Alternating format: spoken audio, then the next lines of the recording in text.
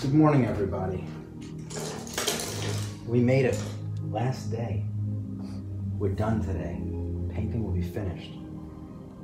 And then the hard part, signing it. It's always difficult.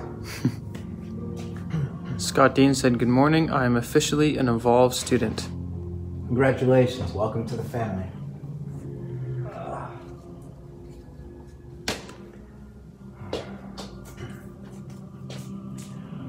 Okay, so I've got a list.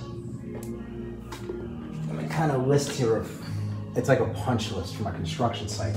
Just making sure I've got everything organized in my thoughts. I sat here for about a half hour after I was done yesterday, sat back about 15 feet, and just started picking through what needs to be done, um, what I can leave, what would be best to leave exactly as it is, um, things like that. And so I'm basically going to put a little bit of gold in the capital here. And then I'm going to probably leave everything else alone over here. I need to get some folds in the flag. Again, fairly simple. And I need to build up the blue inside of this field. Um, so I got to work around the stars. Um, but I want to create slightly bolder, um, uh, hard edges where one part of the flag is in front of another. That way I get just a little bit more dimension. I want to kind of fade this out by adding in more of this kind of brownish color into this edge. So I'll help to marry the flag to the background over here, and then as it kind of rolls out into the light over here, it'll pull forward. So it'll connect the flag here, and then slowly recede back into space, and then jump to here, and then jump to here. I'm also going to put in a little bit of notation in the columns, very subtle, just to explain that they are fluted. Once I've got that done, um, I'm gonna clip this shoulder just a little bit. Uh, I'll do the same down here with the arm. Uh, just to kind of, his shoulder kind of comes up and I wanna just drop it off a little bit. Uh, I'm then gonna go in and I'm gonna polish off the face. Um, and at that point, so I've got basically, I've got to deal with some of the rosiness in his cheeks, the red in the tear ducts, a little bit of ruddiness in the nose, a little pink in the lips, not much. Um, there's a little bit of a little bit more blue and violet down in here that I want to drop in. So not a lot of color. And then I've got to I've got to go in and I've got to detail the eyes, right? I've got to make sure the nose that there's enough of an edge to pull the nose forward. So just little things to finesse the face and make sure that it's good and solid, that it's rich enough and colorful enough. I've got enough temperature shift. I've got all of those things in place. And then I'm going to drop in this shadow and then I'm going to drop in this receding plane. And it's just going to be a value and a temperature shift. Um, and, and that'll be it. And then I'll take a look at the hair. I have a feeling like right now the hair, the hair is actually about the same value as the face. But when I drop in that darker value here, this hair is going to look lighter. And I have a feeling that the hair is probably is going to need just a few accents to finish it. It's not going to need to be changed in value or color. It's probably a good color and value right now. Um, once that's done, I've got a few, um, I've got I've got to clean up the shirt a little bit, add just a little bit of white. And again, when I say white, I don't mean white. I mean something that's similar to the value that's here that reads as white. I've then got to drop in, drop into the jacket. I've got a few highlights to bring out like a button, um, things like that. It's just a couple of marks in here, not much, and it's going to be very subtle, just enough like again, just like those grays I put in yesterday, they're very delicate. I'm gonna, I'm going to just bring up a few things so I get a little bit maybe on the pocket, maybe something on the lapel to separate the lapel from the jacket over here, uh, and a little highlight on the button, a little highlight on the button, and basically stop. I don't wanna go too crazy and it's gonna be really delicate. Just a, just the slightest nudge, maybe a third of a value, barely noticeable, enough that, that, that you that it brings the, the, the, buttons out, gives a little prominence to them, but nothing more. Um, once I've got that done, lapel pins got to be finished. I've then got to clean up, I've got to do drop shadows in here. I didn't do them yesterday, I forgot. Um, I'm to accent the shadow in here a little bit. And then I've got to clean up, there are a couple of places in the apron that have different colors. Um, the sun has blue in the eyes and red in the lips and and then there's a, there's a couple. I think there's red up in here. So I've got a few things in there, little touch-ups. Um, the book is done, the table is done, and then I've got to come over and I've got to just polish off the metals. The cross is blue. There are crossbars in here, and then there's a small relief in the um, in the emblem here, and then I can sign my name. That should be it. Um, I may even play around with the little metal balls at the bottom here, just to make them a little bit more round. They, they look fine, but I think if I dropped in a cooler value um, where the where the light rolls over into the shadow would make it feel a little bit more reflective and a little bit more three dimensional. But that's basically that's basically it. It's all that's left. Um, it's not a it's not a long list. So time to get started.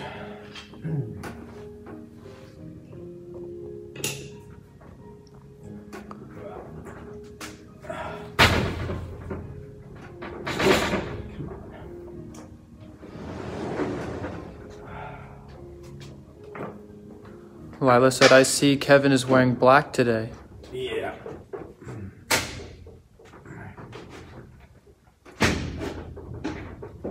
All right, I just want to make sure that I have I have access to the top of the painting.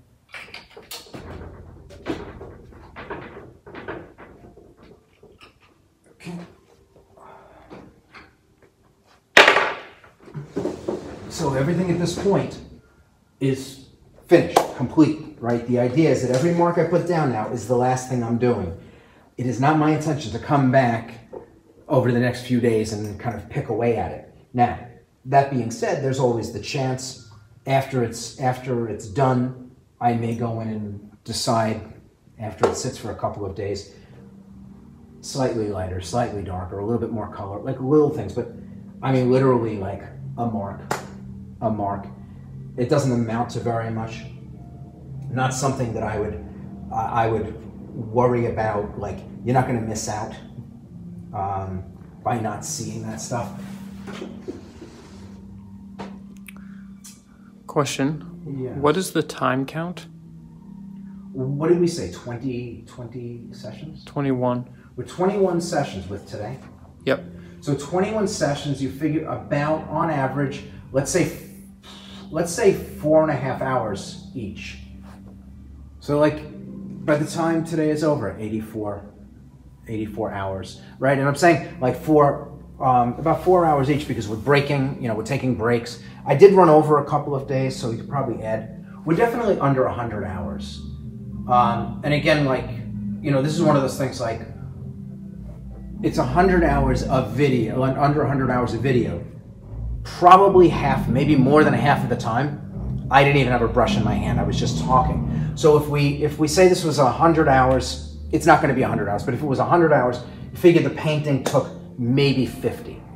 Um, even with that, if I were just doing this, um, and again, just for uh, kind of framing it, if I were doing this without you here, this is tops 35 hour painting. And if if I if I had a deadline, probably I could push it down to 25. Um, and, and not surrender any quality. Like that's the key. Not giving up any quality in the process, right? It doesn't mean anything if you can get the painting done in, in 25 hours, but you sacrifice quality. That really kind of defeats the purpose of it. So that's 100 hours with planning? With planning? Everything, everything altogether, probably probably under 100 hours, in the in the 90s somewhere.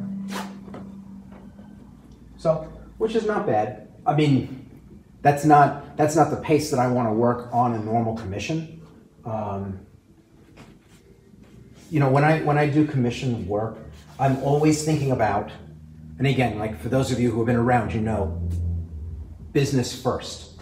What you do here is kind of separate from business, but you have to think business has to cast a shadow over all of this, right? Because if I can't make enough money doing this, I have to do something else, which means I can't do this, right? If I if I have to if I have to go and work a forty hour a week job, I'm not doing this in my in my spare time.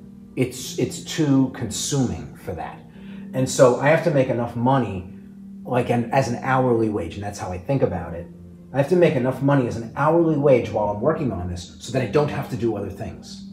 And so to let a painting like this sprawl for 100 hours when it could be done in 35 um, I would I would never let that happen under normal circumstances but um, doing this as a demo while we've got COVID going and all of that I was I was very happy to let this thing kind of sprawl out and take time and try to explain things try to break it down and make sense of it for everybody watching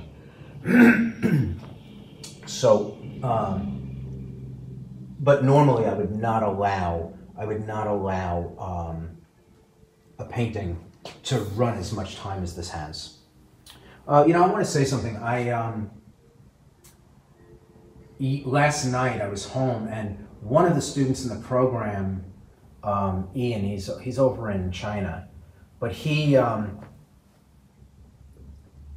he posted uh, an, an actor just passed away yesterday um, after after a battle with cancer, and um, I find it interesting. Like I was actually talking about that actor yesterday. Um, the actor that I was discussing yesterday about doing the photo shoot and then picking up his dog. His name is Richard Herd, um, and he's been acting. He was acting, I think, from the from the mid '50s, um, and he's been he's been in a ton of things. Um, he was in Seinfeld. Um, he was um, George Costanza's boss at the Yankees. A ton of Star Trek things. He was in Arnold Schwarzenegger's first movie um, when Arnold Schwarzenegger was nobody. Uh, but he's been around.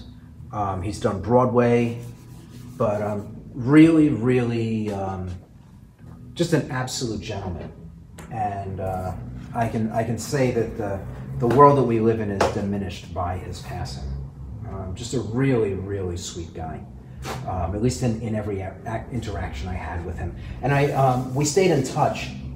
He was an artist himself, not just as an actor, but he liked to paint. And, um, and so we stayed in touch and we talked about art a lot after, um, after I delivered his portrait. But just a really nice guy. And, um, but I found out yesterday he, uh, he, he passed away like yesterday.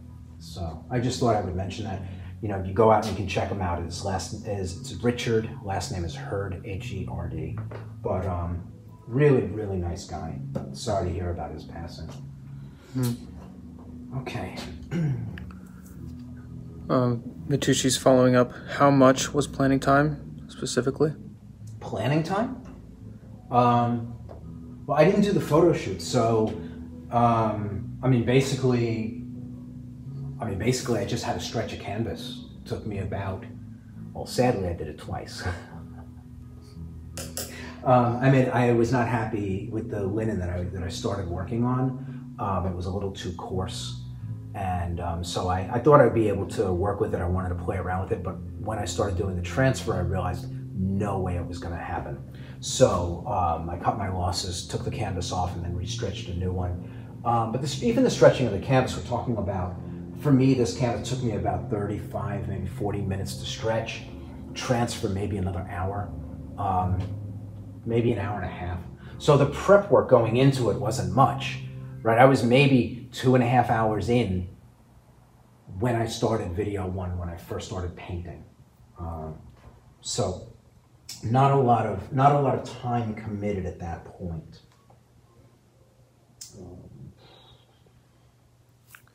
And random question from Patrick. What size painting does Kevin choose to stand at at the easel as opposed to sitting to paint? Um, once it gets once it gets like I would say like 16 by 18 is probably I would start standing the moment I got there. Uh, you know, once you start getting to like here. But again, also it depends. Like if I'm doing an illustration, where I'm working with small brushes, I would stay in a seat. If I'm doing something where I'm moving around with, like with this technique, I would stand. Um, the looser the painting is when it starts, the more you want to be on your feet, right? Because if you're sitting, if you're sitting, um, you, you tend to be more more static and more detail oriented in your work. You'll, you'll find that as you work. Um, if, you're, uh, if you're standing, kind of move around. It's, it, there's just a higher level of energy in everything that you do.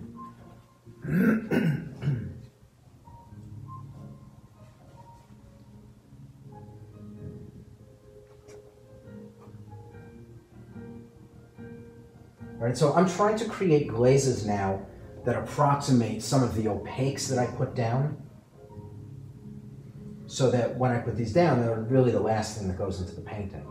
I don't have to, um, I don't, I don't have to seal them again. I can just varnish over them, but I'll know that they'll be a good match. Like here, I'm looking for that, and that's good.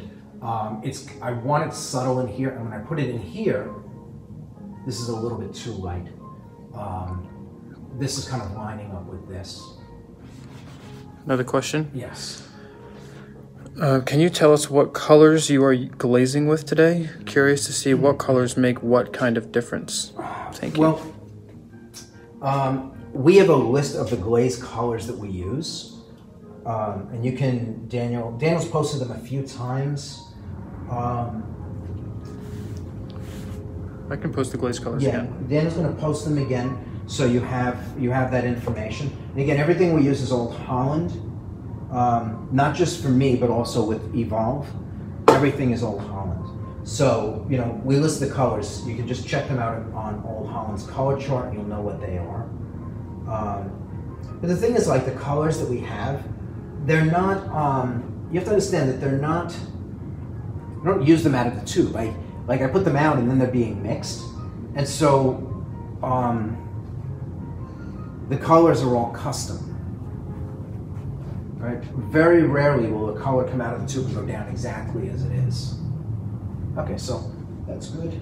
So this mixture, this mixture is a violet and um, and burnt umber,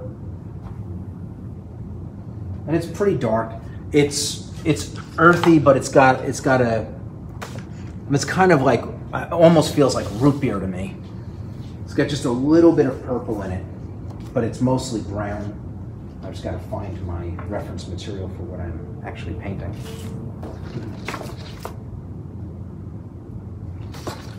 Okay. So, and again in here, I'm not looking to repaint the flag. All I'm looking to do is establish some of these deeper recesses where um, where the flag rolls forward and then tucks in. So I want to establish those right in here.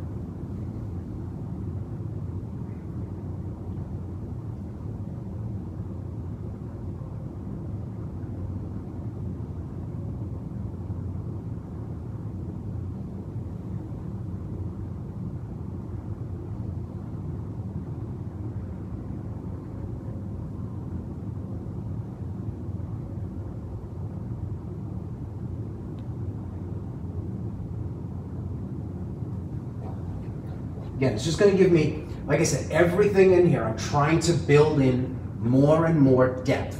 The, the more three-dimensional this becomes, the more space it fills, giving even greater distance between him and the background. And so I'm paying attention to where the edges are,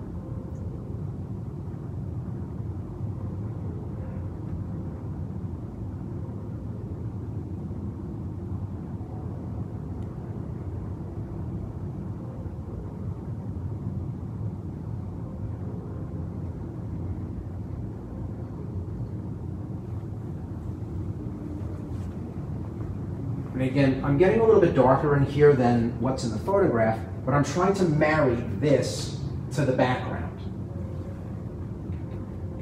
And so it is intentional.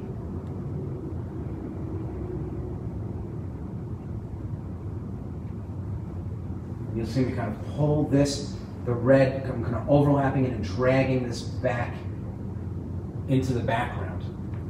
Trying to get rid of those edges, take them out. They were graded earlier on, but now I'm using this very specific color to overlap my lights and pull into my shadows. And that should hopefully help to marry the edge.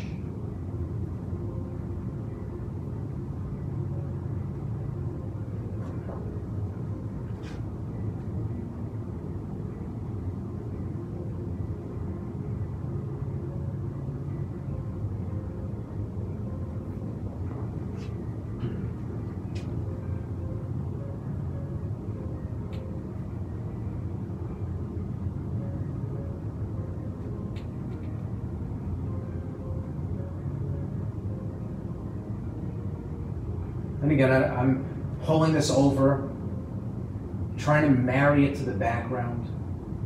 Pull all of these things and unify them so they don't feel separate. I don't want the, this color to end here. Let it spill out a little bit so that it makes sense that, that the flag and this are visually connected.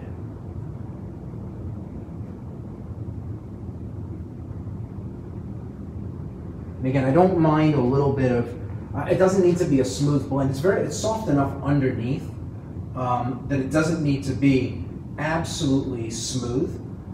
Um, this is very thin paint and I don't mind a little bit of movement in the paint uh, with all the smoother underpinnings. And again, just kind of pulling it over and bringing it into, I mean, these aren't lights, these are. So all I'm doing is trying to connect it and really just kind of pull this brownish color that I'm putting in and kind of connect all of this. I'm ignoring this. Everything from this line over, I'm trying to connect it so that it doesn't feel like they're distinctly different things. All right, so down here, I'm going to allow it to become a distinct edge. And I'm going to kind of cut off the white. So here I'm trying to establish a distinct edge and then I'm going to let it drop away. That's going to give me, that's going to help me to connect and then separate the, um, the flag.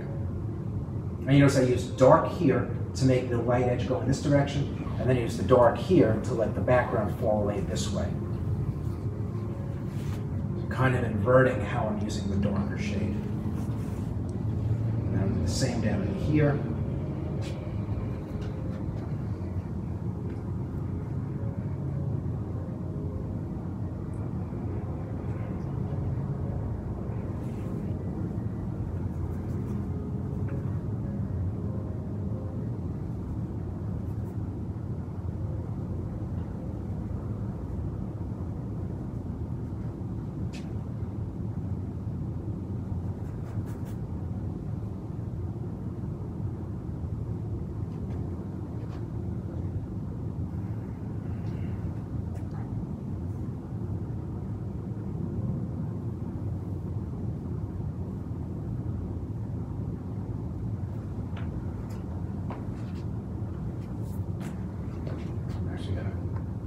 take this edge out. I don't like it. So, change my mind about it. I'm just going to take that edge out as well. I'll leave the yellow. The will do the job for me.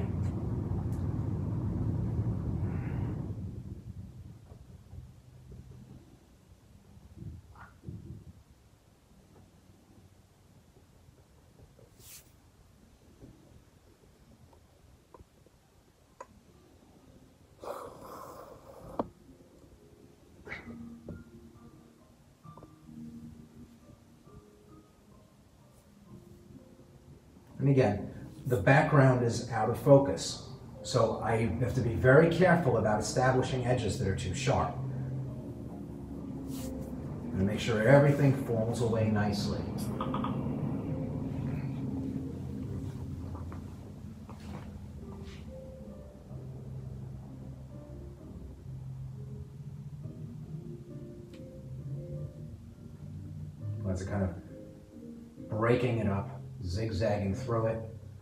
Again, I don't need it to be a harsh line. I just need to be a darker value that falls in and fe it feels like it's a recess.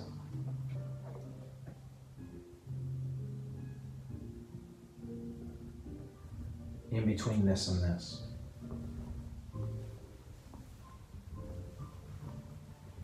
And again, while we're working on this, we're paying attention to it. But in the grand scheme of the painting, it really just falls away we'll barely we'll barely notice it. Um, the flag is really just like it's just it really is just background.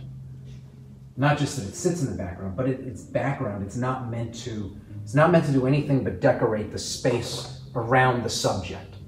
So I want to be careful about elevating it beyond that. I want it to be beautiful. I want it to be really elegant and hold the space nicely. But I also I, I want it to stay back here.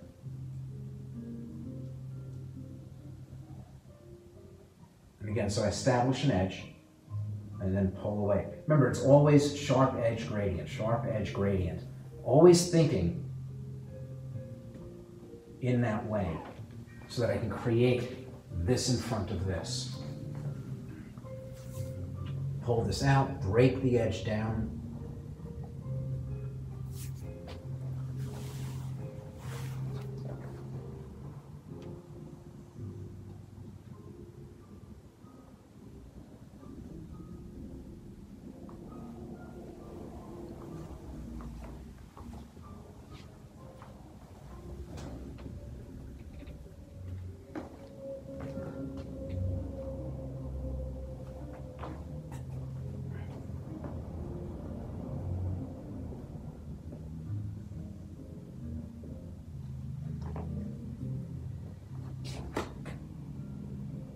Some of this stuff I'll do with blue, like up in this, this blue field.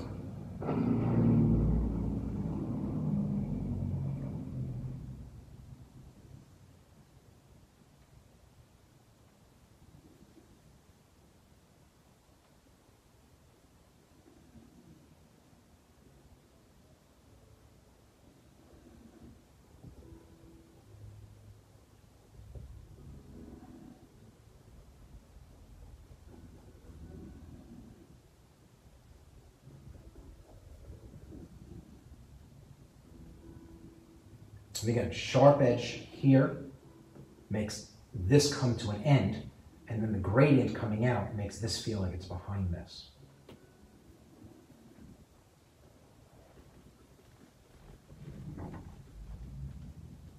Doesn't have to be very strong, and the color I'm using falls into the background. It's all of this, it's all of this. So it, it helps to marry these shadows to what is behind it. It's not a random selection of color. I'm not trying to match what's in the photograph. What's in the photograph is actually really kind of a grayish, grayish purple. Um, that would not that would not do the job.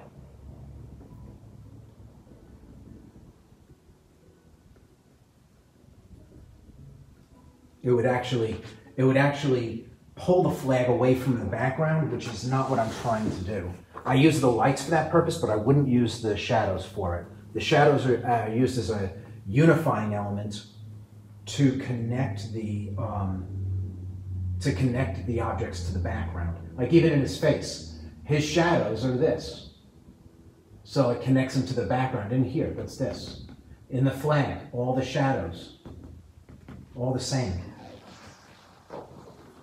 and again, so repurposing repurposing colors and values over and over and over again.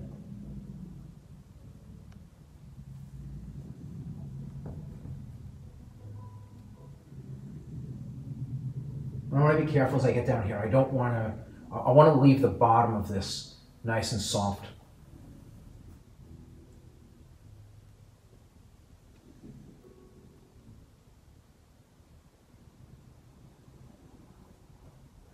Want to establish this a little bit stronger.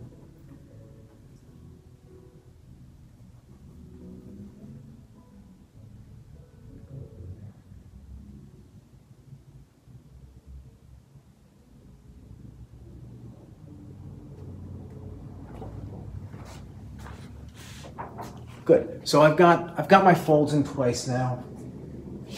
I'll establish just a little bit stronger right here.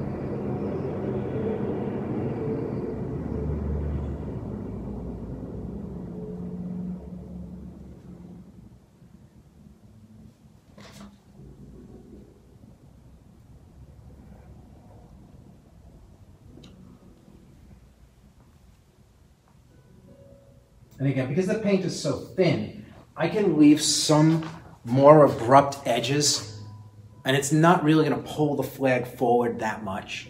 Um, I think the flag, again, I don't want the flag all the way back here. I want it to fall between this space and this space. And so this is actually looking pretty, pretty solid to me.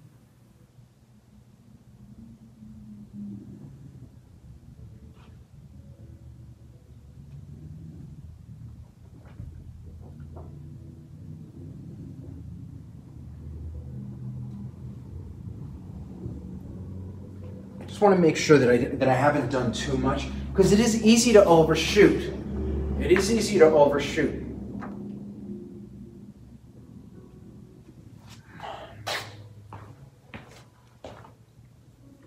And I'm, I'm seeing opportunity in here to create a little bit more depth right up in here just by kind of grabbing the outer edges.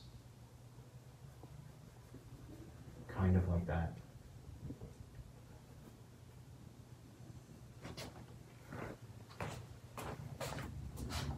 Yeah, that's nice. Good.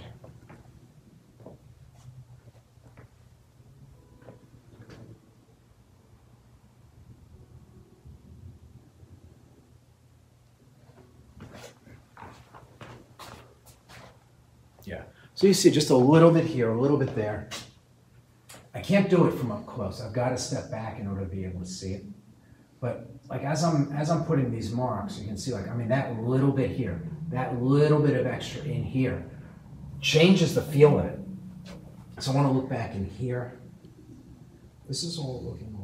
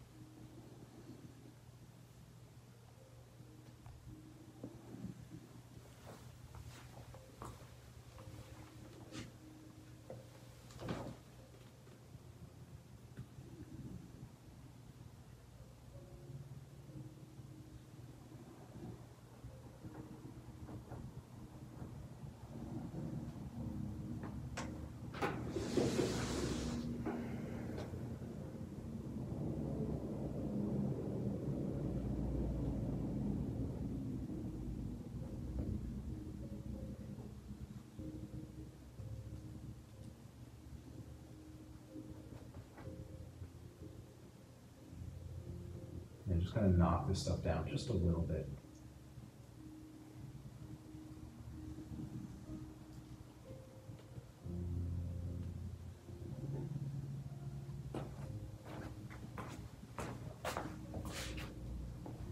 Good, so.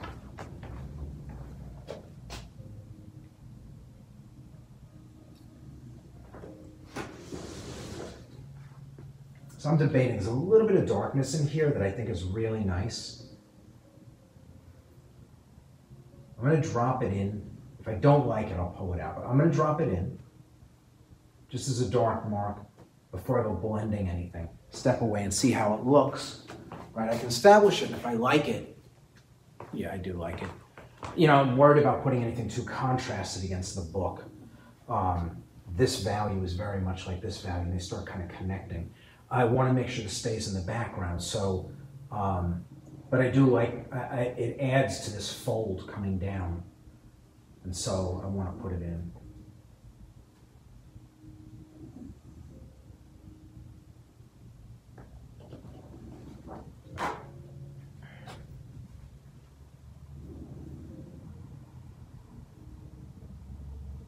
So I just soften it, take the edge off of it where it goes behind the book.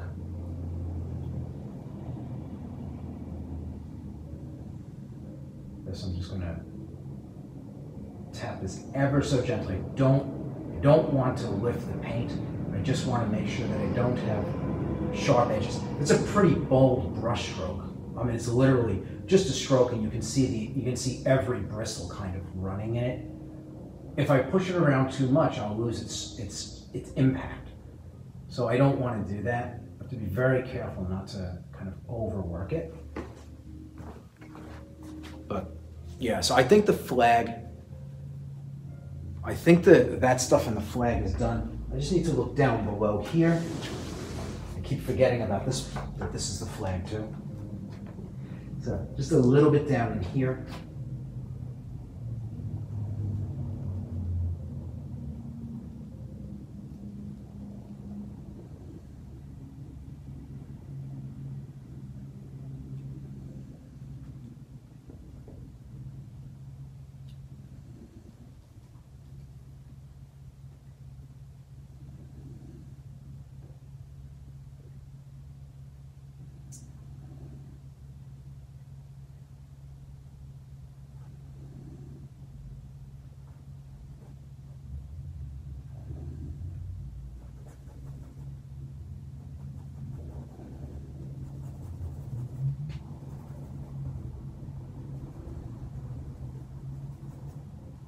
Just a little bit.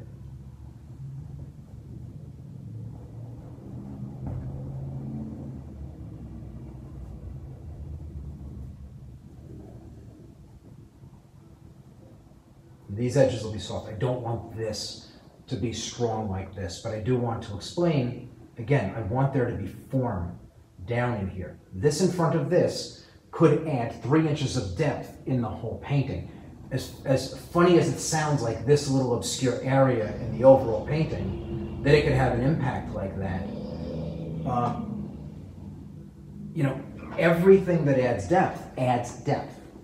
You know, and if you have an area like a middle ground in your painting, and you've been able to add an inch or two of depth in that area, it spreads that space, giving more distance to the things behind and the things in front, right? And so we don't want to leave anything unattended to. We want to make sure that all of these places where we can build, again, even an inch is enough. Any place that we can do that, we want to.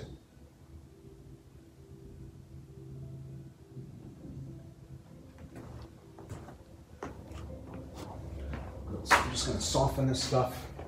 Again, I don't want it as strong as what's up above. Kind of break the edges down. I am being thoughtful, like that has to stay sharp, but this side can be kind of messed up.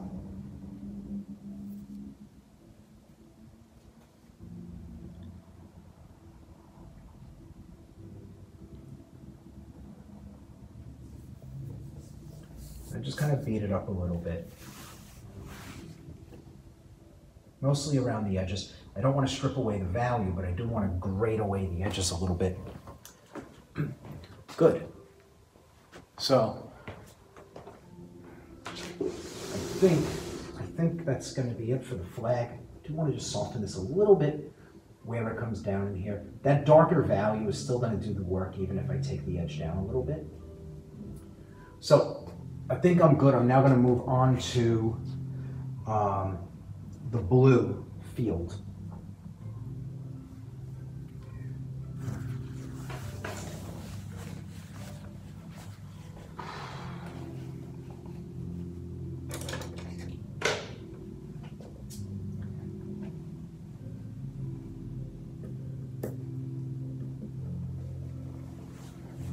Yeah, to keep the blue field really simple. I'm not going to be putting a lot of paint.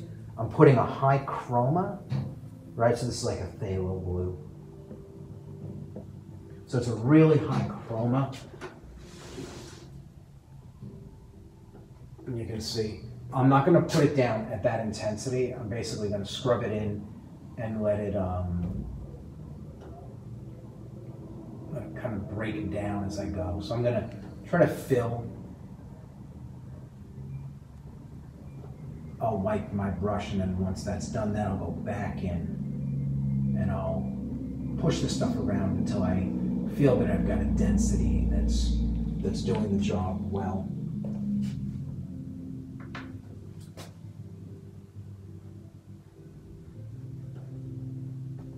And again, I don't want it to be that even. Kind of like I've got this almost like denim feel underneath. It's actually really nice.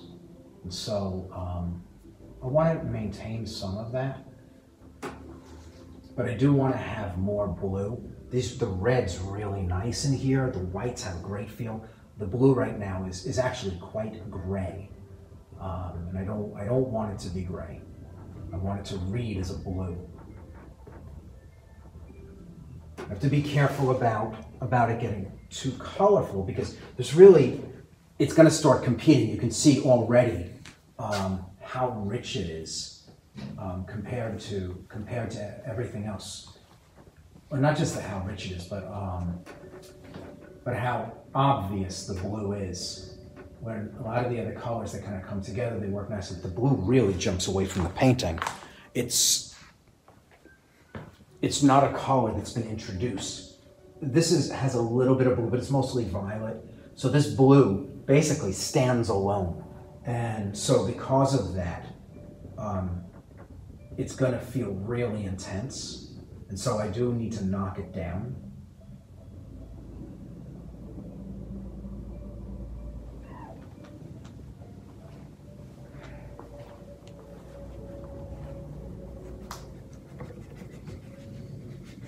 But again, I do want the blue represented. So now that I've got it placed, I just want to get it, I'm going to step back just to get a sense of its intensity, give me an idea of how far back it needs to be pushed. But again, you can see the flag starts to become a little bit more impactful as this richer color, excuse me, is laid in. So I'm just going to go around and I'm just going to pull out the stars and I'll see what the what the painting looks like as I move this paint around and start, you know, because I'm thinning it out by making it cover more ground. Um, defining the stars is going to give me a different contrast. It's going to give me, a, you know, the, the, the stars when they are pushed up against these blues and they're a little bit more uh, well defined because of the contrast. I get a better sense of, of what all of this is doing or not doing. And again, I'm gonna have to go back in, I'm gonna have to put in some of the darker values in here um, in order to create folds up in here.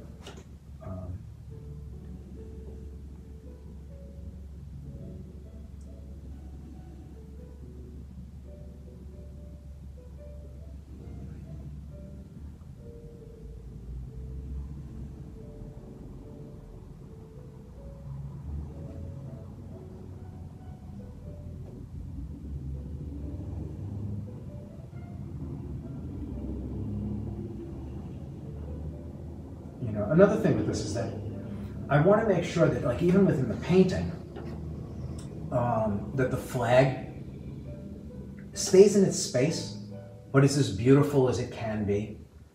Um,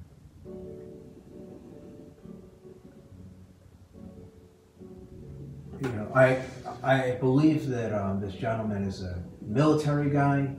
Um, I know he really looks out for people in the military. Um, but I, I, believe that he's a military guy, and, uh, and so I am sure there's a very high regard for the flag. Um, and I know the fraternity is, um, they tend to love their countries. So I want to make sure that the flag is well represented by itself, just as its own thing.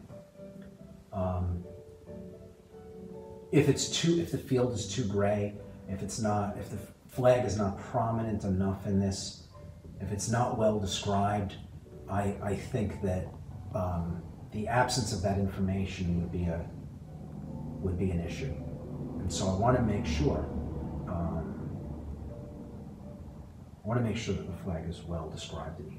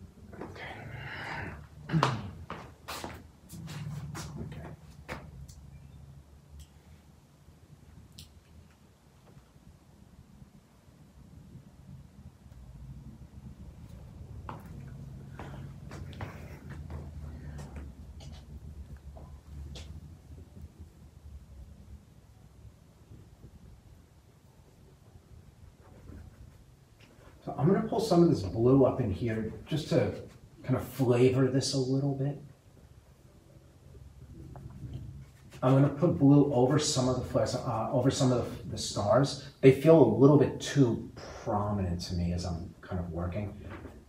Just kind of, just push this around to break some of it up.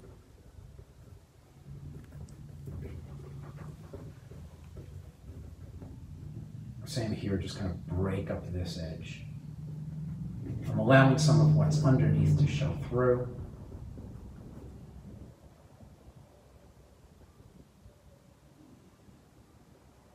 Again, I want to be careful. Like I feel like some of this is starting to get a little bit too sharp, a little bit too high focus. Um, as I step back.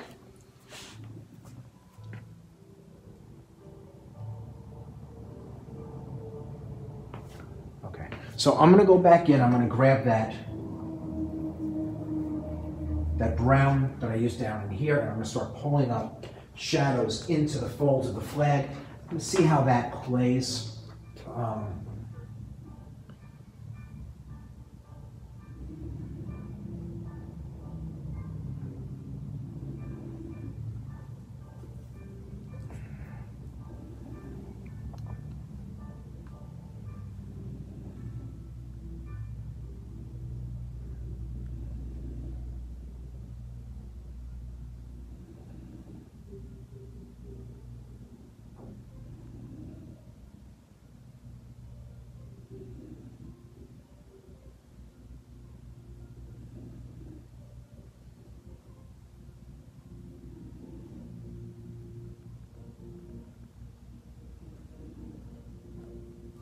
And some of these, these they kind of roll, so the stars are inside of this.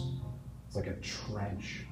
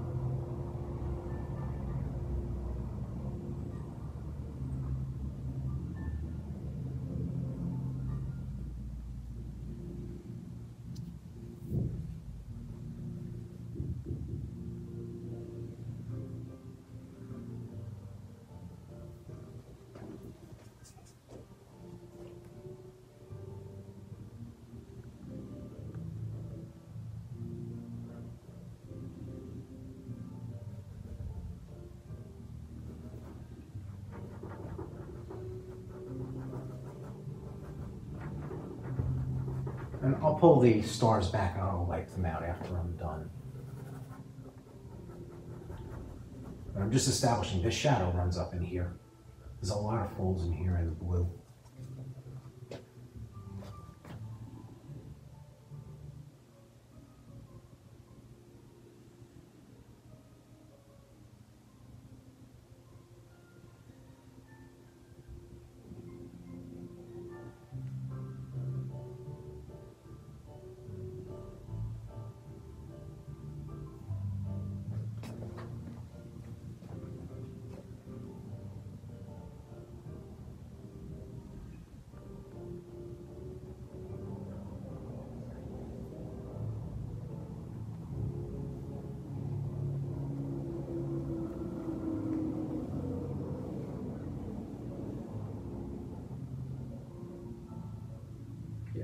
Figure out where every where everything is kind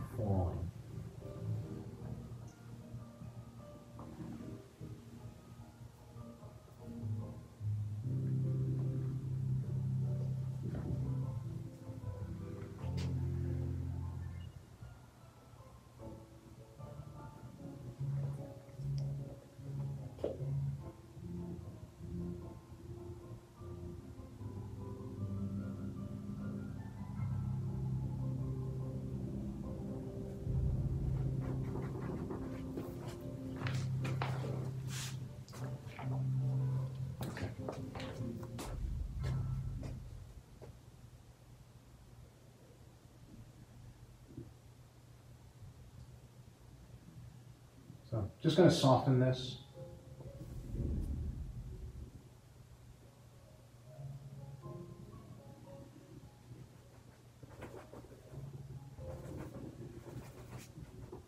Uh, this is all blown out up here and I want to leave it that way. I'm kind of take these edges down.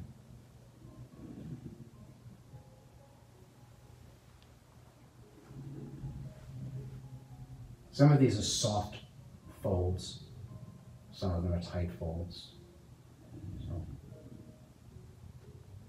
some of them have a lot of light kind of creeping into them and some don't. So I'm trying to just capture, capture that variation.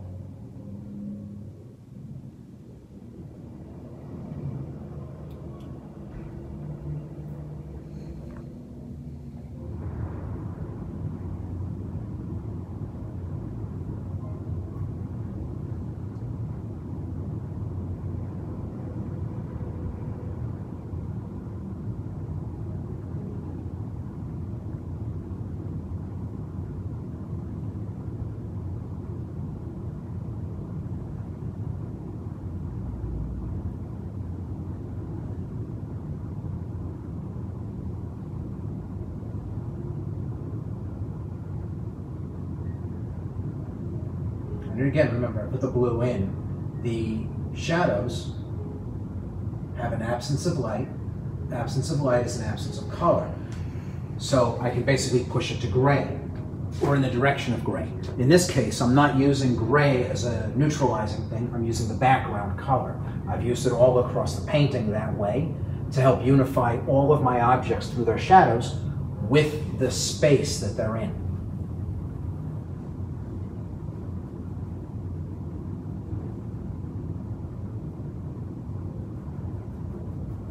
Again, I don't need this to be that strong. Just keep kind of pushing them around until I feel that I like the intensity of them.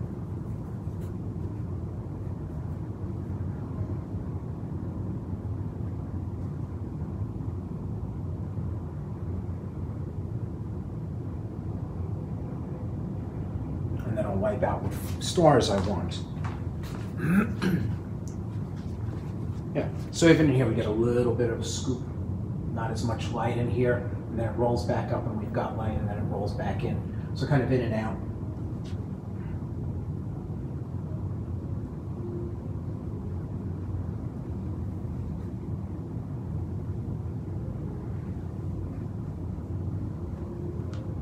Just gonna make sure that the stars that are here aren't, um,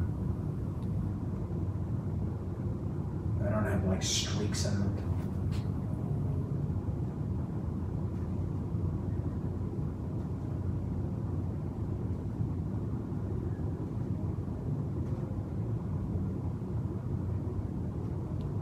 And I'm gonna lift them a little bit. I'm not gonna leave them quite so dark.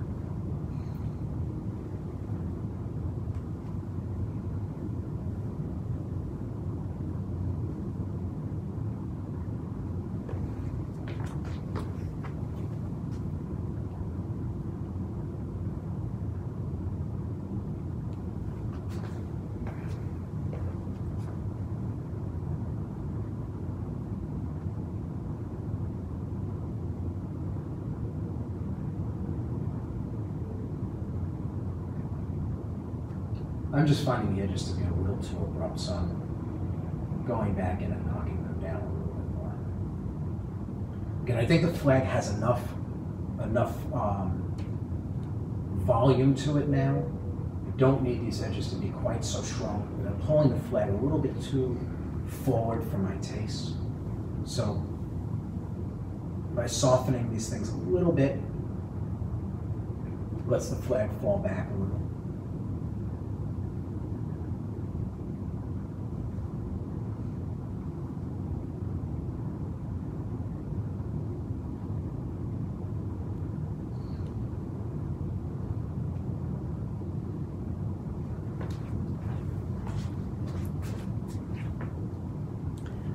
Good. Okay, I'm gonna in, I'm gonna wipe out. I'm gonna start with the stars that are supposed to be fully lit.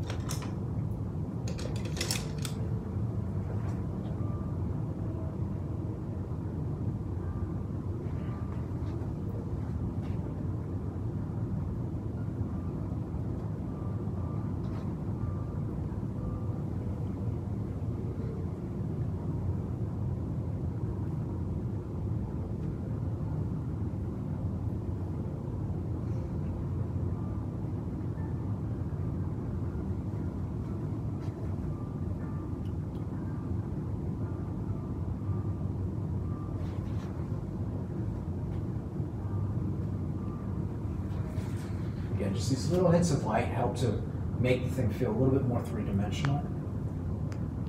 And all I'm doing is wiping out some of the darker value that I just put in.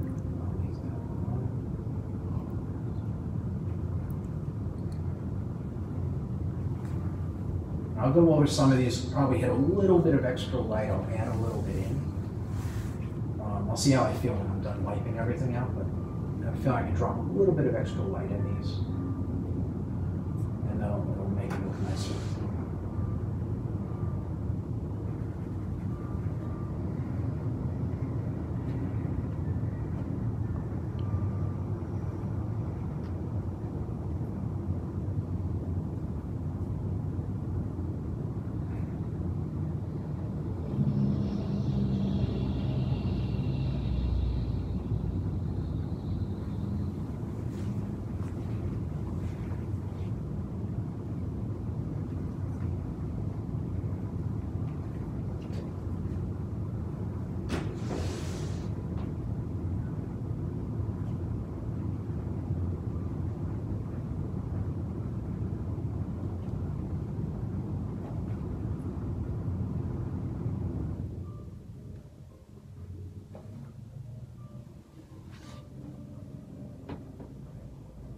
And I'm lifting these, so the paint out of them to different degrees.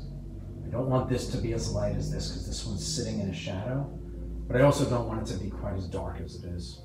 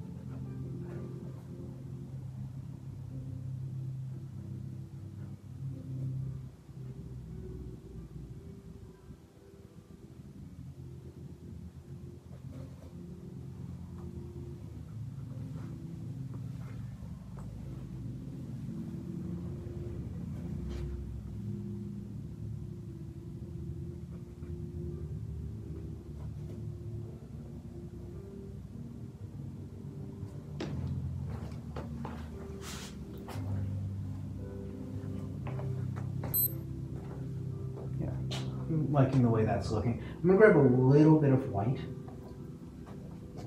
And I'm gonna bring up a couple of highlights inside of the, um, inside of the stars. And I think, and then I'll probably stop right there. Just a few, nothing, um, nothing too extreme.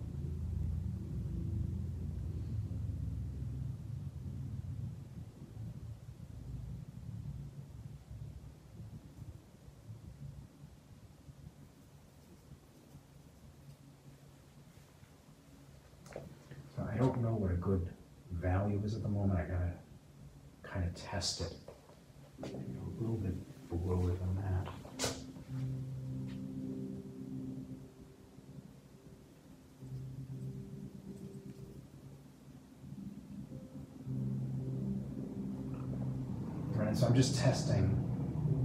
So that's a pretty good match. If I put that down, I'll be able to make these things a little bit bolder, right?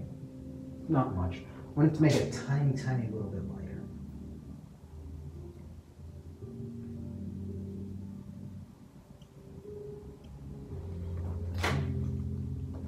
I'll wipe out those marks I just put in. And now I can start getting a little bit more light into these um, stars. Start down here, actually. Again, I'm not looking to go crazy on this. Just, just a little bit.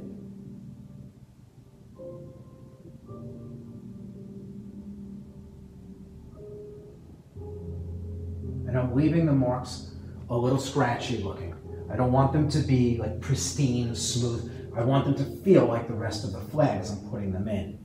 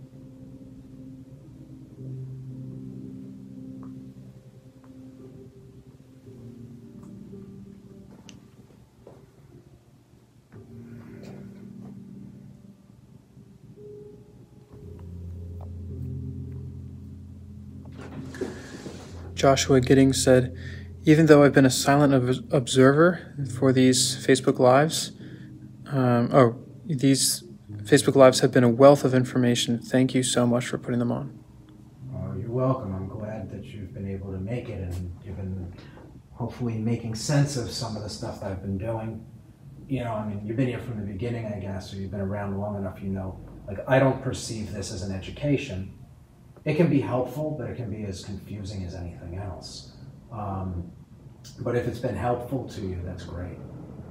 Try to make it as try to make it as educational as possible. Um, but I really do, I really do believe that th- this is not an education. Um, and I, I, I feel the need to say that like all the time. You know, I see people go out and you know jump out and you know try to get an education in places like YouTube. You know, a little bit watching people paint who really know what they're doing, and it's theater. I mean, there's just no way to calculate like from where you're sitting everything that's going through the artist's mind while they're producing something like this. Um, and so I like I make the point over and over because um, I don't even want to get called after being like, well, like you, you know, you're doing a video like this. I want to make the point that it's it's not education. Doesn't mean that you can't learn things from it, and it's great if you do. Um, but it's important that you don't think of it as an education.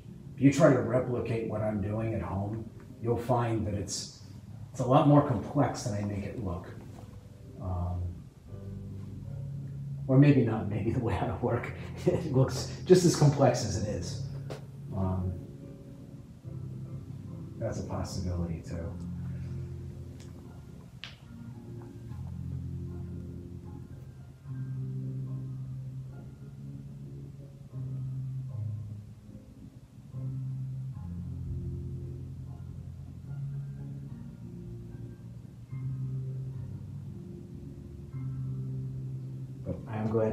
Join us.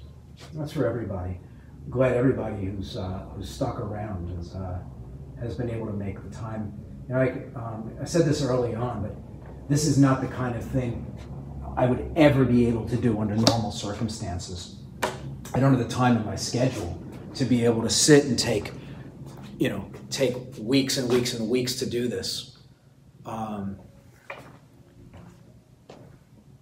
and to do it on a schedule, like showing up every Monday, Tuesday, and Wednesday at a set time. I just I just don't work that way. So um, I am glad you've been able to join us.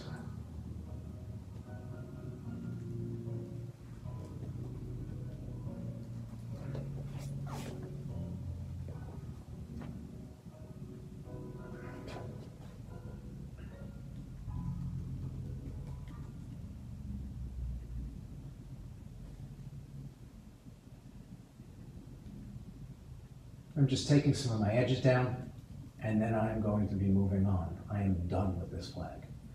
Again, the flag is not the focus of the painting.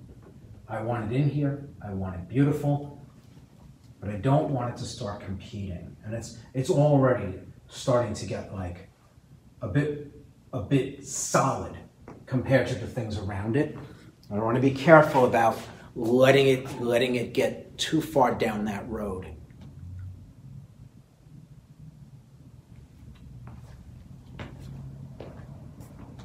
So, and I'm actually, I'm feeling like, like even the edges of the stars need to be knocked down a little bit.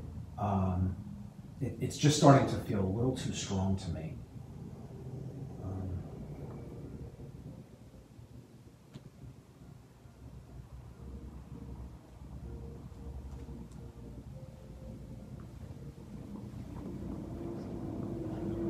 And again, while we look at the flag itself, the flag probably looks fine, but when we take it, we take the painting as a whole, the flag is starting to fight for attention um, with the face. And um, not looking for that. And it may even be that after the painting is done and it's dry, I may have to knock this stuff back with a very, very thin glaze of blue just to push the stars back into the painting.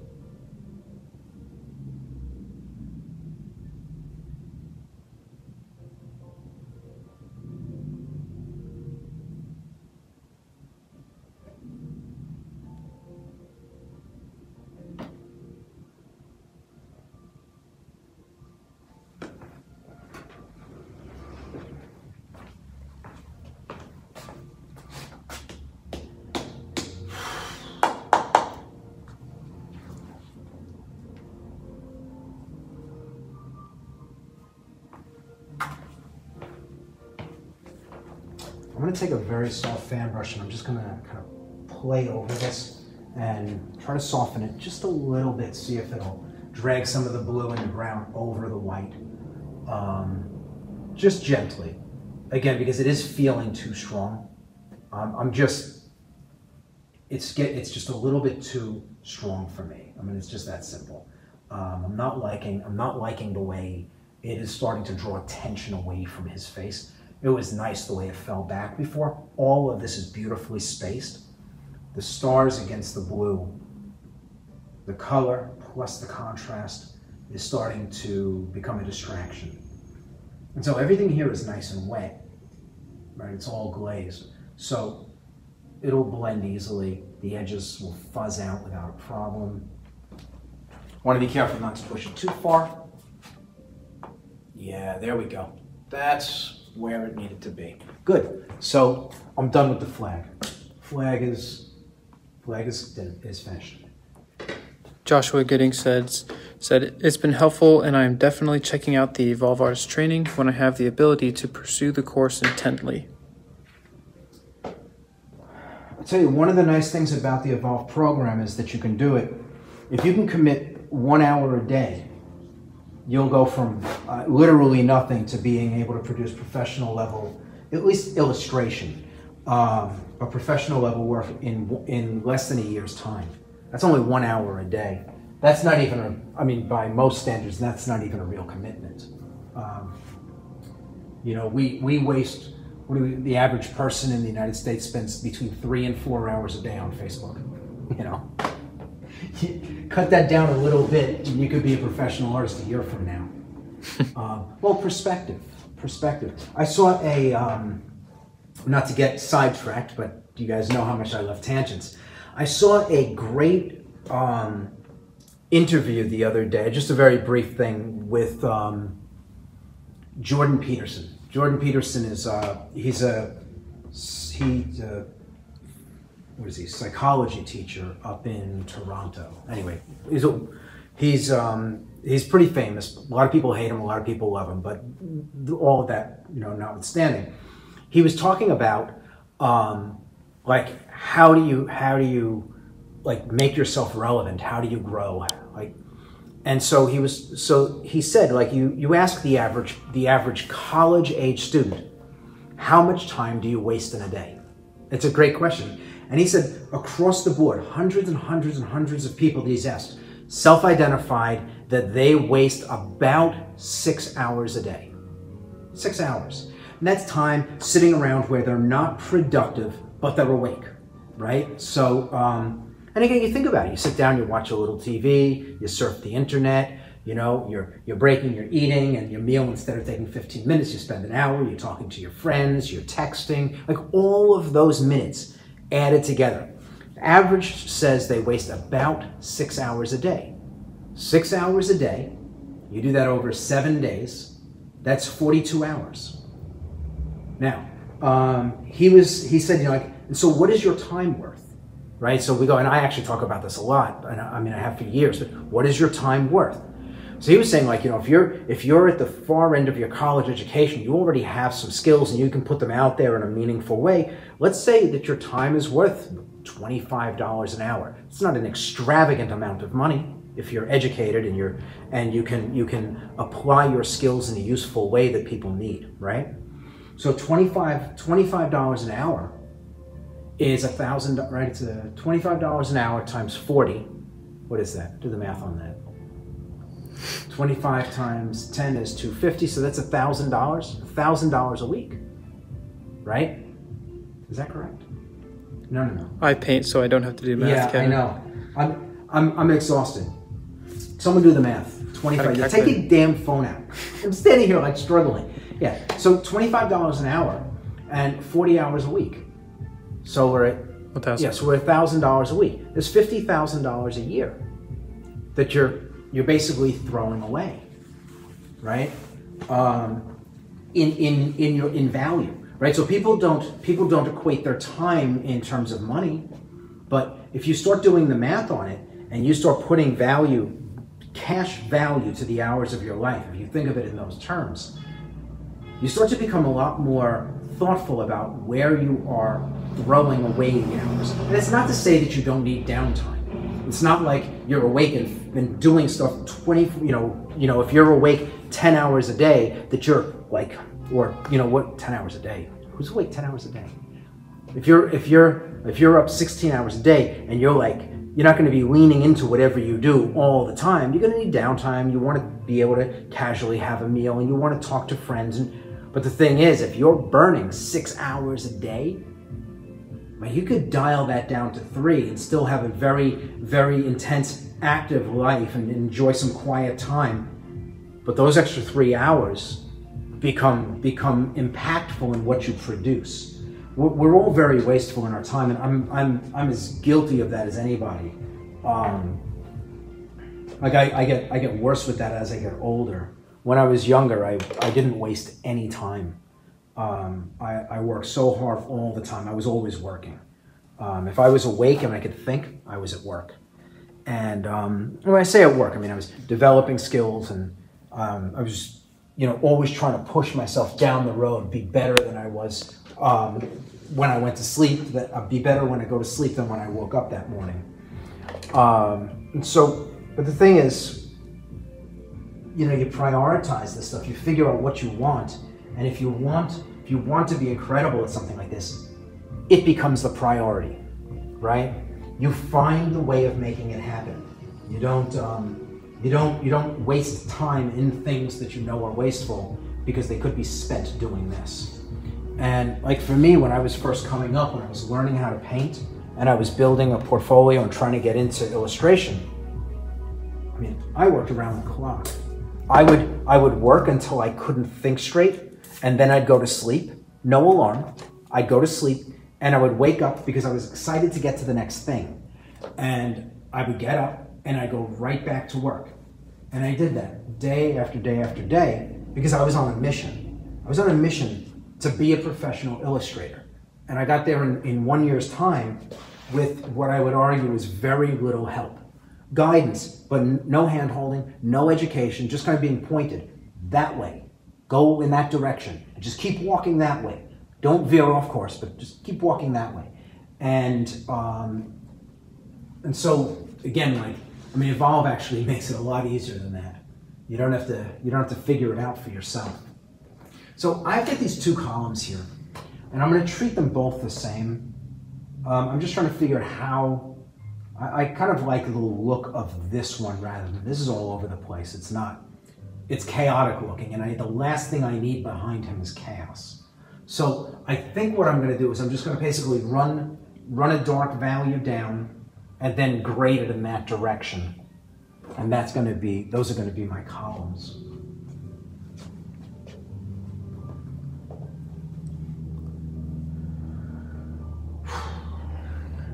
Alan Yost said, Free time isn't always a waste. At last, I found something in with which I disagree with Kevin. Smiley face. Uh oh.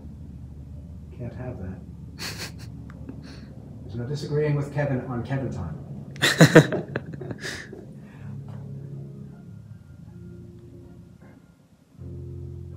no, like I said, free time is fine. But the thing is, like, how much free time do you take? I know that I'll get on, I'll go on, like, I'll go on Yahoo and I'm looking at the news feed, and I'll look up and it's 90 minutes later. And I'm, I'm less of a human being when I'm done than when I started because it's all garbage. And you do the same with Facebook, and it's like, you know, it's just it's burning brain cells. That's the, and you never get them back. And so, it's one thing if you're like like if you sit down and you read a book and it it broadens your horizons. It gives you a different way of thinking about it. It entertains you in a, in a meaningful way. Well that's not wasted time. But the thing is every one of us spends time when we're finished if we think about it like if like you think about it those were the last the last two hours of my life did i spend them well. You wouldn't have done them if you had the chance to do them over. And it's those minutes that i'm talking about. You can you can pull those out of your life and and become more productive moving in the direction of what you want out of life by doing that. That's all.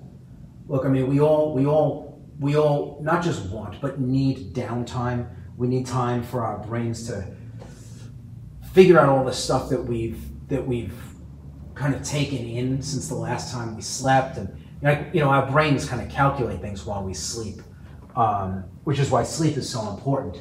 Your brain organizes everything you've, you've taken in, processes while you're sleeping. Um, I try to keep these close to being equidistant.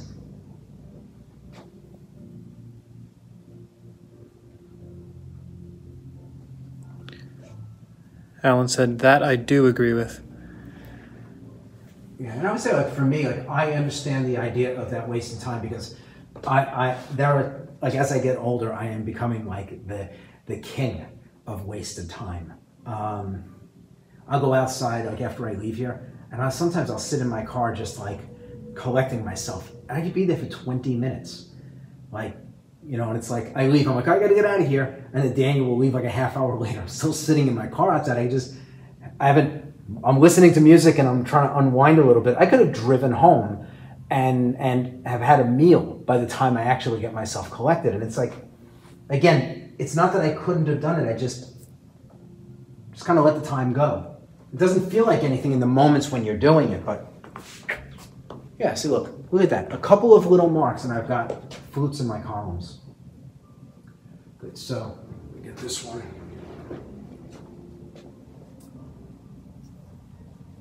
And they fall back nicely. They're the same basic color as the background. They're kind of a mix between this and this.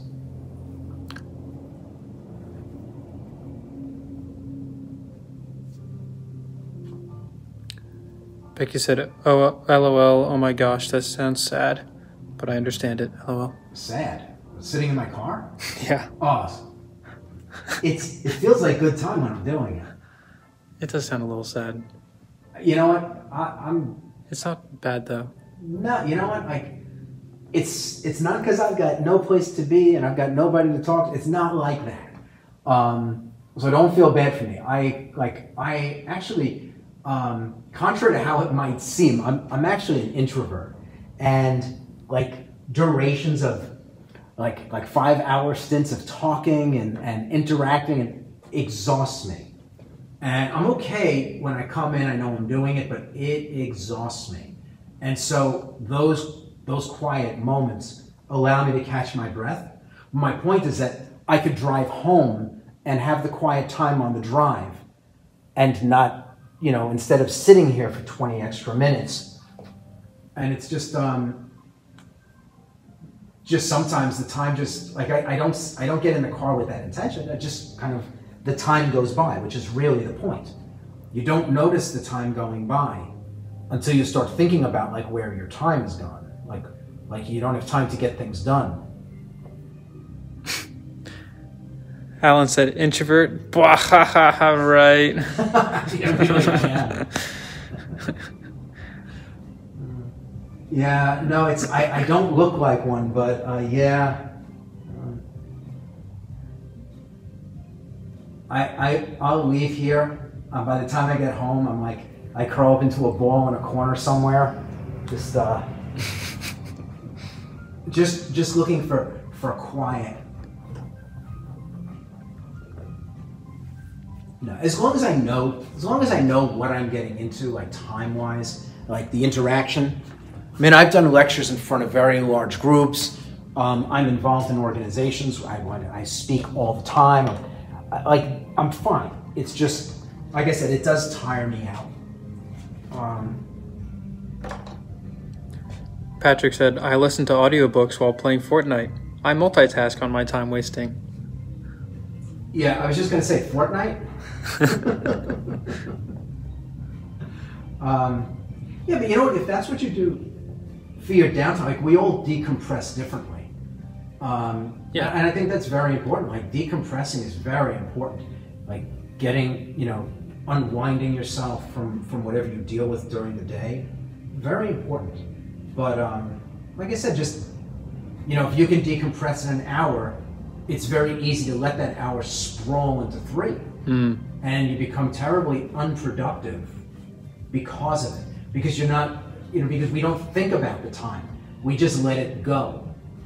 And we can justify, well, I was unwinding, I had a long day, but you unwound, you know, one hour in, and then you burned the other two hours because you weren't thoughtful of your time, right? And that's really the point. Um, to be more thoughtful of your time. Not to not to not to surrender that personal time. But to be to be in control of it, really. Right? There's lots of stuff I don't have time for because I don't manage my time um, well enough. And that's not to say I don't manage my time. I just don't do it well enough. And so so I don't have time for some things that I really want to do.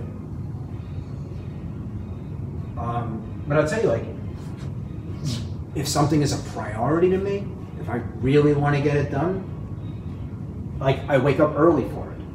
I think we're all like that. You know, you're getting ready, you're going on vacation. Yeah, you don't even need an alarm clock on those mornings, right? Um, but you got to get up for work, your job, especially on a day you don't want to go in. Well, you're going to need like an alarm in each room, right? You know, so that the second alarm goes off, you have to get up and go to another room to turn it off. um, and so, again, like for me, just if you know, it's if there's something I want, I'm able to prioritize it in that way. And I'm, and even that, I'm not always good. I mean, I don't think anybody is is going to be 100 percent of the time. You know. But again, just general awareness of, of how you spend your time, very important. Russ said, Well, getting to age 52 has its hazards of tiring one out. I'm I'm I'm almost there. So I'll be 52 at the end of the year. Yeah, I, it's it, it's not the same. Like you know, when you're like 40, you know, you recover, you're fine, you can go without you go without sleep. I can't do that anymore. Um, and I imagine like I'll say, you know, like 50, I'm tired now. People are like, well, when you turn 60, just wait till you get there. And yeah, I can't even imagine.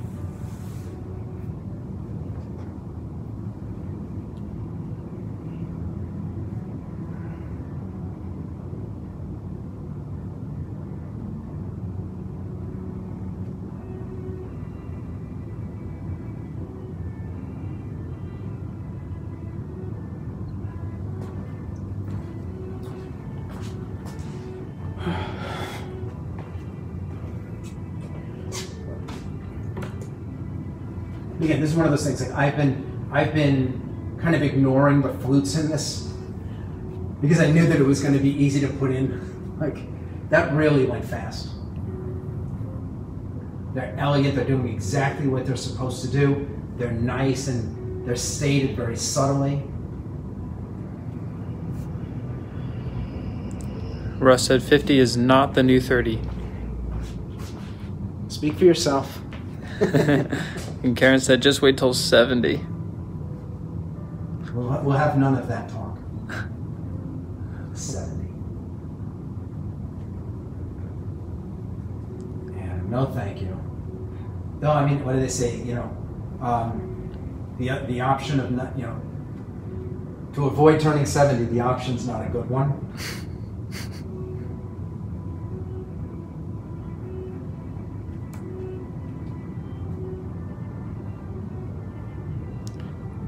Nicholas said painting keeps you young, I hope.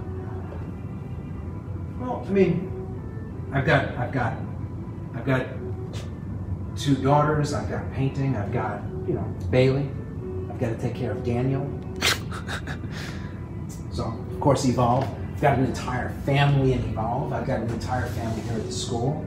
I've got to take care of Kevin. He's got to take care of me. okay, so I think I think my background is done. I'm just going to step back and take a good look at it because I don't want to come back around and touch the stuff. Wow, those columns pulled together nice. Um, yeah, so feeling good about that. I'm going to clip this shoulder right now. Um,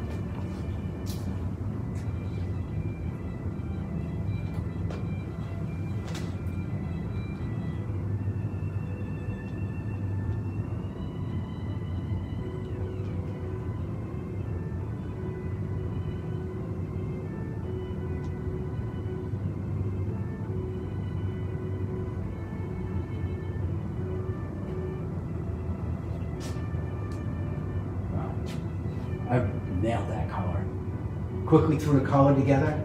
I don't even see it on here. That's always nice when that happens. You know what's funny? It's only happening because you're watching. Normally I'd be like, I can't get the color right.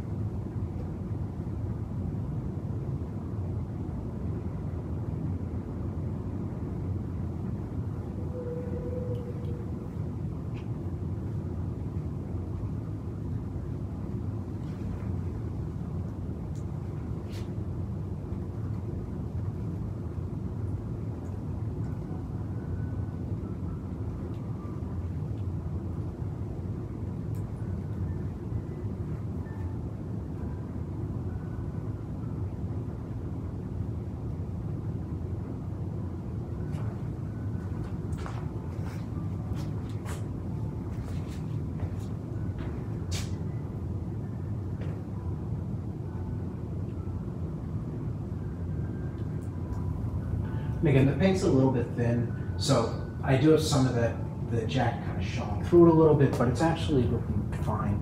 Um, again, this is such a soft edge over here, it's not a distraction. You're gonna have a hard edge gold frame coming up against it, which is gonna pull away from the painting. It's nice to have this just kind of dissolve behind that.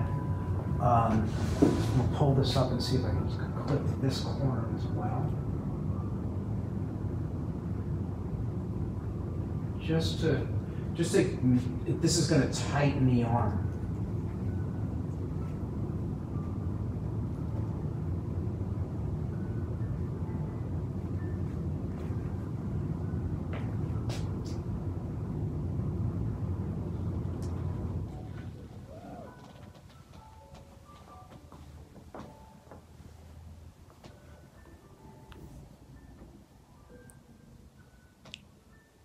Wow.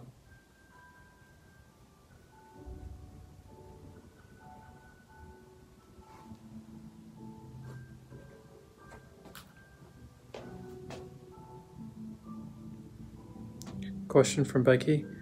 Will you cover it all with a alkyd and then a varnish when it's totally complete? No, I will simply varnish the painting and then that'll be the end of it.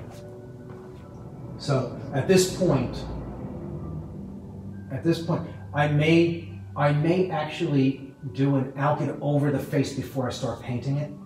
Um, cause it'll bring it all up and then I'll be able to kind of glaze into it. Um, it'd be very, very thin though. And, um, and that'll make sure that again for the face i want to make sure everything everything that's there um, is exactly the way it's going to look in the final painting before i start working into it because i don't want to have something that's a little dry and it's not the right it's kind of a, hazed over and then i make an adjustment to it and i push it too far um, so here i'm good in here um, Good. I'm just kind of looking. What else did I say? I'm going to leave the face for later on. Um, where's my list? I'm just going to grab my list and start crossing off all the things I'm doing. Alan had said, just slap some yellow in there. You have hardly used any yellow. Okay. okay. So, um, I'm going to do the jacket highlights do those next. That way, when we come back from our break, I'll do the face. Um, jacket highlights. Again, not much to them. I'm basically going to um, take some pain, some Payne's gray with some white. Just want a little bit of opacity. I don't want it to be, I don't want it to be very light. I want it to be just the tiniest bit lighter uh, you know what? I'm actually going to put a little bit of a little bit of Naples yellow into it.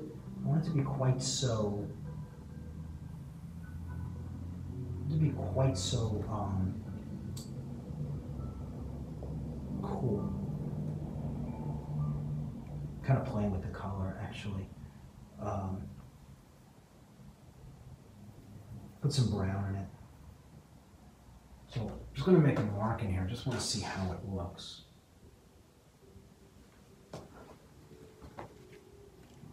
Nailed Yeah. it. Yeah, so that looks good. Um, I'm not going to leave that as the mark. Um, I just wanted to test it, but that actually looks good. Um, again, this whole nailing these things never happens. Never happens. I'm just getting lucky here.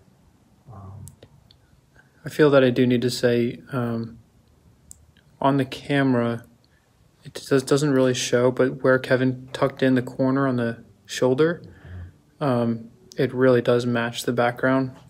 Uh, for some reason on the camera, it's really not showing up as well. But when we take the photograph of the finished piece, it'll be a lot more clear. well, we hope so. Yeah.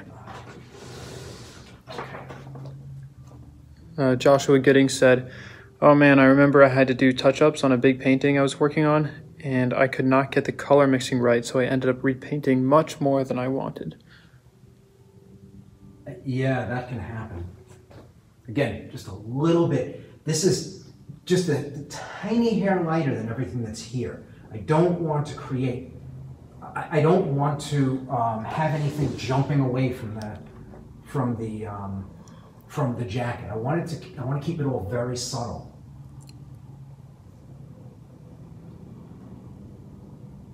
One is a little bit of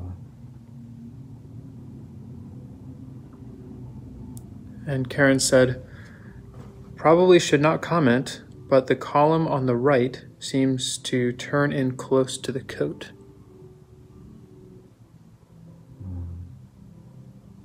I don't know. I don't know. I don't know what that means. She's talking about right where the um, the collar meets the column. Yeah, right there. Yeah. Well, I want the column to go to feel like it's further away, so that I didn't put much down in here. I let this edge dissolve. Even the flutes kind of drop off. Same down here.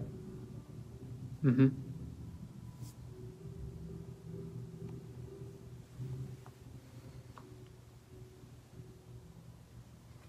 Again, just enough to separate the jacket from the, um, right, where the dark against, where we dark against dark, I put that little bit of an edge in. Here I don't need it, but just a little bit. Make sure it's clean.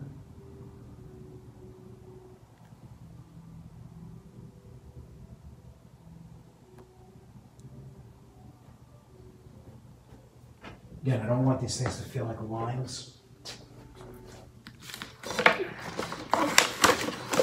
So I'm constantly looking at, if I make something that looks like a line, I'm looking at the edge to see if I can do something.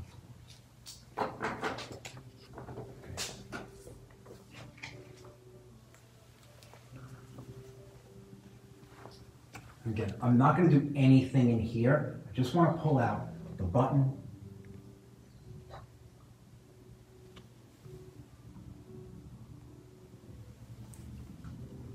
Did you find that photograph we were looking for? No. It's in my hand now. What was it? It fell down when you were grabbing stuff from here. No.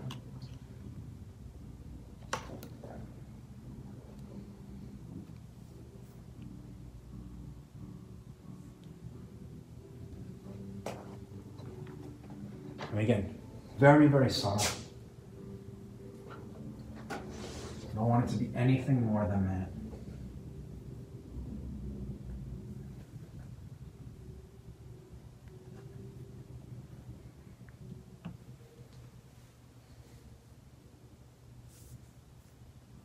Again, just kind of feathering one side.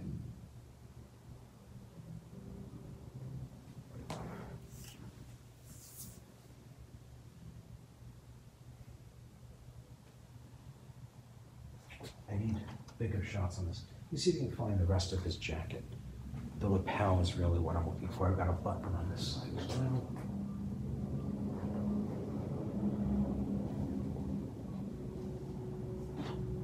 Right lapel? Yeah.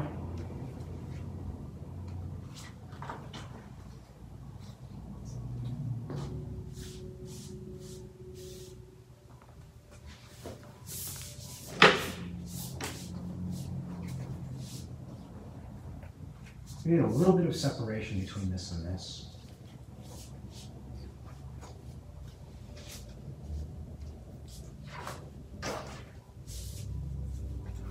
Very, very gently dropping this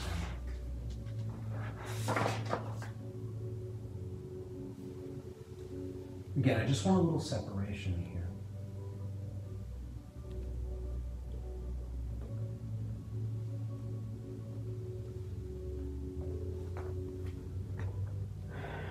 I am debating whether or not to put this light in, in here. I feel like I should. Um, I feel like it's necessary, so I'm going to do it. Keep it really thin, really subtle, hopefully. And hopefully I won't regret the decision. So I just feel like there's a light in here that has to be described. Hmm. No, that's a little bit too.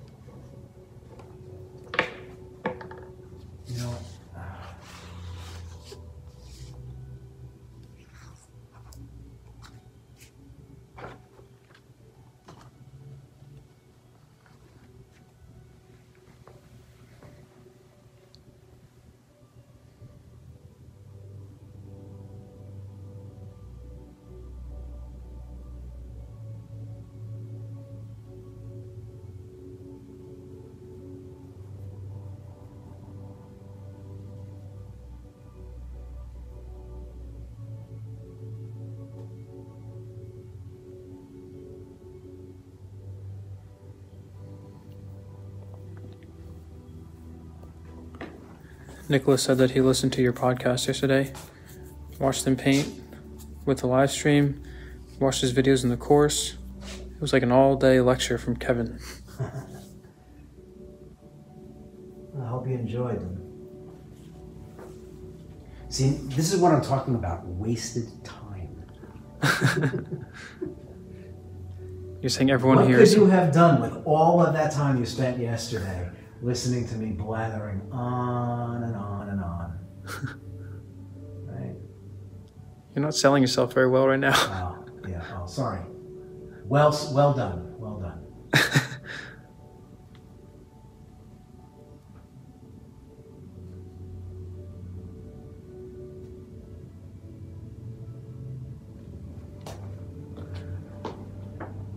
And again, this is silk, so I want to create, want to create a little bit of a reflection.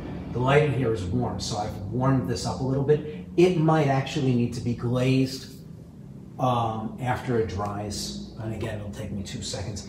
I need this other lapel. Okay.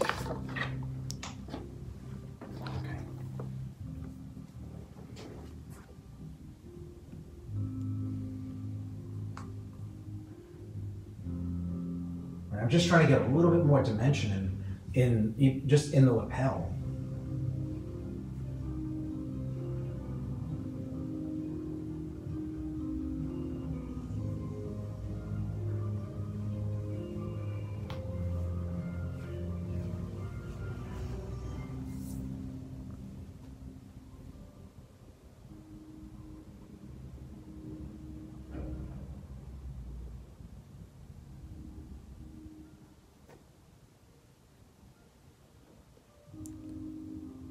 Would you call what you're working on right now a highlight?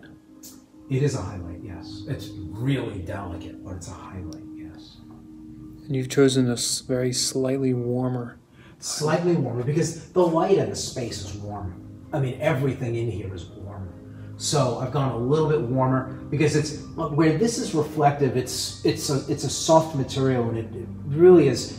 Um, it's not bouncing the light as it comes out of the source. Where this is a highly reflective material, and so it's going to bounce the light in a in a much kind of truer version of the light itself.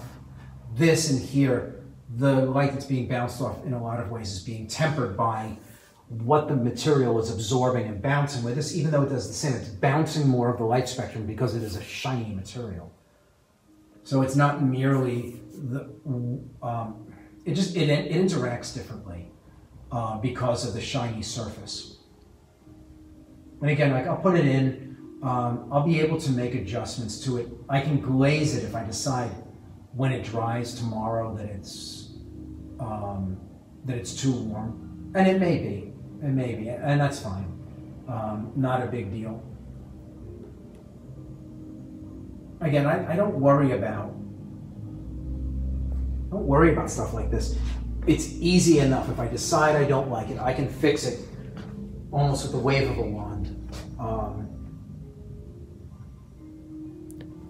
Is there like a general rule to temperature shifts with your highlights? You know? Like, there are no rules. Um, there's understanding how things work. Like again, the environment, the room, the room is warm. The light source is warm. The space is warm, and it's not warm. It's let's say it's a it's a little bit warm. It's a, it's not quite neutral. It's a little bit warm um, for the environment. And I've made him a little bit cooler, but again, like the same way I have temperature shifts in his face, because the environment is warm. I'm what I'm doing is I'm saying that the light is relatively warm. So when I put this in, this is reflecting more of the light bulb, more of the source of light, because it's shiny. And so you're going to get a little bit more warmth. It's not being tempered as much by by a material that's that's really kind of eating up the the light and not bouncing um, larger amounts of light. Again, this is shiny. This isn't, and so the shiny things are simply bouncing more light. You'll get on a shiny object, you can get a purely white, um, purely white reflection, and not just that, but it'll look like the shape of the light bulb that's shining at it. You're never going to see that in a cloth like this, but in the silk where it's more reflective, it is. Now this, you're not going to get that kind of a reflection, but it's going to be more reflective than this, and so it's going to it's going to feel more like the space. And again, it's minor. It's minor. If I decide that it's too much, too warm, and it, it doesn't look like it, I step back five feet. it doesn't, it is barely, barely perceptibly different than, than this. So I've got one more um, thing I have to do to the lapel and with the buttons, and then I'm, I'm basically done with the jacket, I think. Russ asked, glazing tomorrow? Another day of viewing? No, no more days of viewing. This is it. If I have to do any work um, beyond this, I will do it alone. Um, and again, I, I'll take a look at it. We're not talk, it's not enough time to make it worth even setting something up to come in. It'll take me like four minutes and I'll be done. Um, it'll be a tiny hit of color here. Um, I, I don't even know. I, like I can't think of anything else that might like maybe down here I might require a little bit of something to unify the the white frosted relief against the gold in the background. It'll be little things like that. Maybe have to bring up a highlight on on some of the lettering in the book.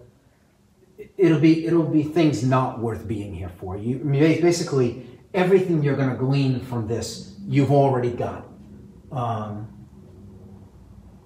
so there's no there really won't be any benefit to being here for the extra couple of minutes that I would use to, kind of nitpick a few things.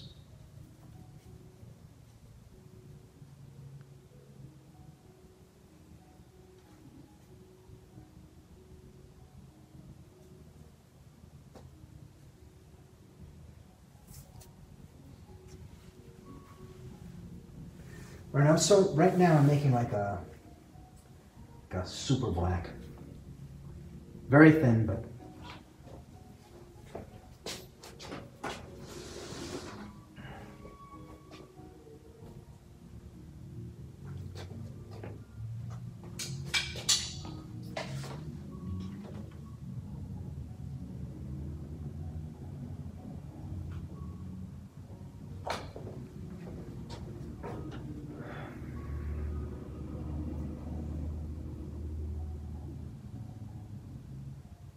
I'm going to get a little bit more separation, so it's a bit darker than what's already down.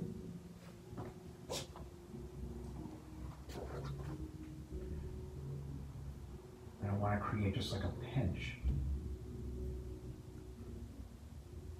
so that you know this is casting a shadow.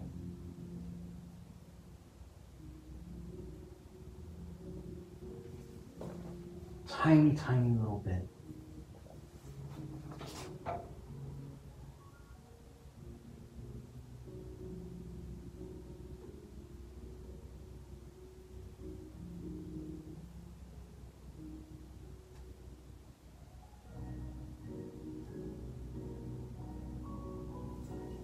Just adds a little bit more. Again, tiniest little bit of um, dimension.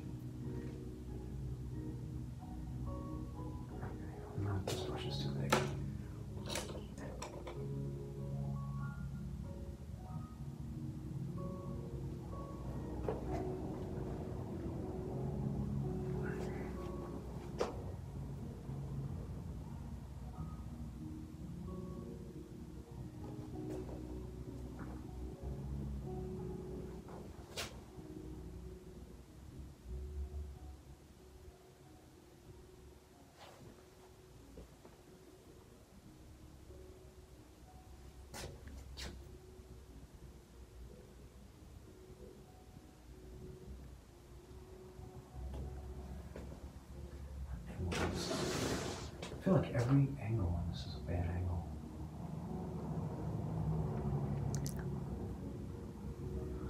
Question from Trina. What will you use to do the final varnish? Large paintbrush?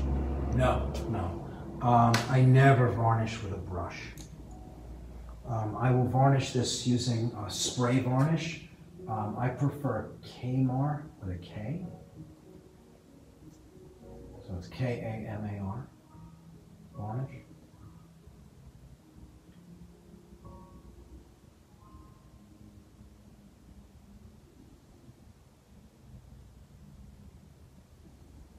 Here, just trying to get a little bit more separation between the lapel and the jacket.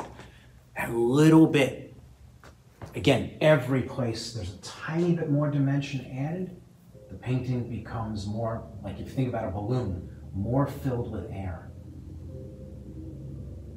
It would be feel like you could stick your finger between the lapel and the jacket. And like to me, this is a lot of fun. I love this part of the painting process when you get to the point where you're now adding in these little things that are just going to push it over the top.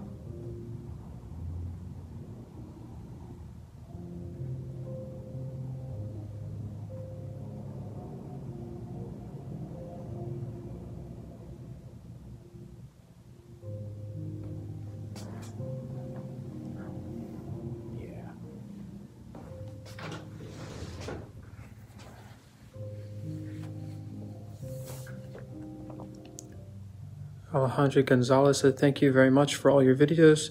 I have really been learning and I have enjoyed them very much. Thanks a lot.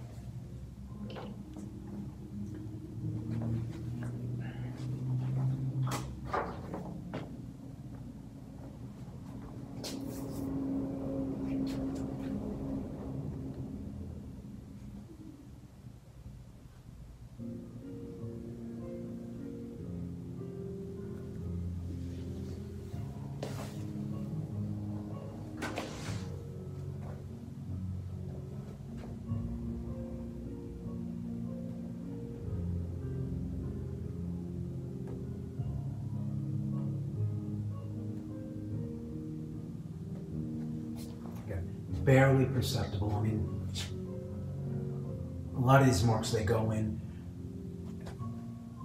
They, they add dimension, but they're barely noticeable.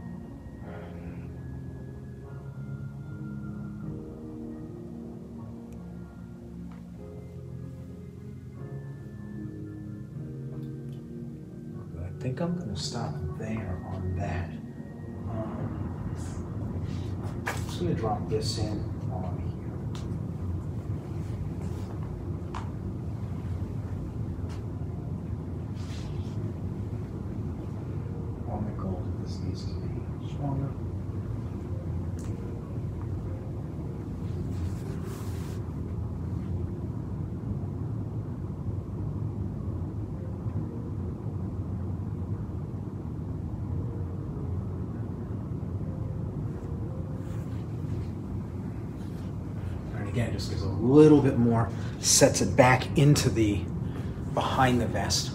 Just a little mark. Again, these little things start to start to really they pay out big dividends. Just such a simple mark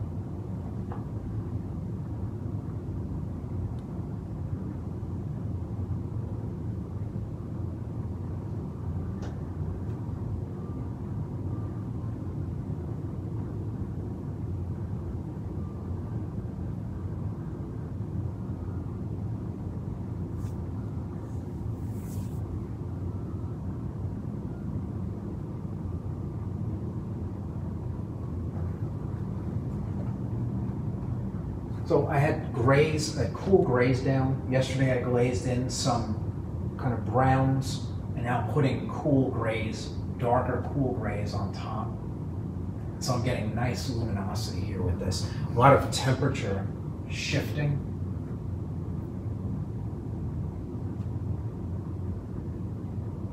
Which is nice.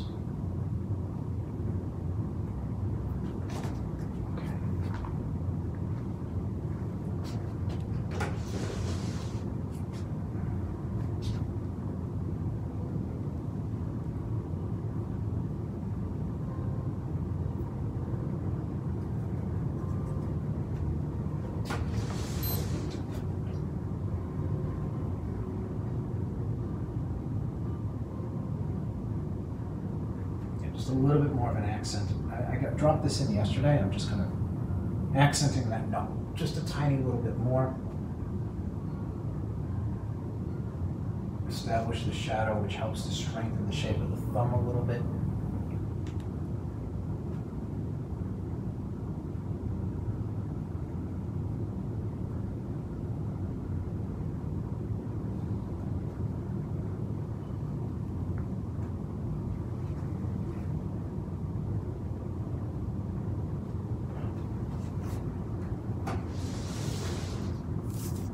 Okay, I think I'm gonna stop there. Uh, we'll break for lunch, and when I get back, I'll knock out the head, and then polish off what little is left. I mean, the painting's just about done. So, what do we got left? Yeah, so when we get back, um, I got the lapel pin, so I'm gonna do the head, then the lapel pin, the sun in the apron. I got, I think I've got to do a little something in here as well, and then the medals, and and then a signature. So let's break. We'll be back at two fifteen, and we'll we'll polish this off. See you in fifteen minutes. Okay, we're back. Mix up a little bit of light. I'm cleaning up a little bit of my my lights in here. Trying to make sure that my my white shirt is clean.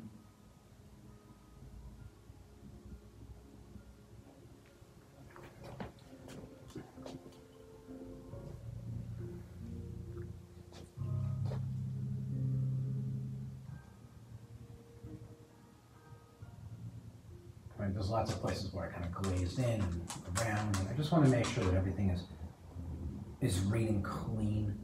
Um, I don't want the things in the painting that are white to not look white.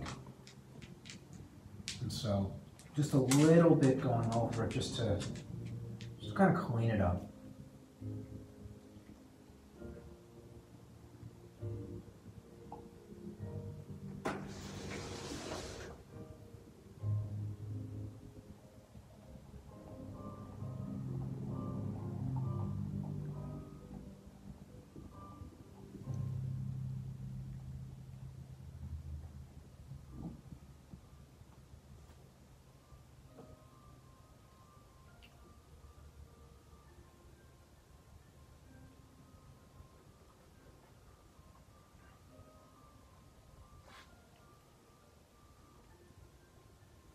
This value that I'm using is still quite a distance from pure white.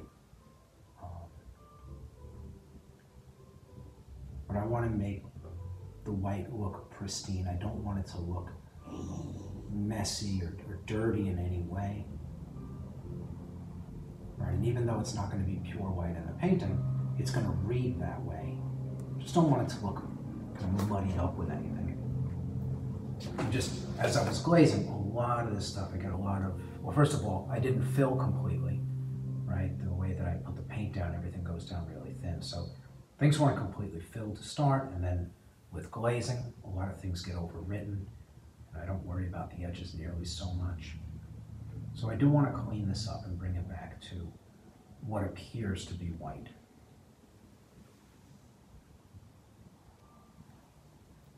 And again, I'm careful, I'm just going around everything that's down.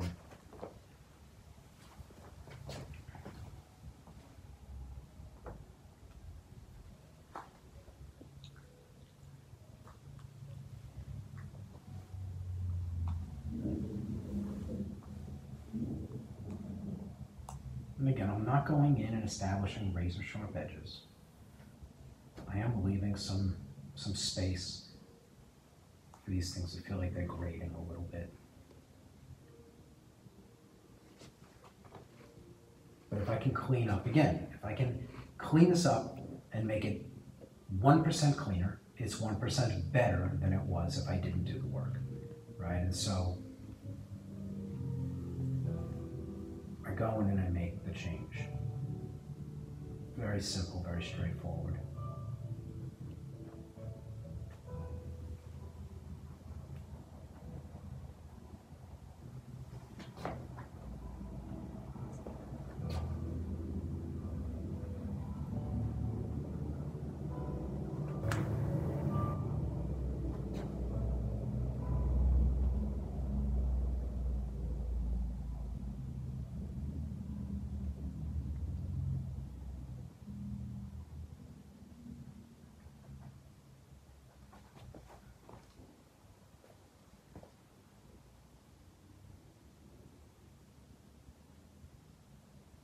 And again, it just becomes so much more prominent. The white, it jumps out. It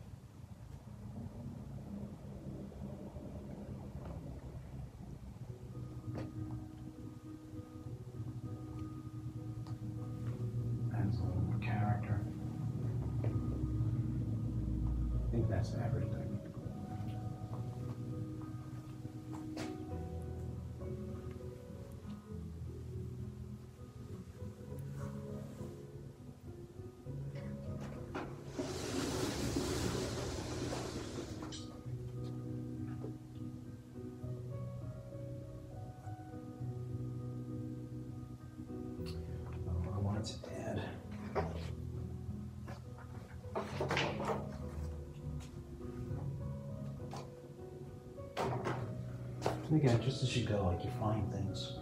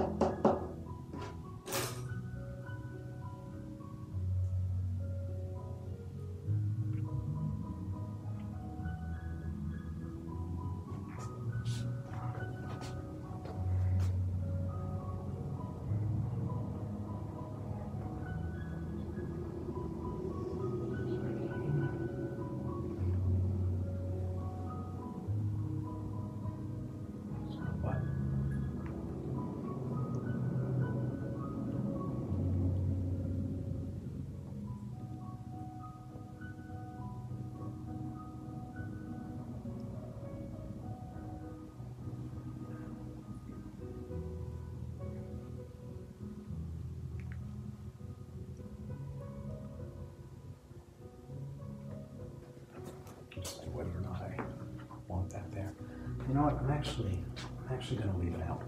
Um, kind of like the shirt the way it is.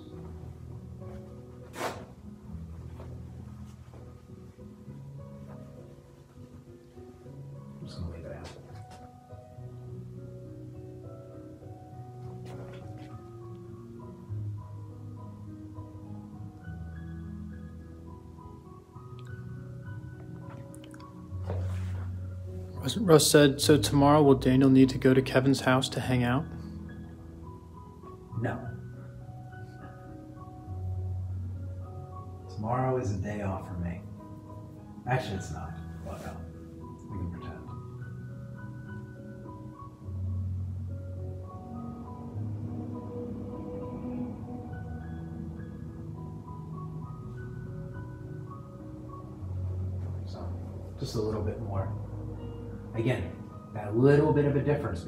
This and this now. That edge says this is in front of this, this is in front of this, this is behind this. And so we're getting layers.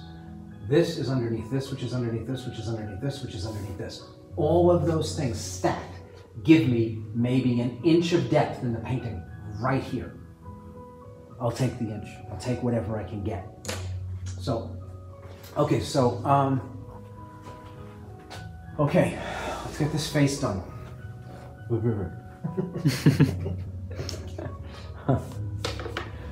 okay.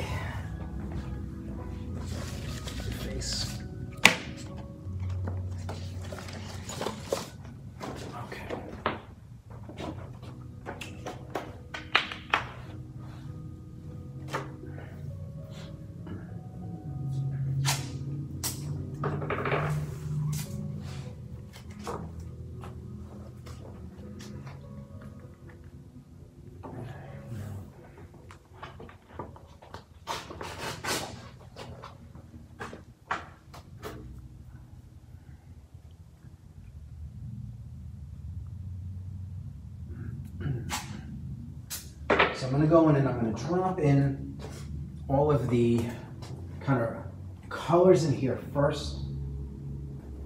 It's not, it's not a lot. And then I'll go in and I'll drop in this shadow and the last thing I'll do is this side of the face.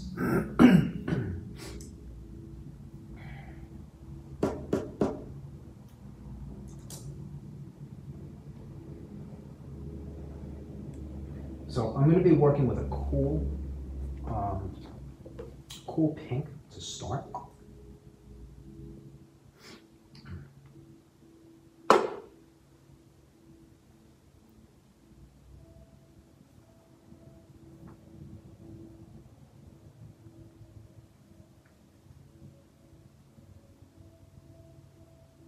I'm not going to be putting anything warm, I don't think.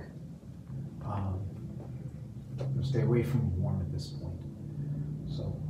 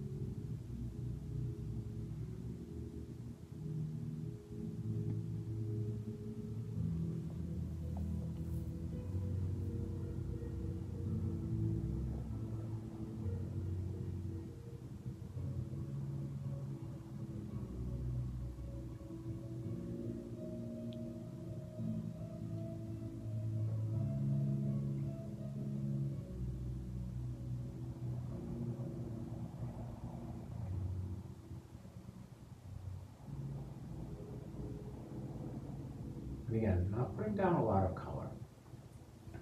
Is a very, it's a very delicate pink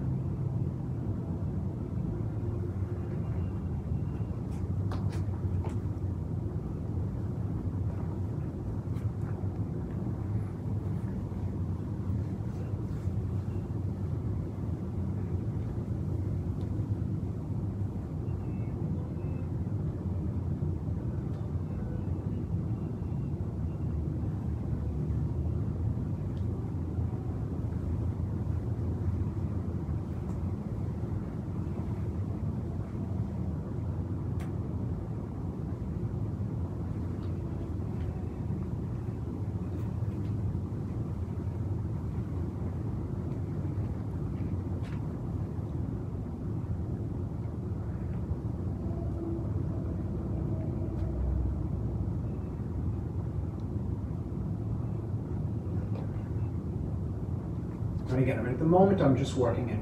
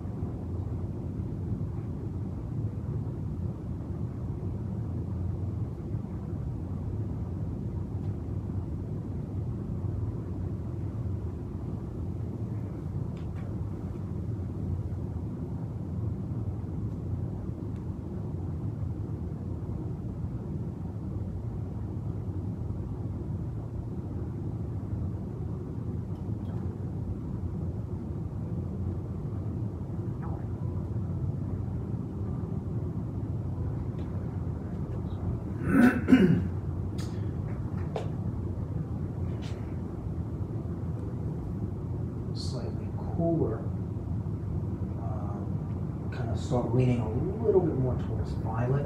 Again, basically the same cycle that I did last time. I'm just becoming a lot more, the marks are smaller. Trying to make sure I'm getting all those little shifts. That they're so subtle at this point.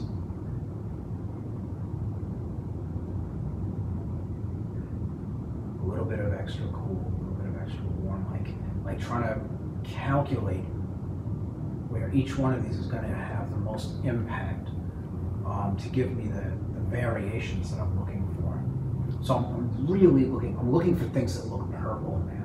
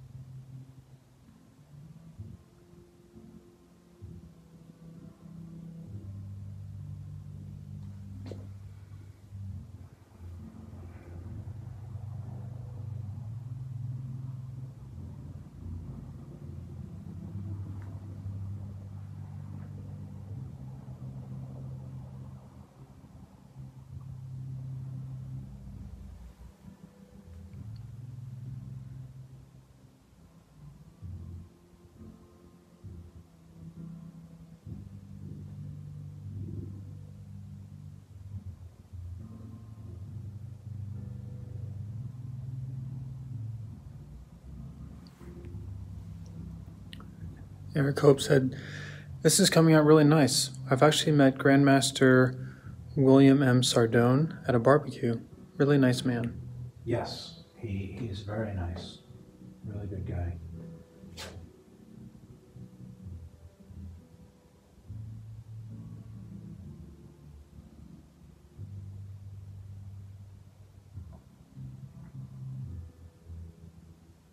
So I'm gonna go, I wanna kind of start knocking this down.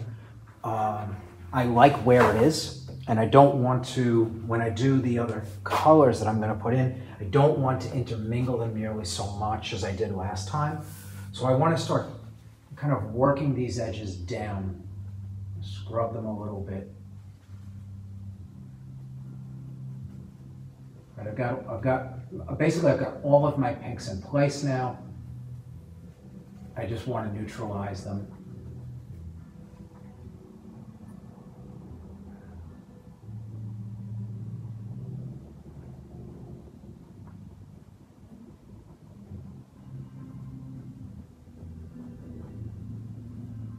And again, if I have to wipe out, I will. And I, I don't expect that I will, but if need be, I just take a, a rag or a dry brush and lift anything that is stated to a degree more so than I want in the final painting.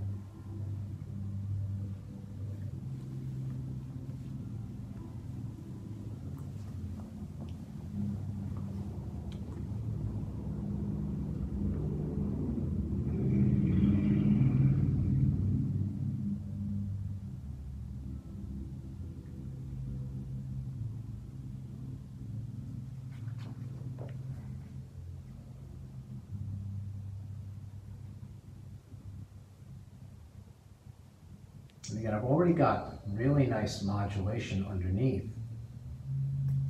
All my values are established. All of my edges are established. I'm just nudging a little bit at this point, creating greater contrast, elevating the chroma a little bit, you know, the amount of color in an area, bringing up the reds in this case. Um, but I don't need to establish edges here. In fact, I don't, I don't want to. Um, the edges that are down are, are, really the edges that I want. Um, what's dry underneath. So I do want to be careful about, about allowing this to establish a sharp edge anywhere.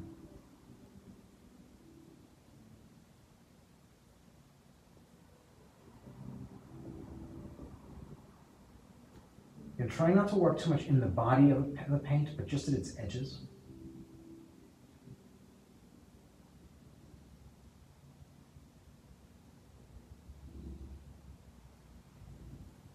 Trying to move it only as much as I need to um, to dissolve the edge to the degree that it needs to be dissolved and nothing else.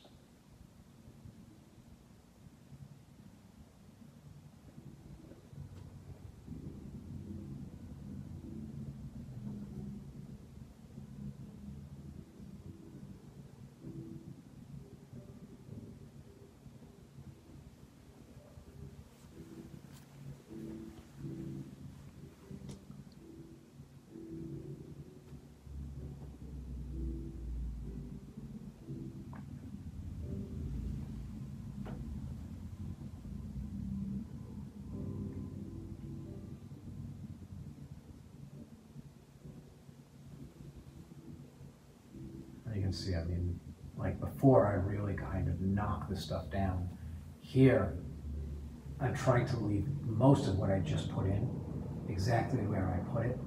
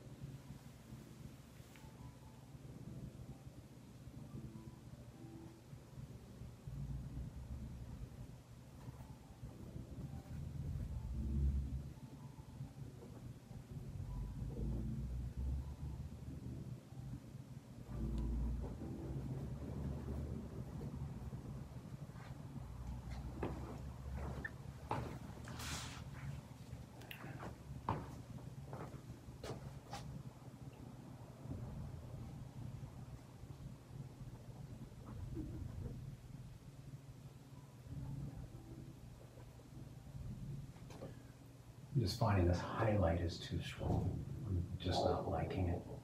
So I'm gonna bury it a little bit. It just feels too light against all of the color that I just put in.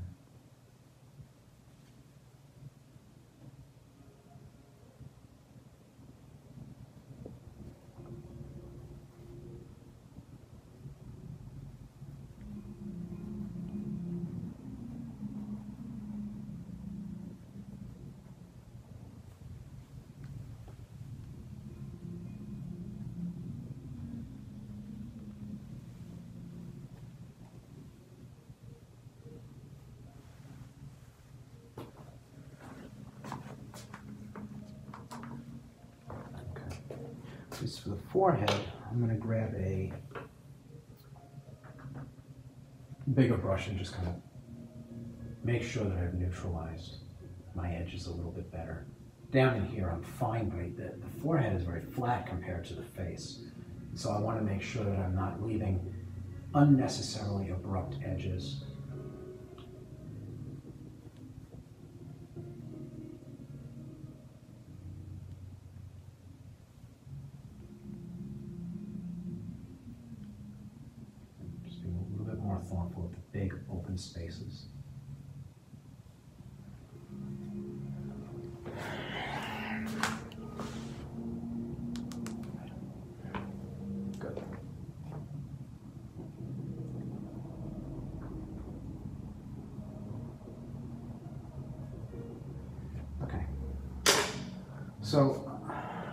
Got to get in. And I've got to do a little bit of detail work.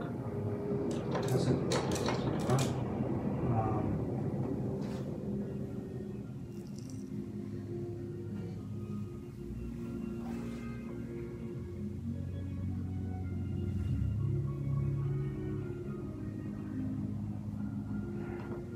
I'm just going to grab a small brush.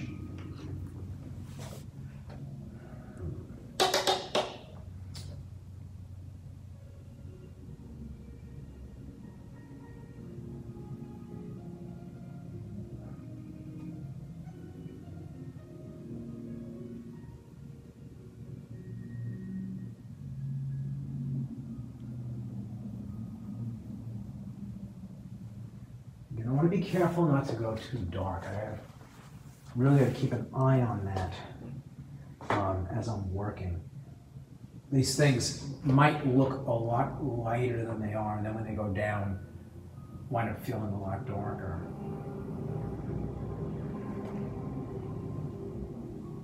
This is an opaque that I'm putting down. There's a lot of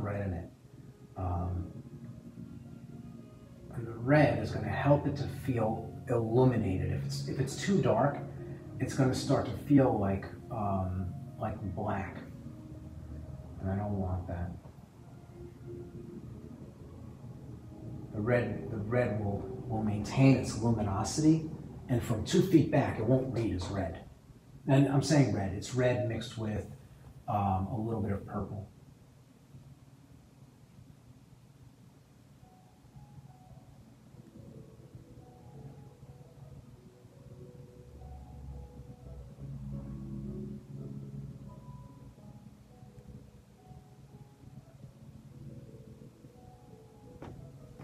These accents are going to help to add dimension to the area.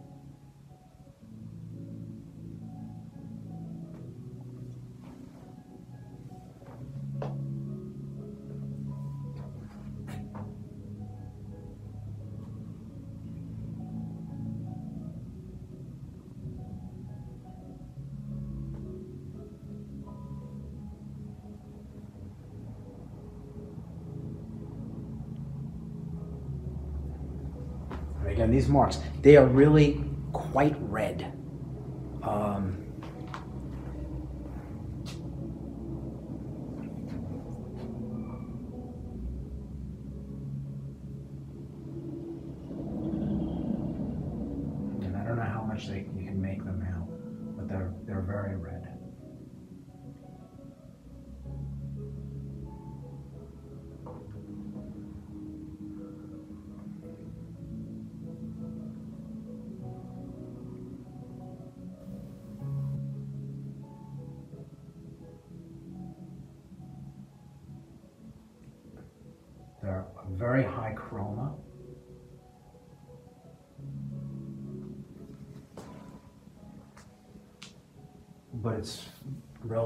darn.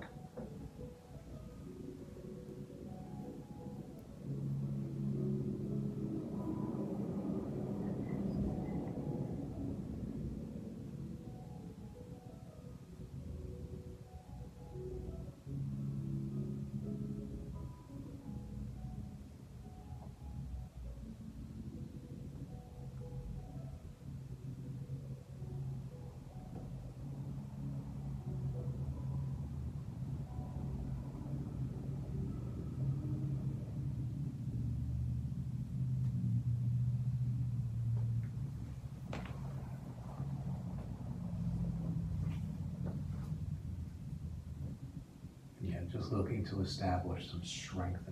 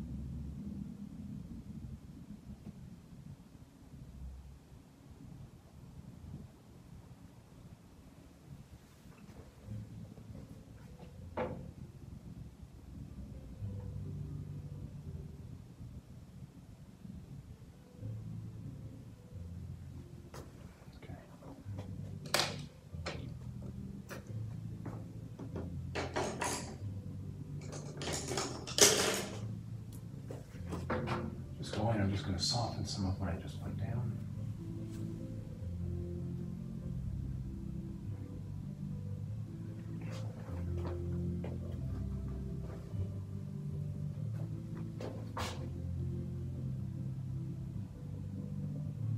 Again, I'm being careful not to just wipe out all the work I just did.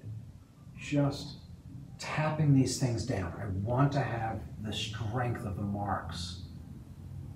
Um, they're to explain um, some of the some of the details.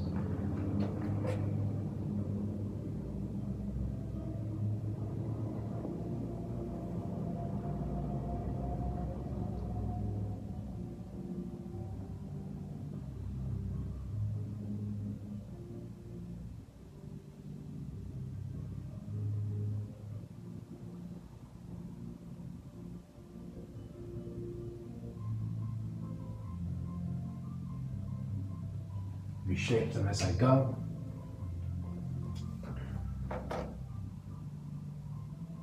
Making gradients in the places where I need these things to be gradients.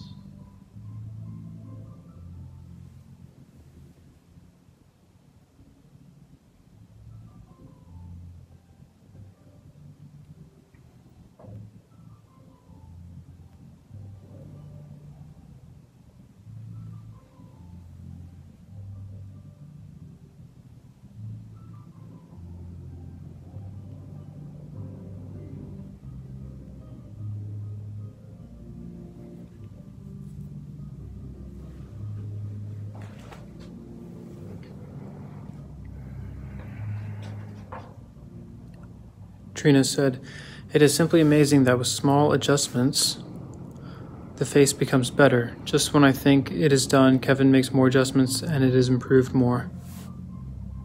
Yeah, and these these little adjustments, like now that everything is done, they kind of jump out as you look. You're like, okay, what? Like I look at the photograph and it's like, what's not jumping? What's not? What's not that I see that's prominent here that's missing? And I'm just kind of walking through and picking those things out and dropping them in. You know, like when the painting is established the way that I have it, this is the details are actually the easy part. Right? This isn't this isn't labor intensive, it's just me looking around the painting for what's missing at this point. I'm almost playing a game of where's Waldo.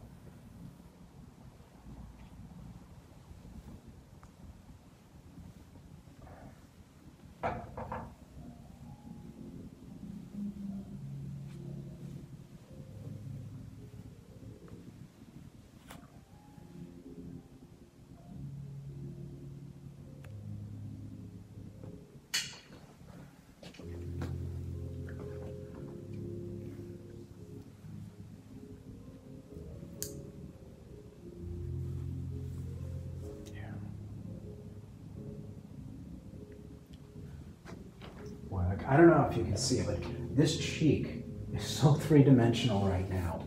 Um, I mean, it just like, it pulls away from the canvas so beautifully.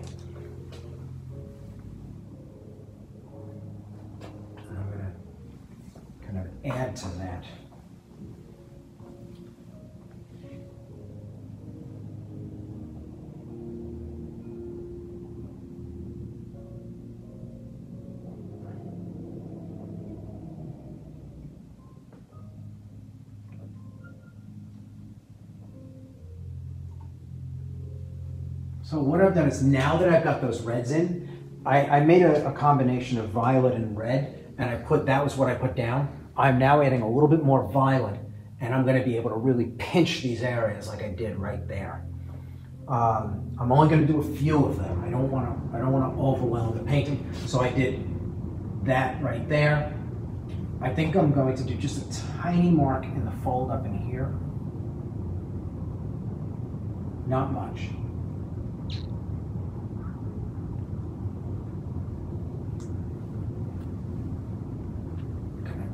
The tear duct there.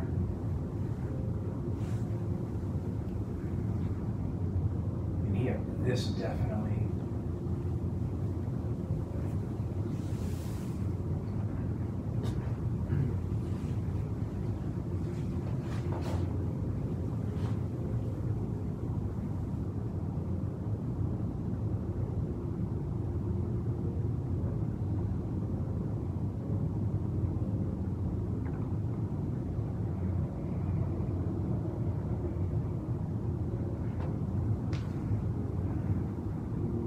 And the differences now, they're very subtle.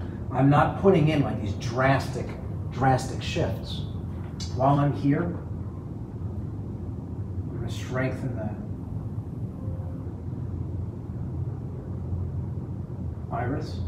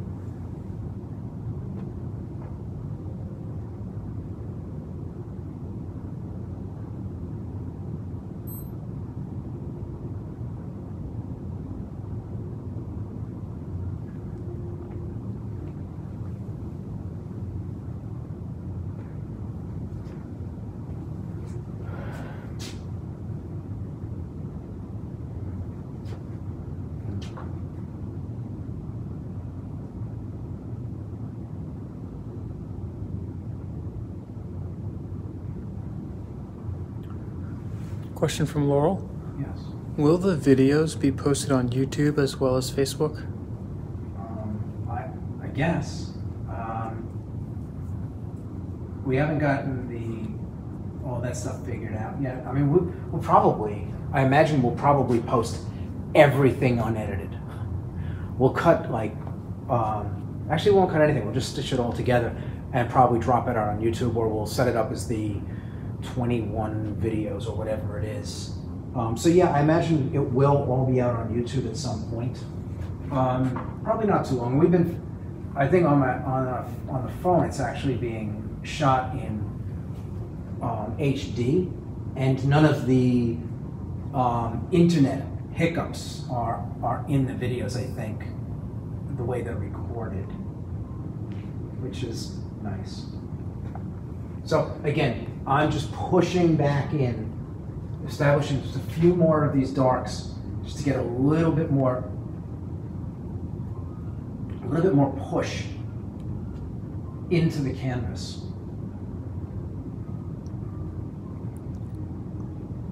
And I'm doing it with color. Very important. Like these darks, they're not um, they're not gray, they're not black, they're they're really colorful. I mean like really colorful. Um, let me just give you an idea.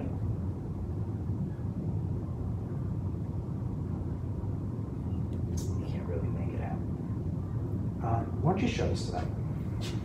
So just to give you a sense of it, this is the color that I'm making my my really really dark marks with. The ones that look almost black in here. But you can see it is very colorful and it's not that dark. So Laurel said not to take out the tangents. no, no, I if we're gonna do the in, the videos like that, we'll leave the tangents in. Okay, So I think I'm gonna go around, I'm gonna knock this down, and then I'm going to I think I'm gonna drop this shadow and then turn aside, and then I'll see if there's anything else that's left to be done. Um, Question yes, What size brush is he using for the details? this is a number two filbert. Um, not that small. Yeah, it's not a very small brush.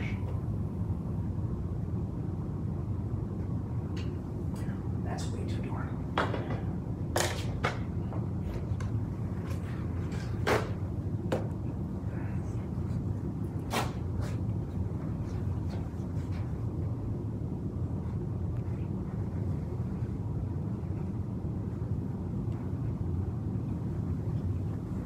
Sarah Price said some very valuable information came out in the tangents. Well, yeah, that's usually where it happens. So I'm now going to jump in. I'm just going to roll some Payne's Gray over here and start turning the side of the head. Oh, actually, no, before I do that, helps if I knock down all the stuff I just did. I got to get rid of some of these edges. Some of them are a little too distinct.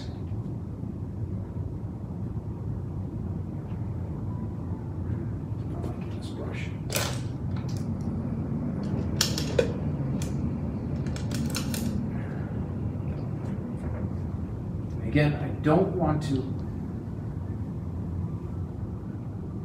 I don't want to lose the boldness of the mark, but I do want it to feel refined.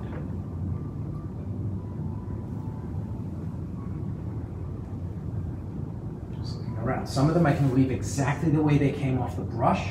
Others need to be finessed a little bit. Um, otherwise, they're going to look a little too strong.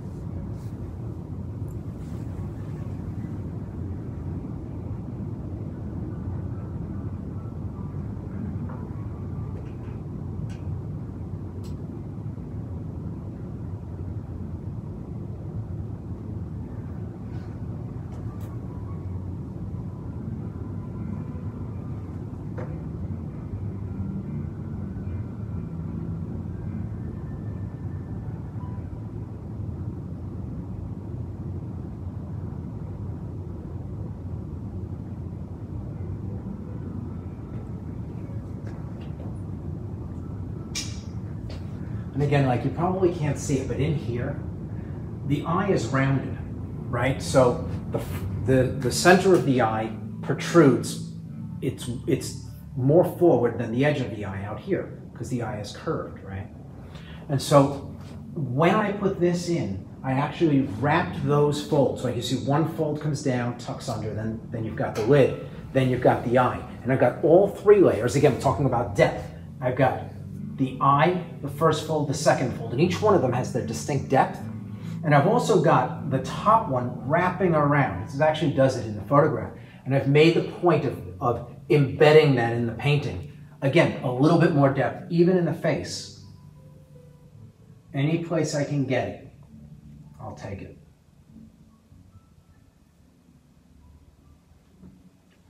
Anyway, I think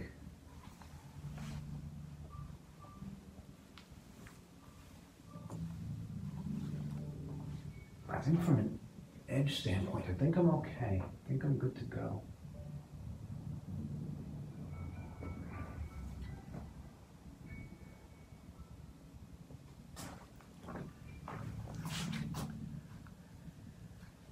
Yeah, okay. Time for spray. I've been kind of avoiding this. This is a little nerve wracking to drop in what is going to be a very, very bold mark. Um, bold marks need big brushes. So.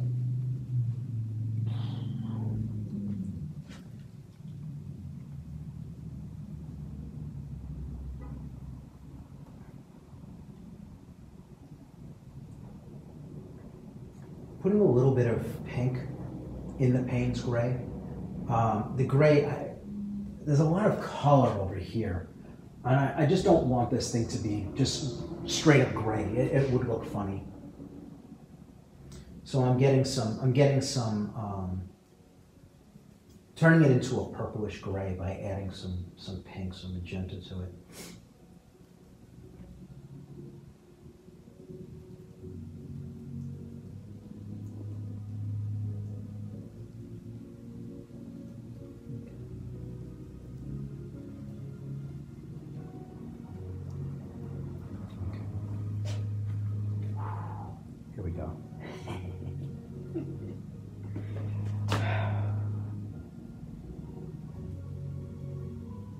Promise you, this is nerve wracking what I'm about to do. I gotta see if the mark is too bold first.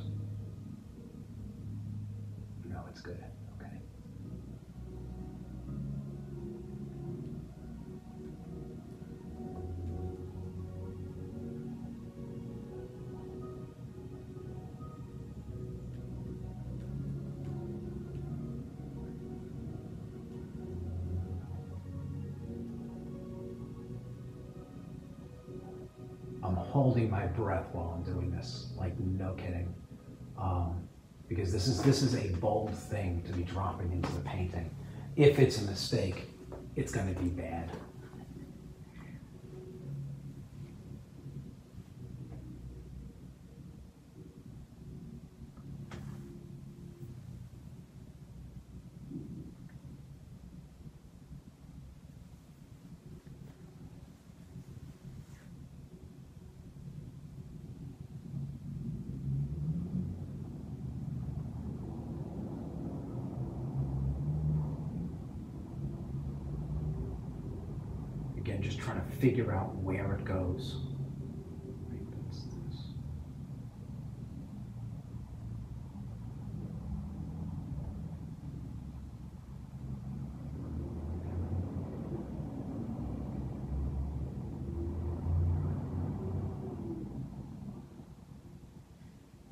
You'll see as I get it in, it's going to start to turn the face from frontal plane to receding plane.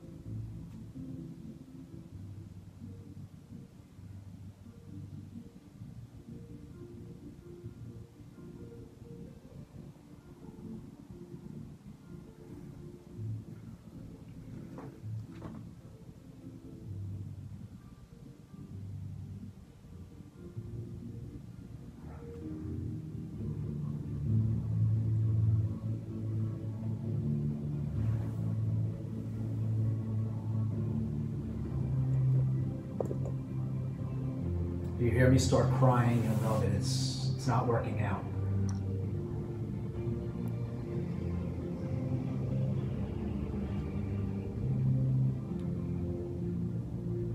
I won't know till I step away, but I kind of have to make, I had to commit.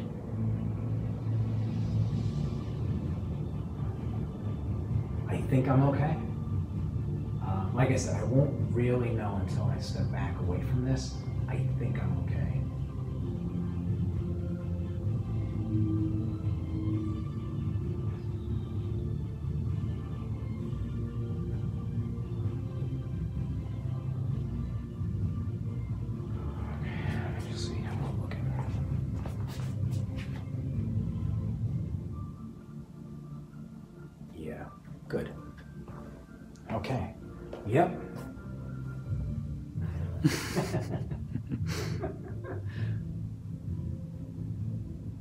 This wasn't careless. I mean, I didn't just just start throwing down paint. Obviously, I was very calculated in the in the color value that I mixed.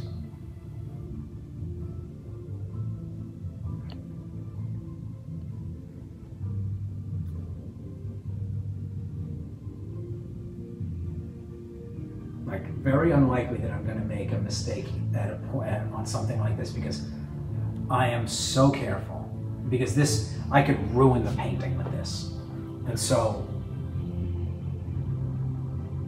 I'm being very very careful when I mix it to make sure that I am creating the right shade.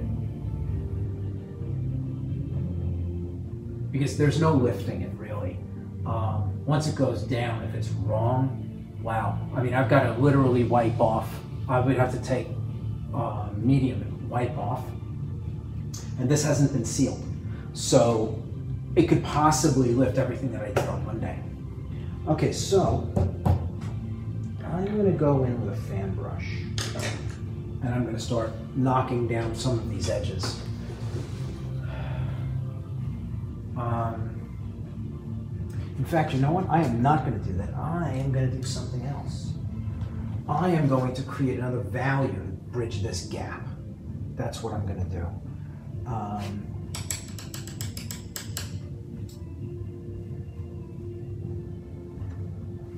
feels warm out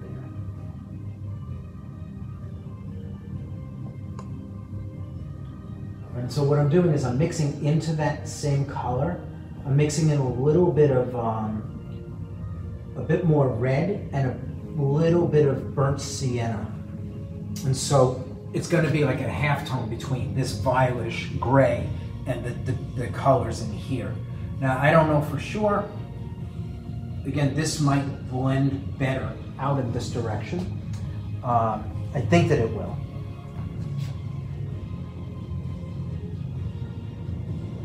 All right, so I can blend the edge of the of the gray into something that's a little bit more of a flesh tone. I'm gonna have to feather all this out anyway. I don't I don't get to avoid that. Um, but it, it, it should play nicer because this, the color is the same. And bring some of this in here.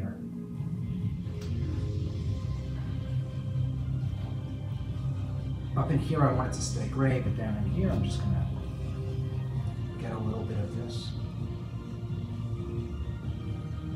Same in here. Just kind of putting it in between. And down here, I'm gonna leave this alone, but this I'm gonna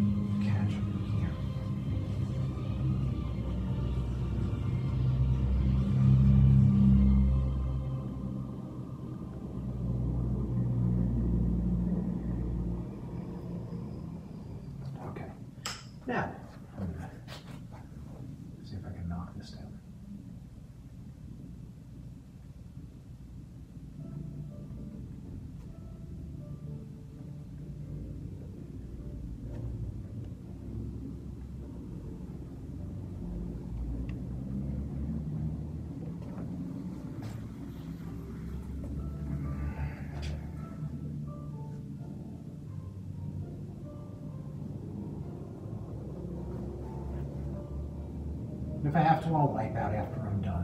Won't do it until I get everything blended.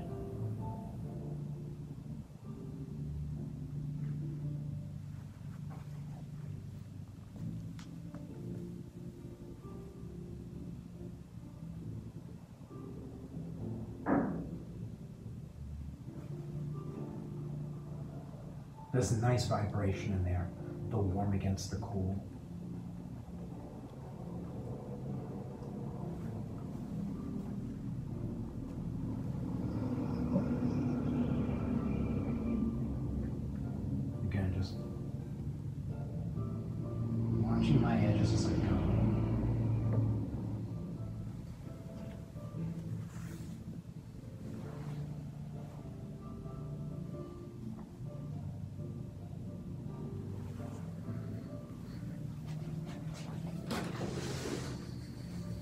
Some of this over here is going to get quite a bit, like, almost like ashen, um, which is okay. Again, this is one of those places like I might have to go back in and glaze a little bit of color, but this is actually feeling really sweet right now.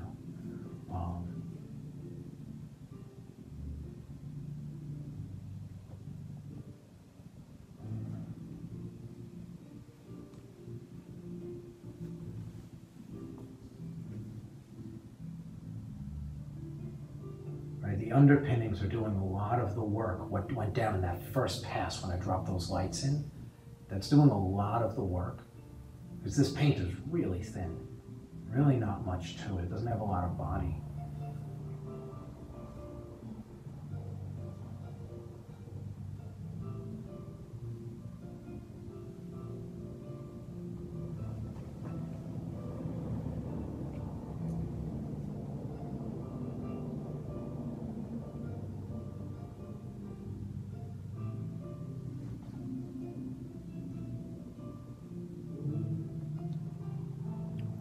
Karen said, Can we breathe yet? No, not yet. I'll let you know when. Yeah, no, we can start breathing. It actually is fine. There we go. Nice. Good. So I'm going to give myself a little bit of distance. I'm going to stand back while I do this and try to kind of lift some of the paint in the places where I feel it might have gotten a little too dark.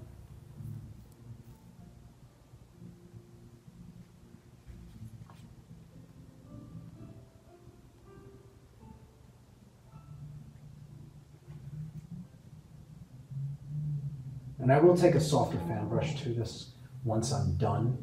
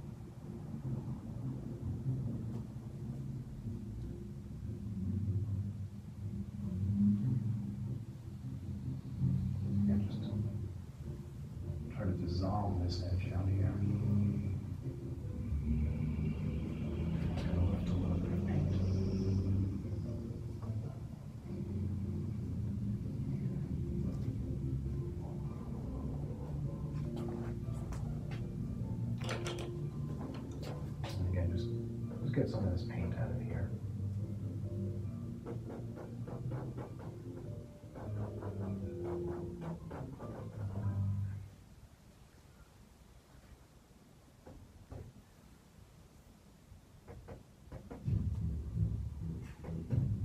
Even just breaking up and kind of texturing some of this up in here. Doesn't need to be so solid.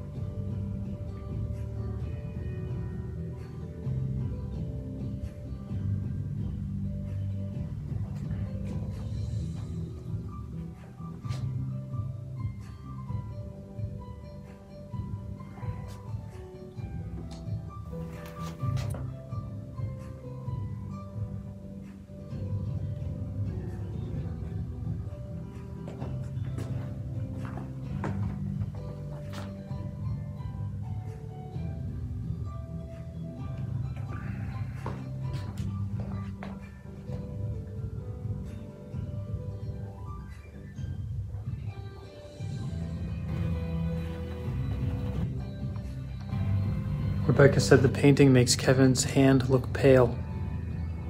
Yeah, it's so colorful.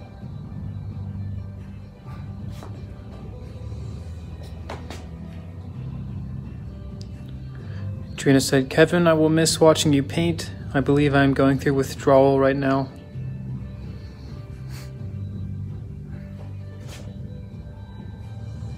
Well, um, I'll be happy to see this painting done. Um, I generally don't spend this much time on a painting. Um, I generally like to see them go out the door much faster than this. And I, I will miss um, our days together. I'm looking forward to having this piece behind me and having it delivered. Um, that's always always one of the, the high points of doing these is the delivery. Um, you get to see the reaction of the person that you've painted. So, so I'm good. I'm gonna stop right there.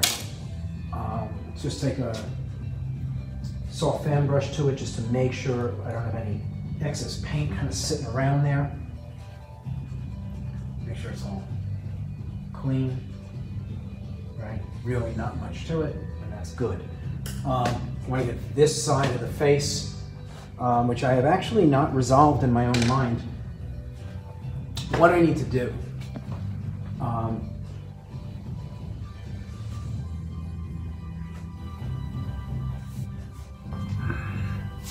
so I'm working that out. So I've got to take from here over and then down here and kind of pull it and make it look like it's receding. Um,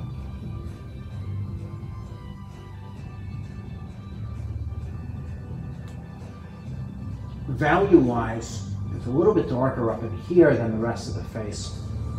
This value out here is in line with stuff like in here. So I can play with value, but there's also color. There's more going on there. And if I don't, if I don't establish that, he's, he's just gonna look a little bit, a little bit heavier in the painting than he does, a little bit fuller than he does in real life. And so I don't want that. So, um,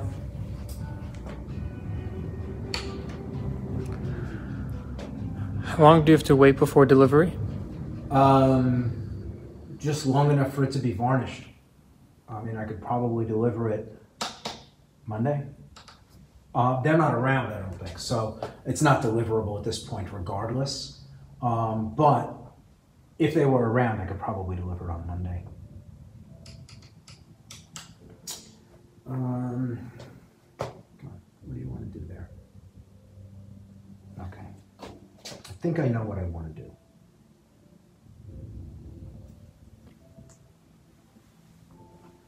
So I'm going to start in here.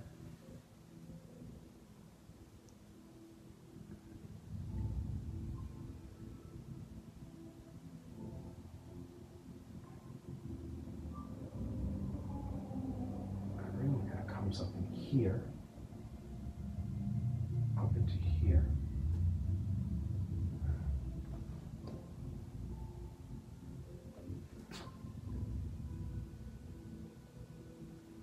here. It's kind of like that.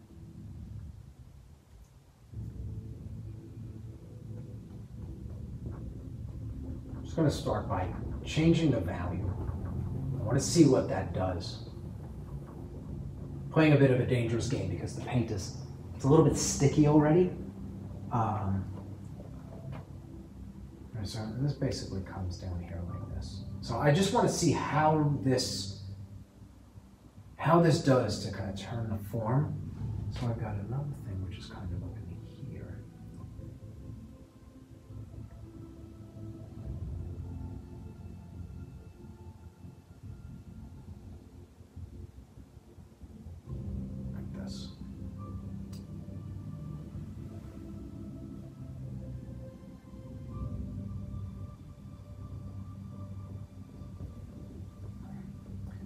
just kind of playing with it right now to see if that gives me, if it takes that width out of his face. And it's, it's like I said, it's just, even if I did nothing over here, it would probably be fine. The fullness of his face and the way that it's lit, it, it's not that it looks bad. Um, it just looks a little bit heavy to me. And so I want to make sure that I'm establishing establishing the structure of his face a little bit better.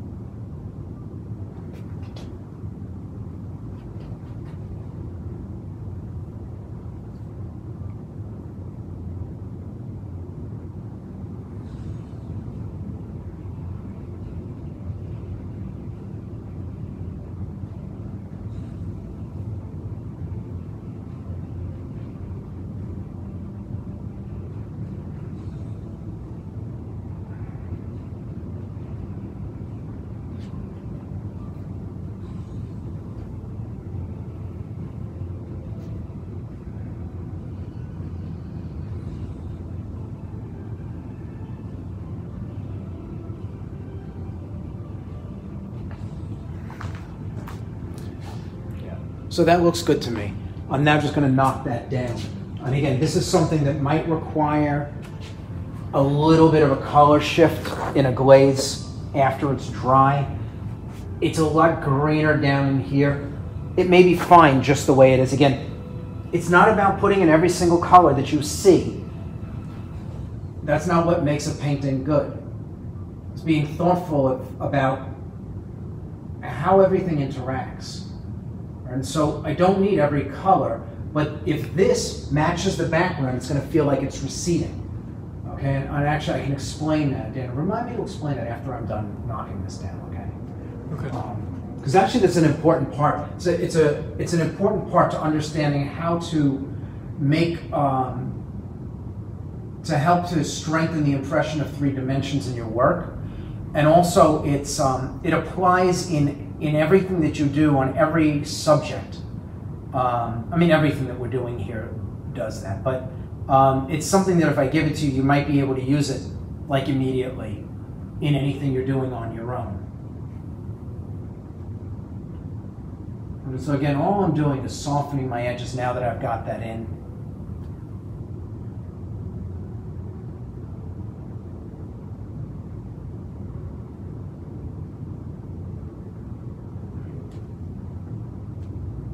And I'm really happy with this. Like I can feel this being in front, this being in front of this receding.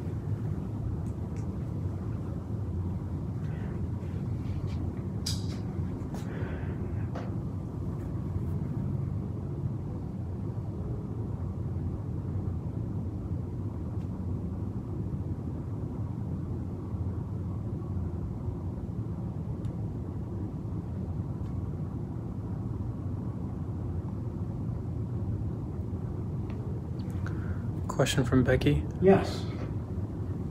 Is the way to turn the form of the head always a darker color because it's away from the light on the plane of the face and receding, or just No. warmer in this no, case? No, because you can't you can't have a rule like that because what if the light is over here?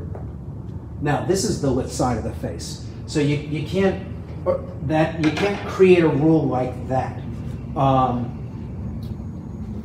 again, because the light the light changes. But what I what I will what I will impart to you, I have to I have to finish what I'm doing because I can't have it dry and get sticky. Um, I need to get it resolved before it does that. Uh, once I've got that, then I can turn my attention because I need to kind of show you by looking into the camera.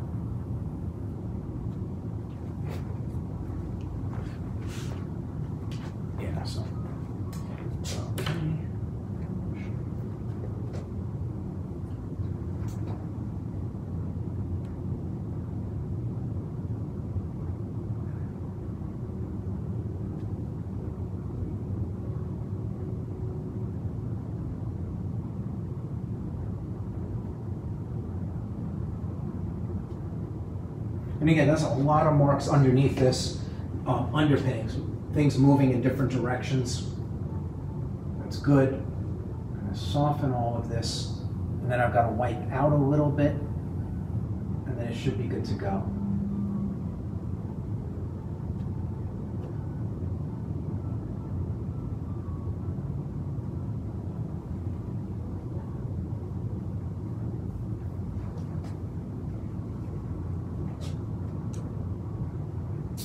I'm gonna break this up a little bit.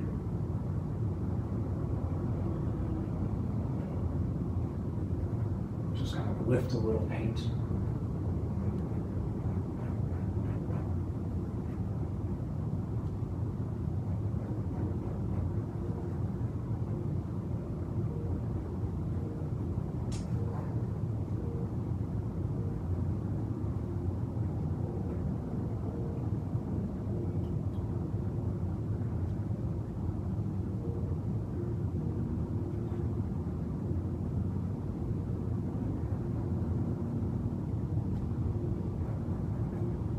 And that's all I'm doing is breaking the shape up, and then I'll blend it out.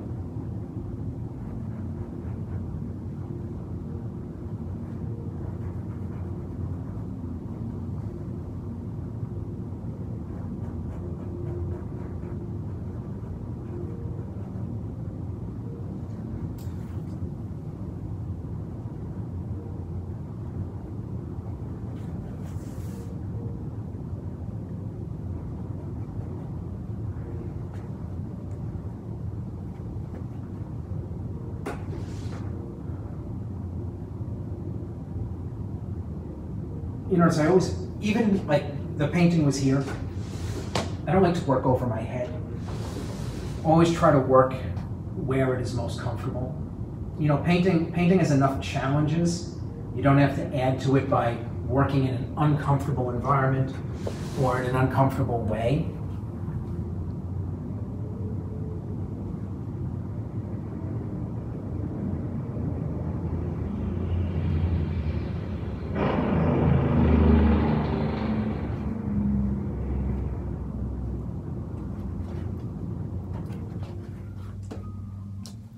a couple little notches I want to pull out here. Just feel like the brush is not lifting enough.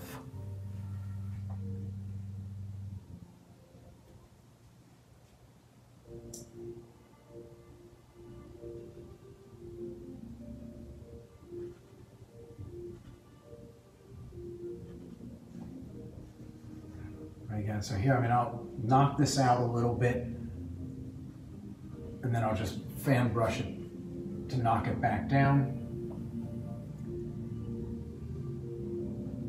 I'm just finding that the, the, the brush as I used it didn't lift enough. So this is a little bit more like it.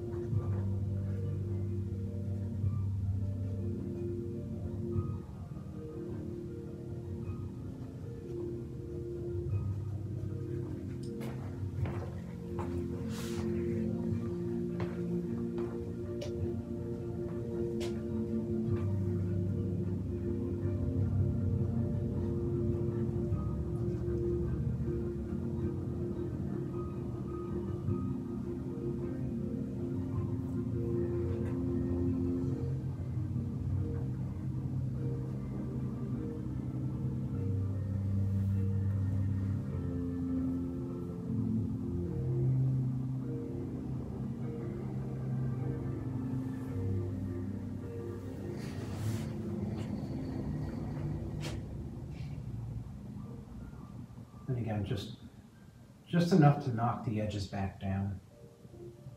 I don't want to cover the areas I picked up, at least not much anyway.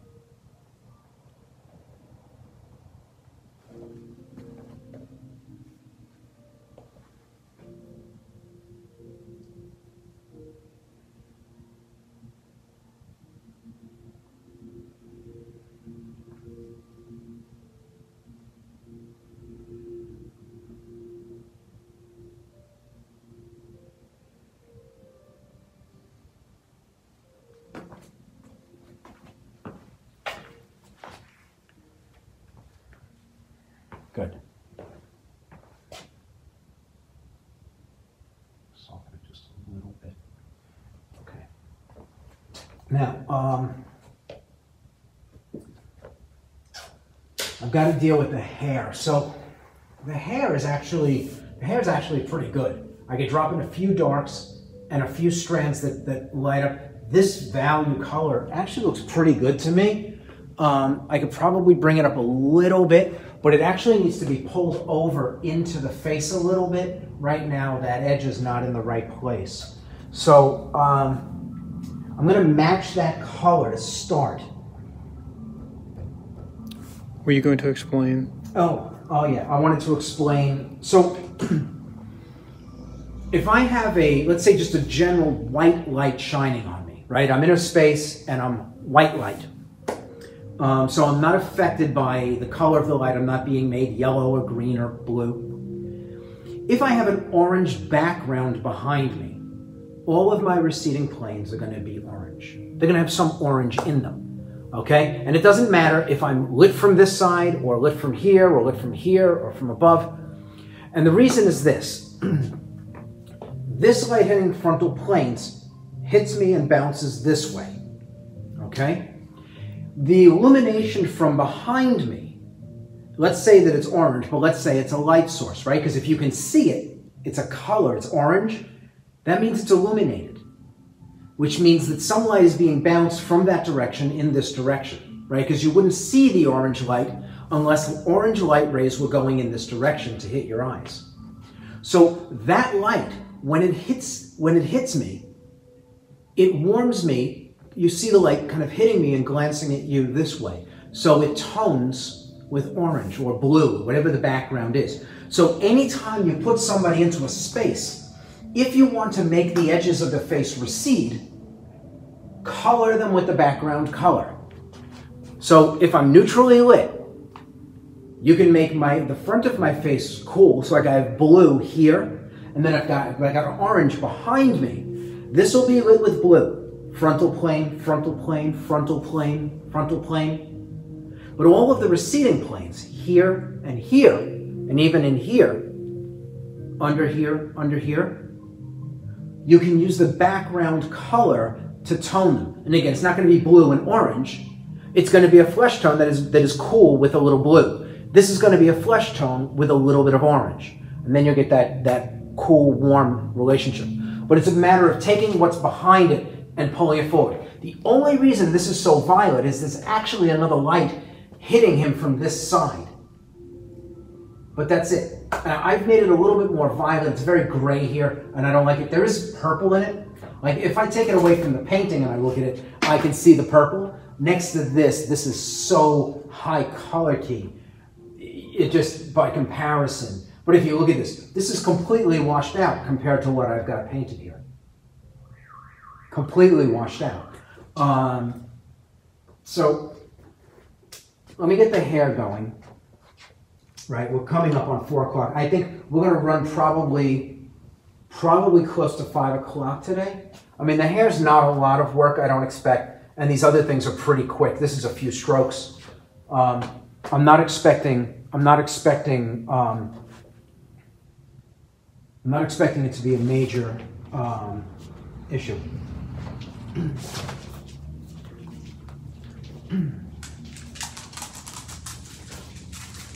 So I've got to get I've got to get the right color and the right value.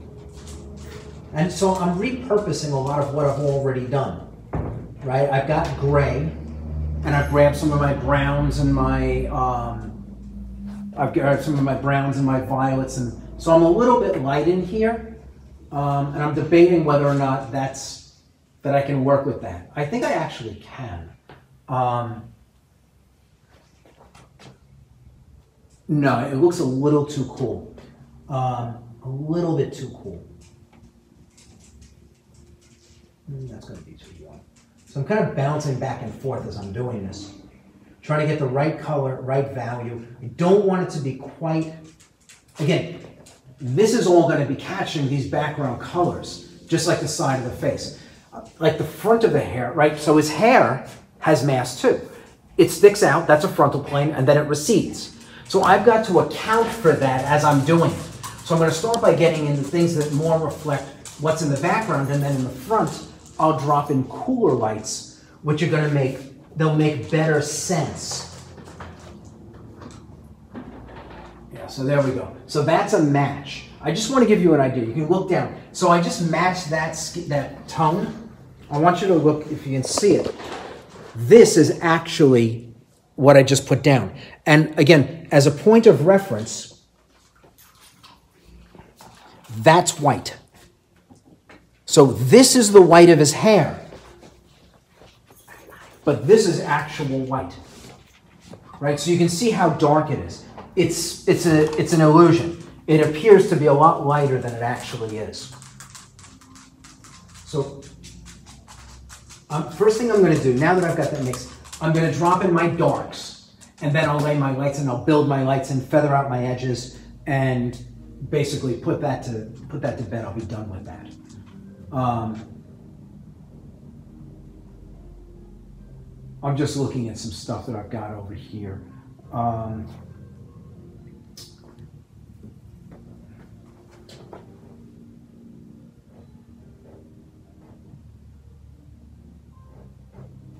Just a little illumination in there. Um, I need a brush for my shadows. This should work. And I'm going to grab, again, just repurposing. Um, I don't even remember. What was this for? I don't even remember what I used this for. But I'm just repurposing things that are already on my palette trying not to make more mixtures at this point. Everything that I add potentially fractures something that's already beautifully unified. So I want to try to avoid that if I can. We start in here.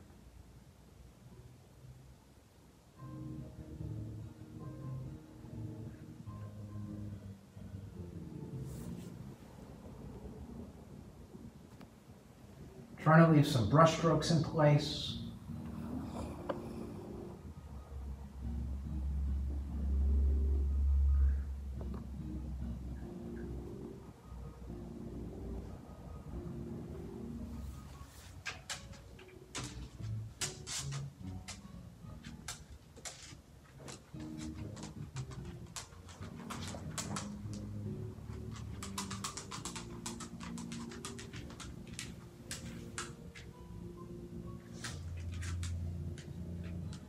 Some of what's down can stay. right? I'm not going to cover everything. That'd be a bit foolish. I'm going to have things in place that actually do the job well. They hold their space nicely. So I want to leave those.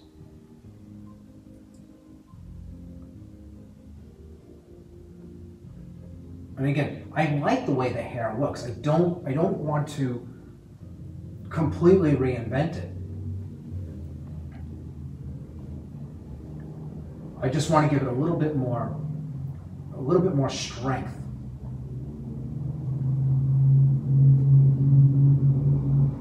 So that it feels connected to him and it has a it has a heft of its own.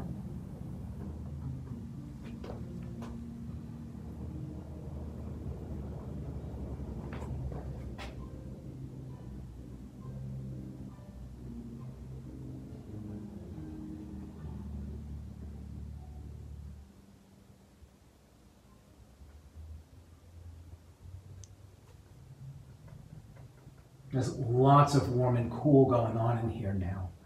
Um,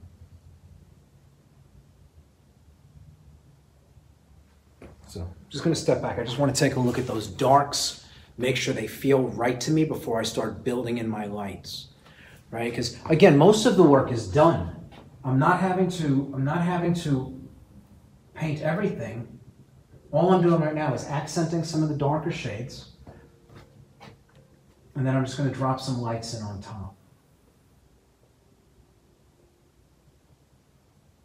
And I'm not looking to, I'm not looking for, um, not looking to paint every hair. I'm looking to just make sense of the shapes. Very gently laying paint down in some places. There's more color in here. There's like yellows and stuff. And again, I may have to glaze those in. I have a feeling I'm going to have to glaze those in. Um,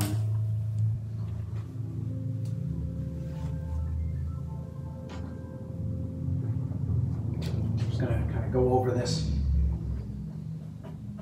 I have a brush that is, it's got paint on it that dried, and so it's really kind of great to move stuff like this around. Kind of scratches.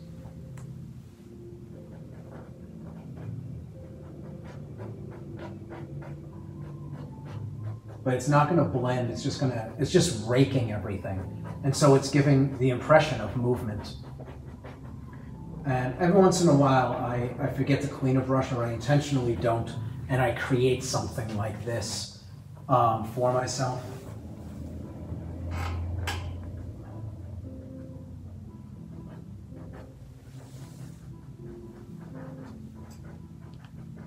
But I don't want this to be I, I don't want this to get smooth and soft. All the underpinnings are smooth and soft, and so I've got that nice kind of rolling, almost like um, like a long exposure photograph on running water. And I, I like that. It's exactly what I want. So I think I've got all of that in place, feeling good again. As I step back, the um, the darks look about right. The lights do need to be lighter. Um,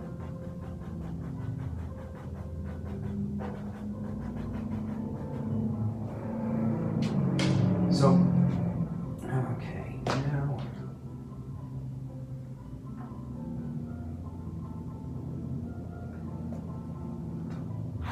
So I gotta see what I'm putting this in with. Again, I, as I'm getting closer to completion, I'm being more and more critical of every tool that I'm using is how I'm putting the paint down. Um, Question from Trina. yes. Why do you choose to glaze versus using straight paint for the hair? Um, as with the rest of the painting, um, glazing glazing is a distinctly different effect. Um, it so kind of talked about this a little bit. Um, so glazing, because of the nature of it, it's see-through. Light permeates it and then bounces off of what's opaque behind it and illuminates it from behind. And because of that, it gives you an effect that no opaque paint will. And so for me, I like that effect. And so I want it in my paintings. I want it built into my paintings. So I glaze. I glaze everything. Right, and so here I'm just just trying to get this hairline, like the side of the face. I may have thinned this down a little too much, but um, trying to just bury the edge of the face underneath this, and I'm going to drop. I'm going to drop cooler lights in on top, but I do want to at least kind of get this edge. I'm kind of we're kind of tattering the edge against the background.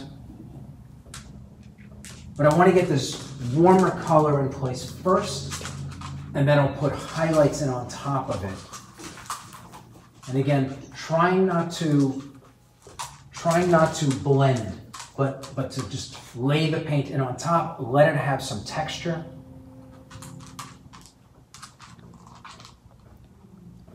Question from Beth.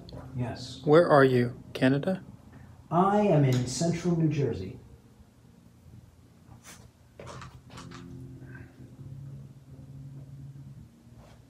Yeah, if you look outside, it's not snowing. yeah, no, no, no. I'm in central New Jersey. The the Art Academy, which is the school where this where the Evolve program was created, um, it was started here in New Jersey.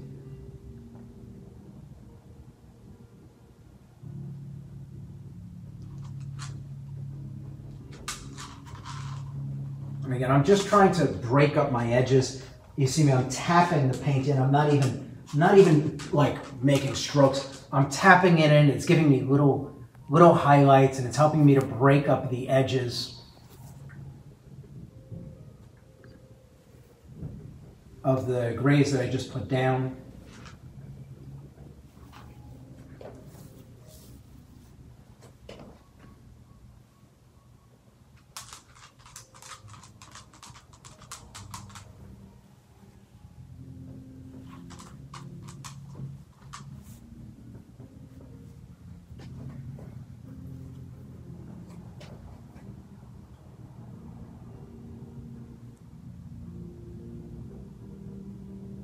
And again, these little hits, they feel they feel random enough that they can look like highlights on hair. And since everything else is saying that it's a head and it's hair, your brain will just kind of come along for the ride, even though it's it's not hair.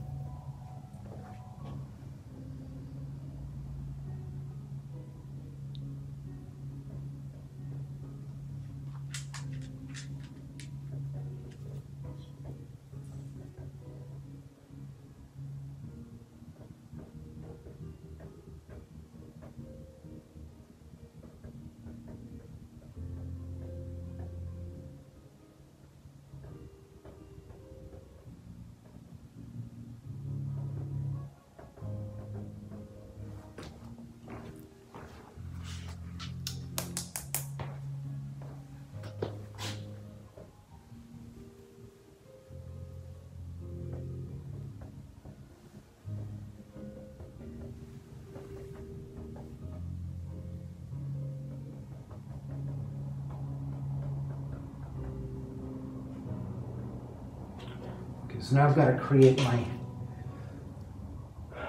my cooler light.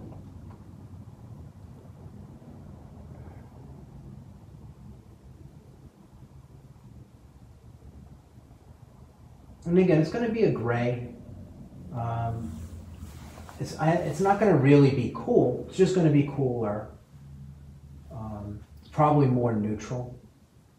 Like what I just put down is was was warm what I'm going to put down on top of it, which I want to read as a white, is actually a neutral mud. That looks good. Now, I want to test it against the shirt. I want to see how it reads against the shirt. um, color and temperature wise. Like so you can see it's actually quite warm against the shirt. But it works up in here because there's so much warmth up in here. It's not very warm down. So I think I'm good. I'm gonna go in, I'm gonna get that stuff put in. I really abuse this shirt.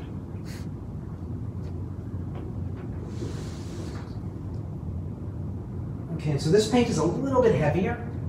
And I'm gonna be a little bit more specific with it when I put it in. So I'm gonna get it better. placement for this.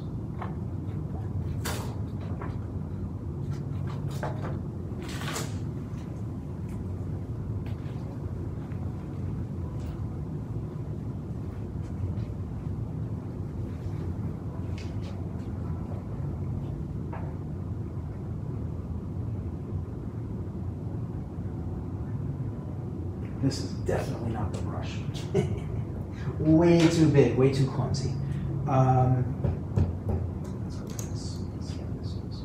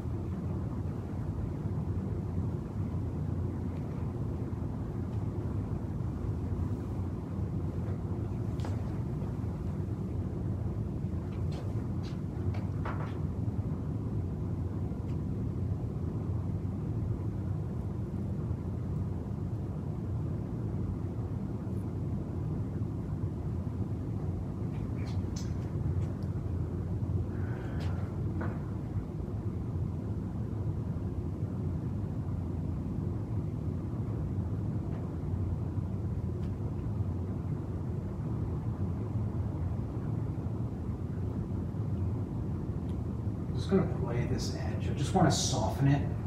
Um, it's not well defined here, so I don't want to define it so harshly in my painting.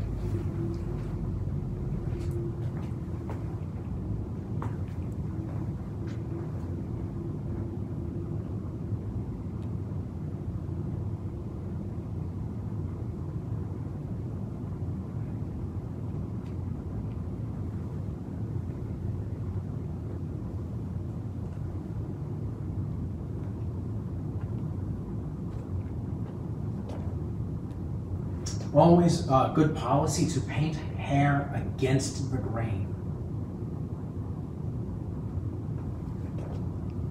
So now that I'm putting this in, I'm painting it. The hair goes this way, I'm painting it this way. It's a good policy. Otherwise, your hair will look like it's made of spaghetti.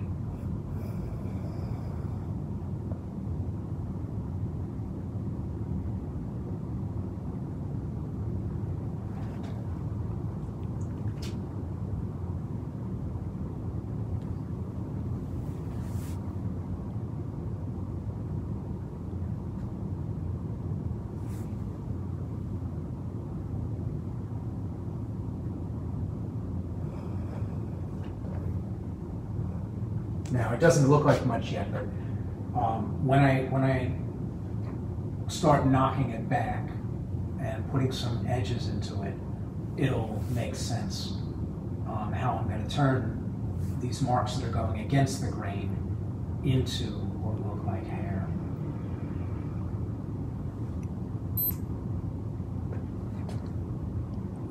But I just want to make sure that my values and my my colors make sense before I before I go down that road.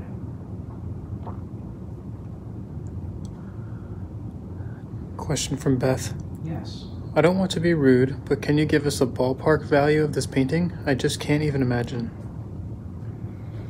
Um, I'm always funny on about doing it on stuff like this.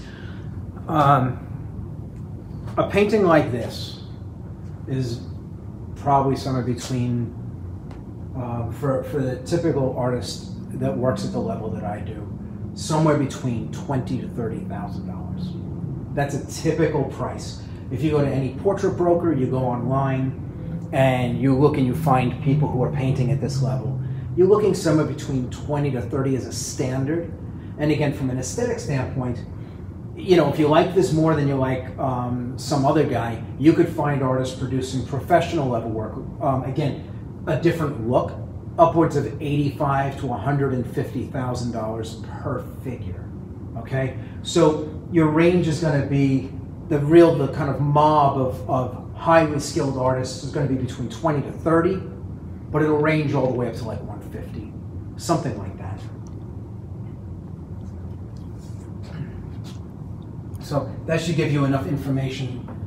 Again, you know, if you know that a painting like this starts at 20, um, and again, like, you know, price, price is about what you can get. It's not about what you're worth, you know. Um, you go into any modern gallery, you know that. Um, I don't think anybody is, is honestly fooled into thinking that some of the stuff in these modern galleries is actually um, that it's worth what they charge or even what they sell for. Um, we know that it's just it's what the market will bear, which arguably makes it worth what they're asking. Um, but it's not based on it's not based on skill. It's based on how well they're marketed and the connections of the person who owns the gallery. I mean, there's a lot of stuff that goes into it.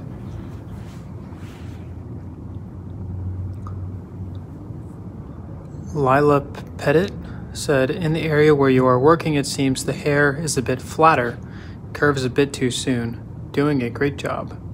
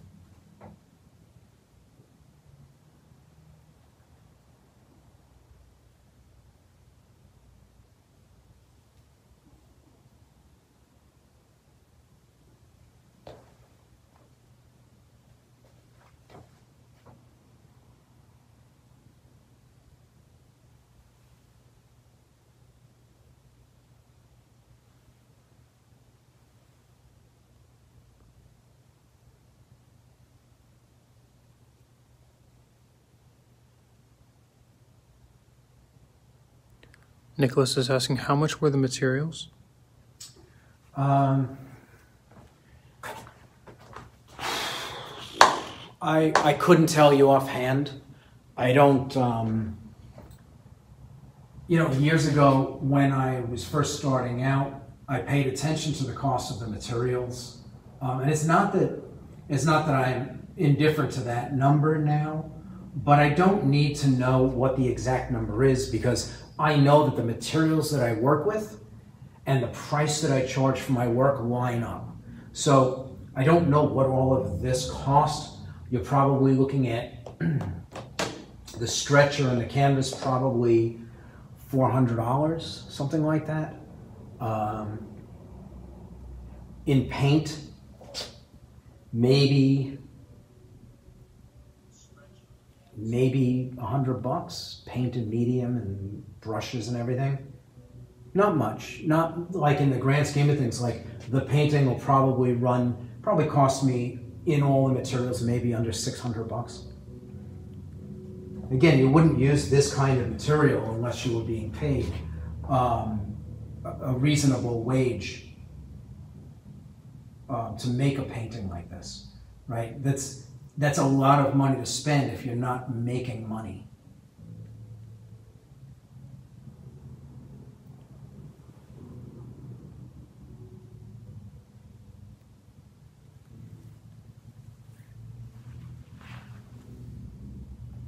So I never, I never, never recommend to artists that are coming up to be wasteful, right? You want to, you don't want to be wasteful. Um, you always want to work with the best material you can, uh, but you don't want to be wasteful. You want to be very thoughtful about where you're putting your money. Uh, we talked about this a little bit um, earlier on. You know, to me, and I'm, I'm, I think that I'm in the minority amongst pros in this thinking, but a lot of pros will spend the money on their brushes. That's where they put they put a lot of money on them in their brushes. Um, and to me, like the brush isn't what you're selling, and so it it, it it's a nice um, luxury as an artist to have really good brushes, but you can produce exceptional work without them. Your work it might be a little bit more labor intensive um, to get the result, you have to make a brush do something maybe that um, you know a $20 brush might not do with such ease what a $120 brush will do. And so, I mean, basically, I, I, what I find is a lot of pros, what they do is they spend their money on what's going to make their job easier rather than what endures or what you're actually selling, which is your painting. So the canvas, the stretcher, the paint itself to me, that's where the money goes. Um, just that just makes sense to me because the client is not client's not interested in in funding your your uh, your brushes. They're interested in what they're buying as a tangible product, and so, and that's not to say not to spend money on good brushes if you can afford it, um, or if you need a particular brush that does something that other brushes don't. Of course, by all means, you spend your money on that, but um, to me, I, I, I try to keep my money in the things that go out the door to the client. Again, that's just what makes sense to me. And I, I, believe, like I said, I'm in the minority where that is concerned. Kevin, you must be able to read minds because before you even started talking about brushes, Eric had said, I think you're not including the brushes. That's where the real cost of supplies comes into play yes and no. I mean, if you are again, like for me, I'm happy to work with a with a four dollar brush. Um, it doesn't bother me. So you know, I mean, I know guys. They buy them by the gross. I mean, literally, they'll buy you know hundred dollar uh, or you know well like forty dollar brushes by the gross. They get a special price on them, but you're buying like hundred and forty four brushes. But it's like they don't want to work without them. They want that brush. And, and again, you better believe that the, the, that cost is built into the price when they charge for a piece of art. Which is fine. I mean, that's what you do. You, you build in your cost. But to me, I just, I just feel like that, that's not where you put the money. Um, and I don't believe that a brush is a brush. I, I, I don't believe that every brush is equal because they're not.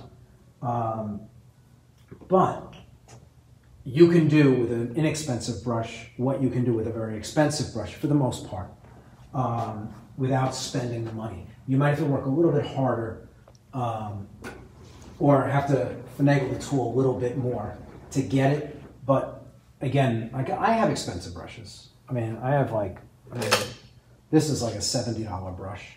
Insane. I have $10 brushes that they're not quite as nice, but they do the job, right? So um, I have really nice sable brushes, but I don't use them very often. I, I use them for very specific things. I'll do a handful of marks on a painting with a brush, and that's it. The brush will last me till the day I die, um, which is what I want.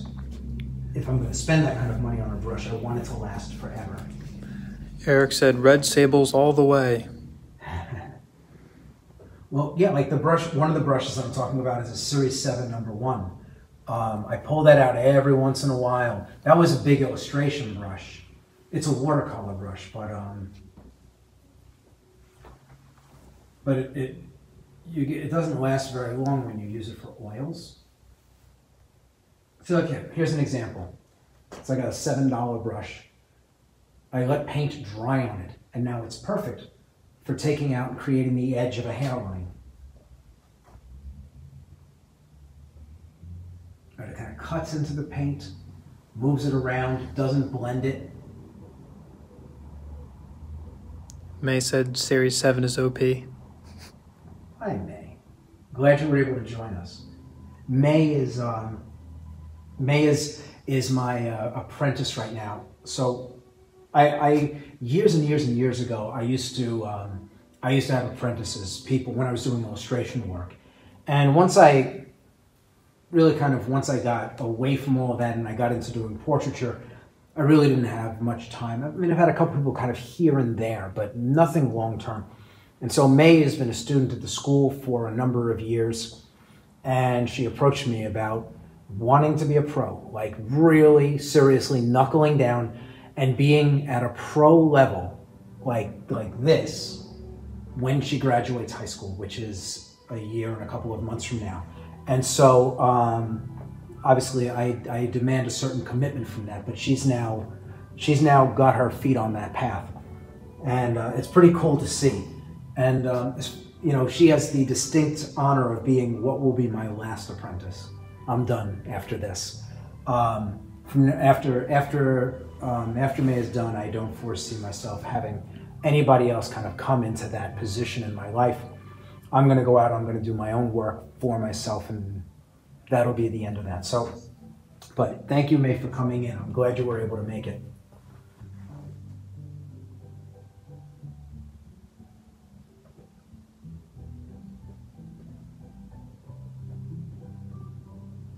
So I'm just kind of hinting there's a little bit of a loose hair here and there. Right again, it's funny that the bulk of the hair is not going to be what makes it look like hair. It's going to be the little flyaways on the edges. It'll be where this light hits that dark if I create that kind of a pattern.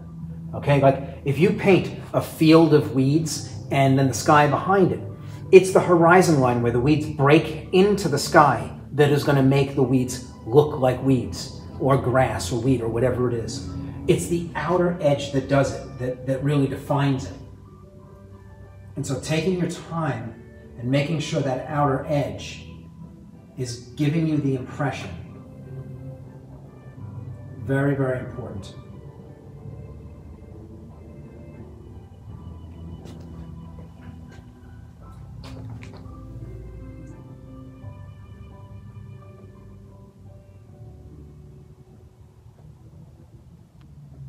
And again, trying not to blend, trying just to um, pull these edges back and forth until they look like hair. So again, you can see it's starting to happen on this side.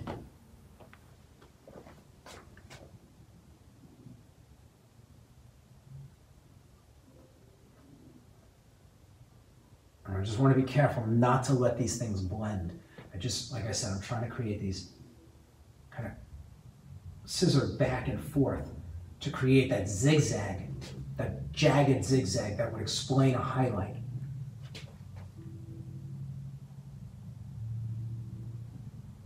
All right, in this brush, again, I have to be patient while I work. I don't get to rush. And trust me, I want to. I want to rush and just be done with it. But if I want the result, I can't do that. Question Are you yes. going against the grain with the fan brush? No. Now I'm going now I'm going in the direction of the hair. And so I'm basically what I did is I I laid things down against the grain. And now what I'm doing is I'm pulling in the direction of the hair, creating the impression of hair. By going against the grain, I create the bulk. I create it, it has form. Then I create the detail by going in the direction of the hair. Right? And then they become individual hairs or patterns of movement that look like individual hairs.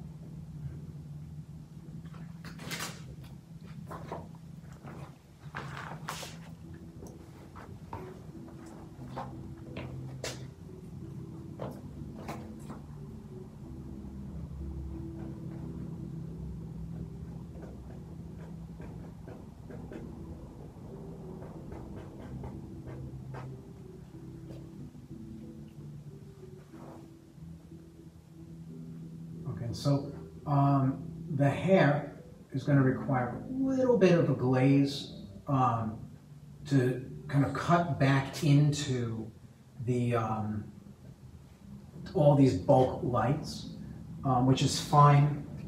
I'm good with that. Um, let's see if I can get a little bit of a little bit more kind of texture going on in here with this cool light to break up some of the shadows a little bit. Um, and again, just like just tiny taps to break it up so it doesn't feel like it doesn't feel solid.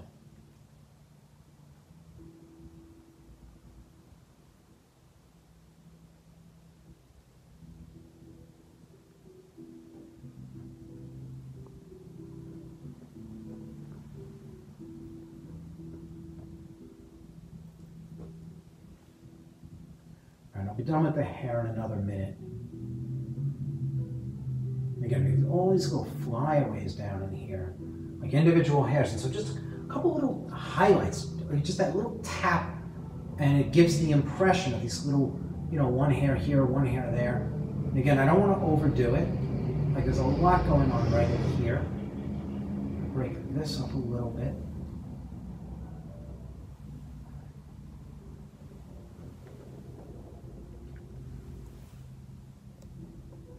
do this also. So right in here, there's a bit of a highlight. Right in here, right along this ridge. I'm just gonna build it up a little bit. So here, just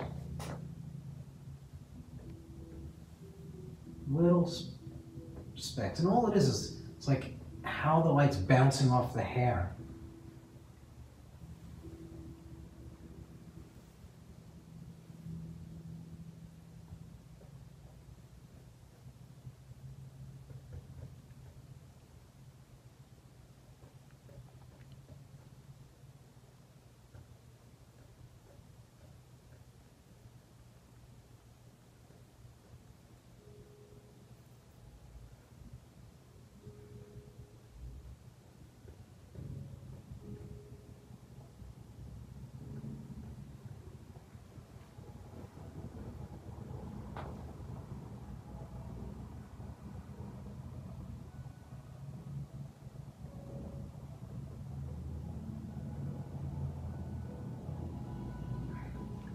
Think I'm gonna, I think I'm gonna stop with the hair there.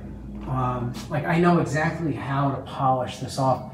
All I'm gonna do is kind of glaze in and then drag the wet glaze into the um, into the lights that are here to create some distinct edges, and that'll be it. It'll be done. But overall, I'm liking the way it's feeling.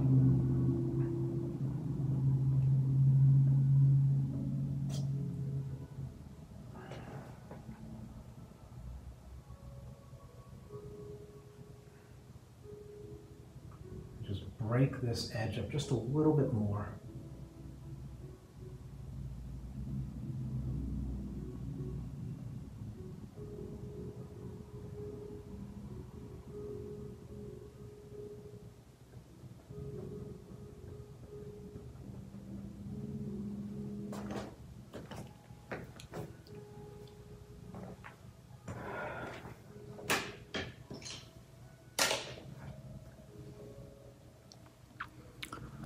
Beth has a question. Yes. You were saying that you will no longer have apprentices, but Yes. will you continue giving instruction personally and through your school? Um, so at the school, for a little while longer, yes. Um, and uh, probably, probably for another four years, and then I'll be done here. Uh, my daughter is going to take over the school, and so um, that's the plan at the moment, anyway. Um, so my my younger daughter is interested in taking over the school, and that's that's the time frame. So, uh, but I'll be involved with obviously with Evolve, um, and so I'll be doing this. But that's going to free up a lot of my time. One for me to do my own work, but also for me to be more uh, more helpful to the students in our program. There's no liking. This looks.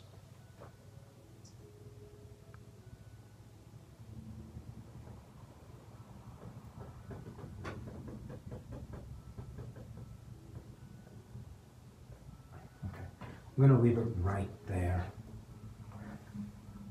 Again, it, it looks a little funny at the moment, but like I know exactly, exactly what I want to do to finish it off, and it, it'll be a breeze. It'd be very, very easy to do. Um, I'm just gonna grab a little bit of this and pull it in. Sarah Price had more time to create blocks 9 to 12. Well, that's definitely that's definitely on the horizon. Um, you know, these days I just don't have the time. I don't have the time to get done everything I need to do, and so my daughter taking over the school, you know, it's great for her. Makes my life easier. Um, yeah, the education shouldn't change. Um, so, but if somebody's interested in coming to the school to learn from me directly, hurry. You're running out of time. Okay, so I'm going to leave the hair where it is. I'm going to move up. I want to get. Oh, I want to get the lapel pin. Okay, lapel pin. I know we've got that sitting around here somewhere.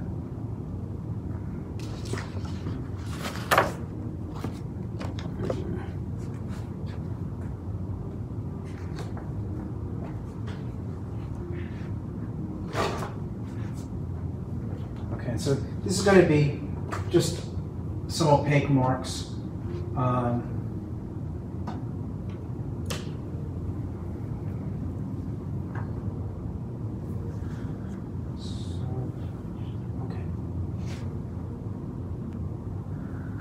Another question from Beth. Yes. What subjects call to your heart? What will you focus on? Um, you know what? I like figures. I like figure painting. Um, it is, without question, the most challenging um, thing to paint. And so, like for me, I mean, one, I just I enjoy it. I enjoy the subject. It's um, it's a it's a constant challenge, and it's it's just fun. I mean, it's. But I guess that's the easiest way to say it. I mean, it's just fun.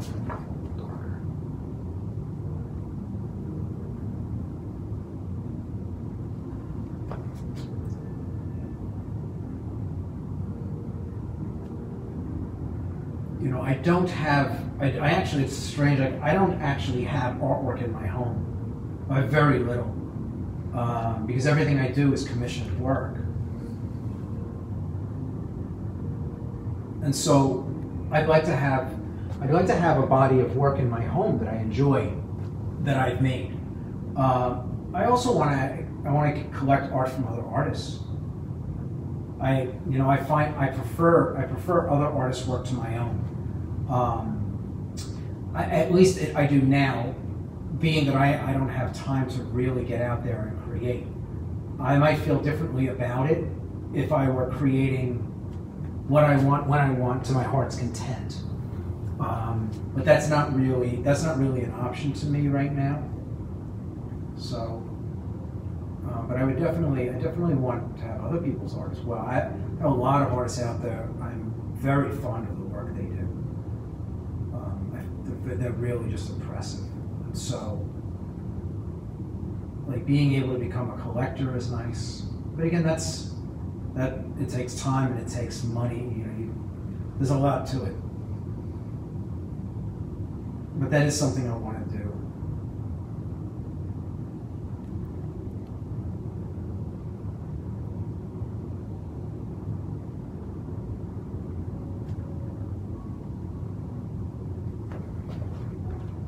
Okay.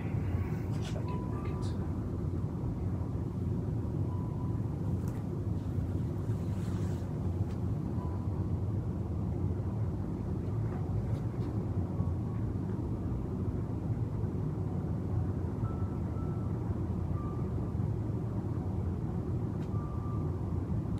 So here I'm just, I've got white, red, blue. So I'm just trying to describe these, some of these shapes very simply, I, I, again, I'll go over this with a fan brush very softly when I'm done. Um, I don't want it to be so sharp, but I, I've got to put it down sharp to be able to make sense of it.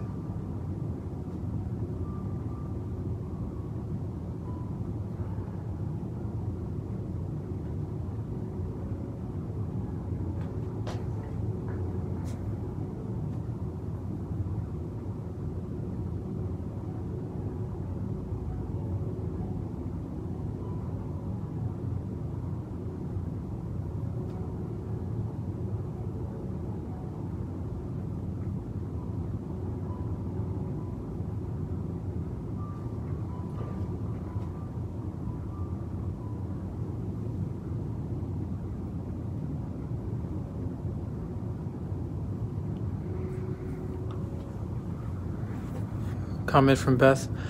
Please tell us about your daughter and her strengths that will enhance Evolve.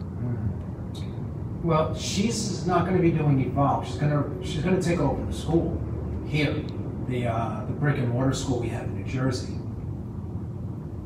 So, um, I mean, we'd welcome her into Evolve also. She's uh, she's one hardcore individual.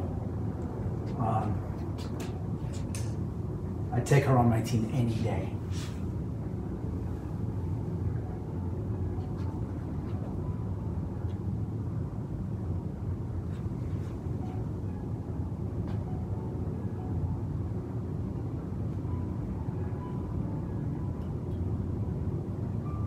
She's um, she's she's 14 right now.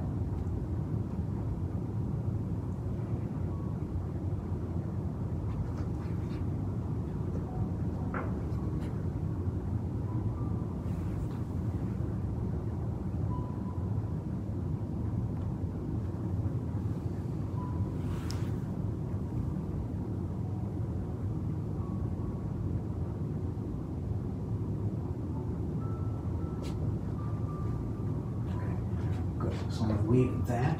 Just take a big fan brush.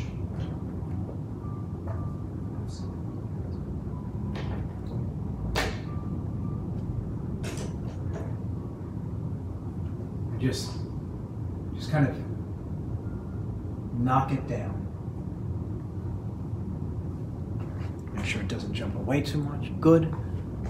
Again, it doesn't need to be detailed, it just needs to be present and recognizable. I might go in and drop a few more highlights in it when it dries, but that's good for now. Um, what's left? Okay, I've got to get in.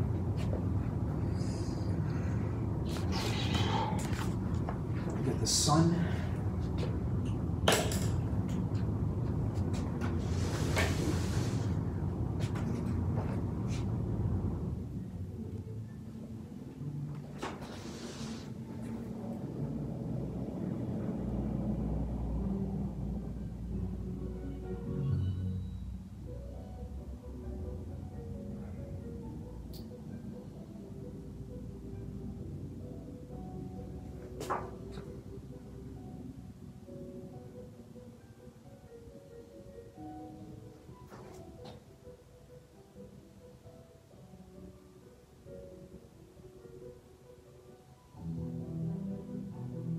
Trying to keep, even though I'm dropping these colors in, trying to keep the values the same. I'm adding color, but I'm trying to keep the values similar so that they don't start to jump away. I just noticed I've got an area in here that is, I forgot to make these white. So I'm gonna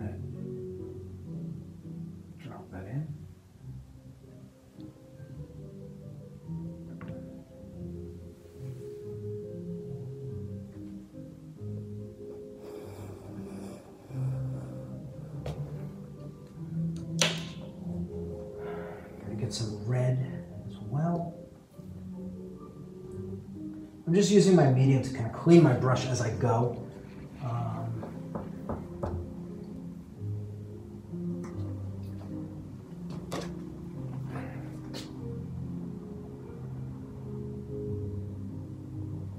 doesn't have to be a lot.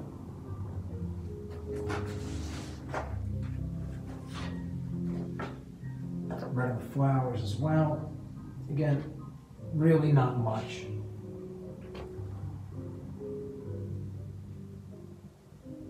Doesn't have to be much, just that it's there.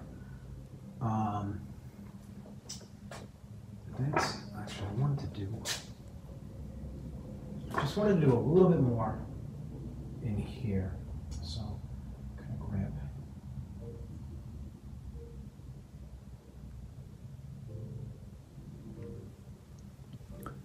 Dorinda said, When I'm asked how long did it take you to paint that, especially after looking at my price, my best response, especially if I think they are trying to figure out how much I'm charging an hour, is all of my life up to now, it has taken that long to acquire the skills that created it. I can easily think you can say it with much more conviction than I. you know? I, I, don't debate my prices. I don't explain them. I don't have to. Um, at some point, you, you get there where people who are coming to you, they expect, they expect, you know, they expect it to be within a certain range. And as long as you're not outside of that range, it's not even a conversation. Yeah, it's like all things like, you know, you go to a Mercedes dealership, you're not really negotiating the price of the car. The car costs what it costs. And if you want to drive out of the dealership with it, that's what you pay. Um, it's not really a conversation. Um, and that's not to equate what I do to a Mercedes, but, but you get the general idea. Like the earlier you are in your career, the more you have to kind of defend what you charge for your work. But again, like the better you are, even at a low price point, the better you are, the easier it is. People look at it and they're just excited to have what you make. Um, and that's all, that's really a matter of quality, right? Um, nobody's going to debate the value of this. Not everybody would pay for it, but nobody would debate the value of it based on, based on the quality of the work right? And so um, that's where you want to be. So, so that it doesn't matter what you're charging, you charge what you feel you're comfortable with, but that you get what you charge without it being a conversation. Because when people look at it, they're like, "Yep, okay, I could see that." Uh,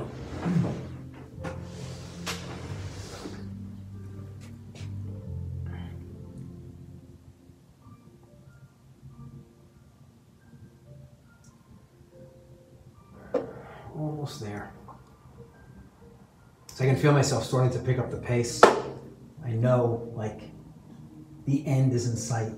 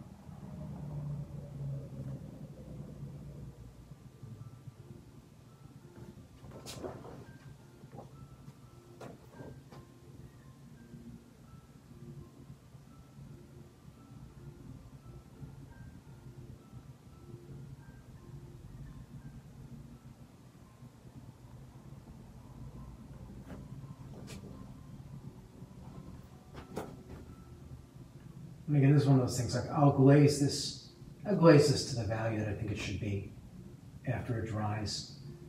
It'll take me 30 seconds maybe. But I'll just establish them here, like this.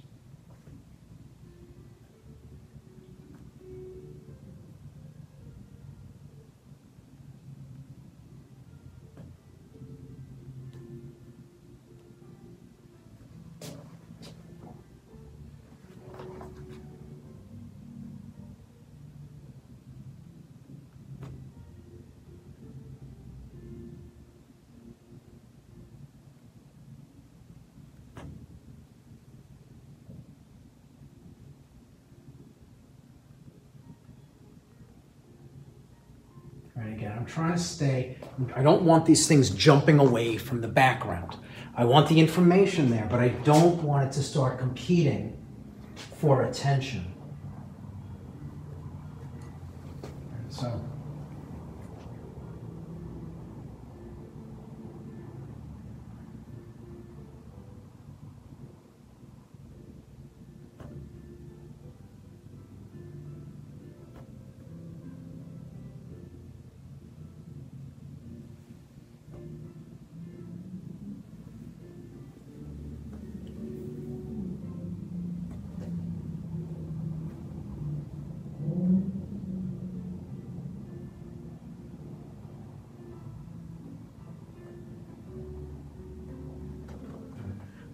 Nice and simple.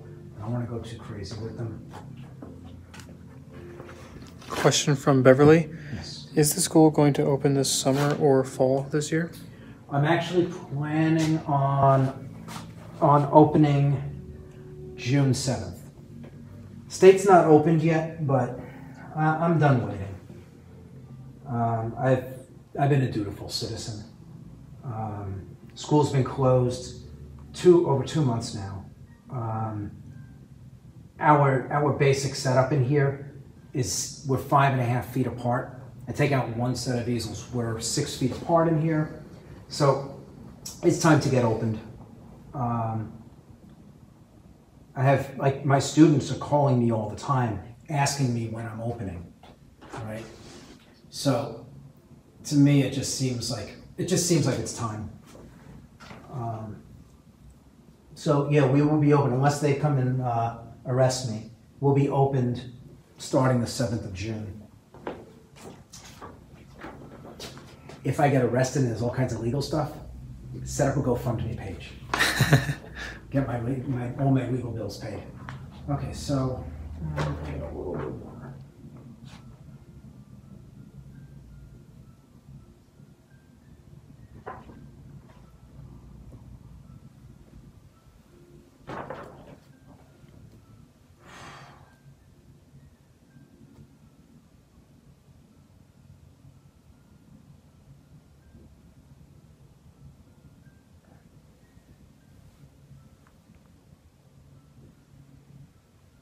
And again, like I'm not I'm not worried about this being exact. It's a background decorative element in the painting.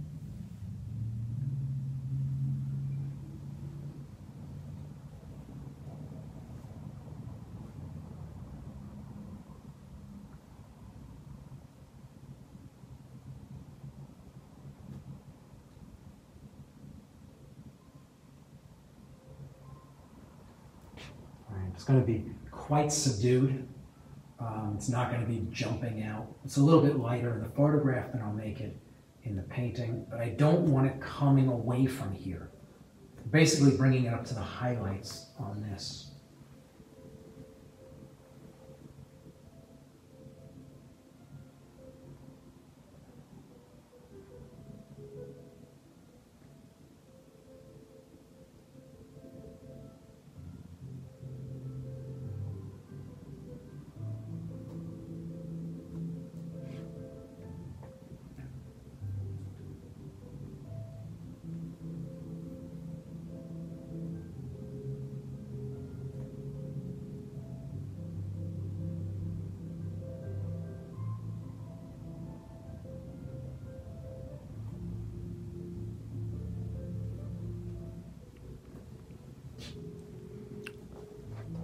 Really know what this means, but Scott Dean said, just call the law offices of Dindu Nuffin. yeah. I'm gonna call, uh, what is it, Better Call Saul?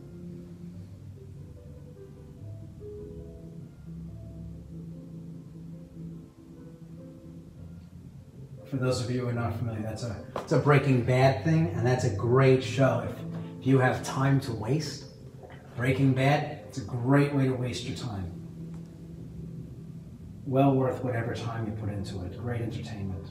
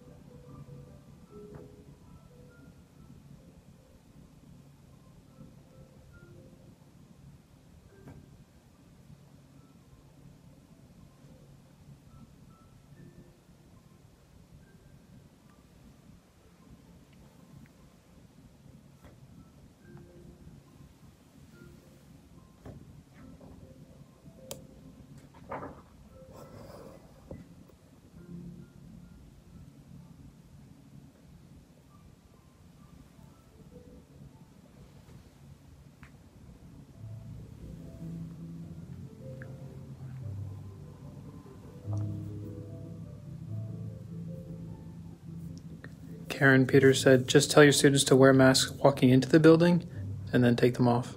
Well, no, they got to wear them here. I, you know, I don't want anyone getting sick while they're here. I don't expect it to be a problem, but I'm not looking to just ignore the laws entirely and not worry about people's health. Um, I don't know how much any of it helps really, but I'm not gonna. I don't want anybody coming into the school and being uncomfortable, and I don't want anybody to be. Look, I mean, if I don't want to put anybody at unnecessary risk, so people are gonna have to wear masks in the school. Okay, I think, I think I'm actually gonna stop right there.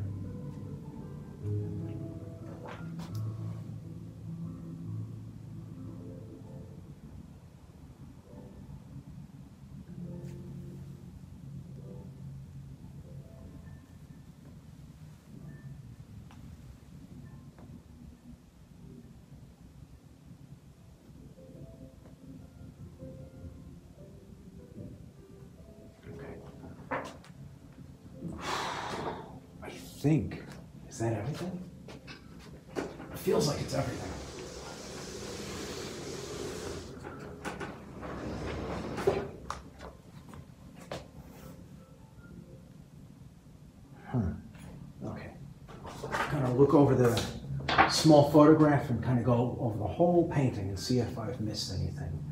That's all done.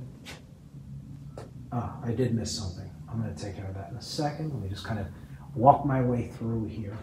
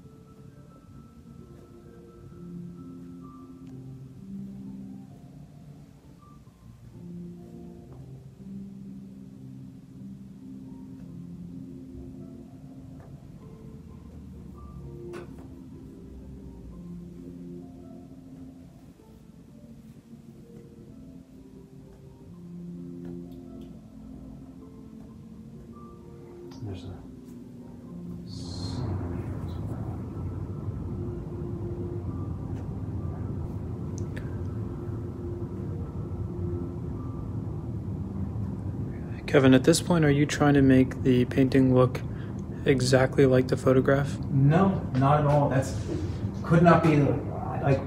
I couldn't care less. Um, I'm trying to make it the best painting it can be. The photograph is irrelevant to me, though there are details here that are um, that matter. Like there's a little sun here, so I've got to make sure that that's in, or at least the some hint of it is in place. Um, I can't just ignore it. I don't get to do that. Um, but what all I'm doing now is adding a little bit of a drop shadow so this feels a little more three-dimensional. I did it everywhere else yesterday in the apron and I forgot it up in here. So.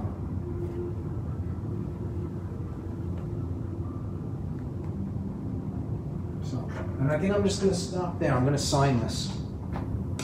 Again, there is stuff that I have to do still, but it's it's really minor. Um, so I got to figure out where I'm signing it.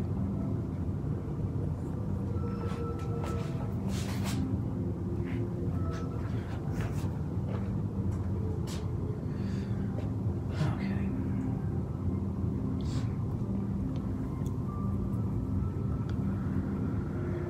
Question from Becky.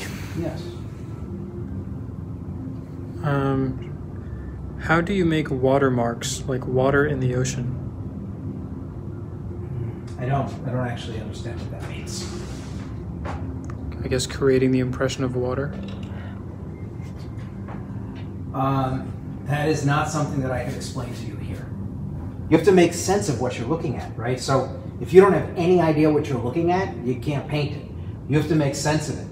Water has planes, the surface, right? So a wave, even if you at the wave from the side, the wave has planes that make it what it is. It crests and then it tucks underneath, and there's luminosity. So you have to understand the, the anatomy of the thing in order to be able to do it.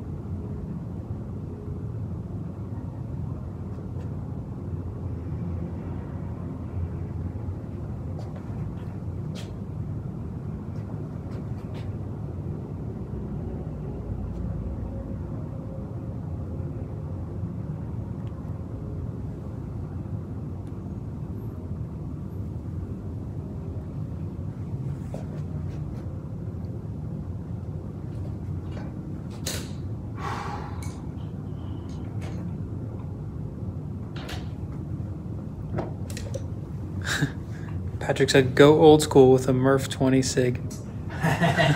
no, sorry, no.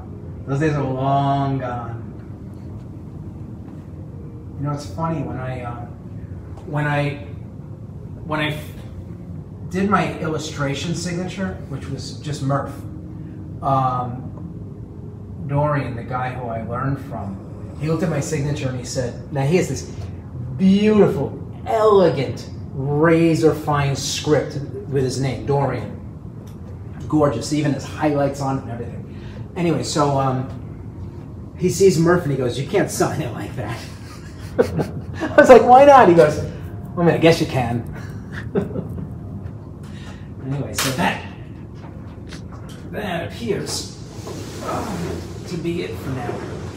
So what we're going to do, I'm going to pull all of this out of the way, and we're going to get a good clean shot, and we're going to upload it to a Dropbox, and then put the um, we'll then put the the URL. Uh, we'll we'll give it to you guys so you can go check it out. Uh, we're gonna we can stay on while we do this. It's only gonna take two minutes or something like that. So you can actually um, actually if we pull this back, you can see actually how this is done properly, how to photograph a painting properly. So what we're gonna do, let me just kind of We could even take this off the table at this point. But no. Um, so what we're going to do is we're going to calibrate the camera first. So um, you want to just take the gray thing. Here you go. Yeah. Here.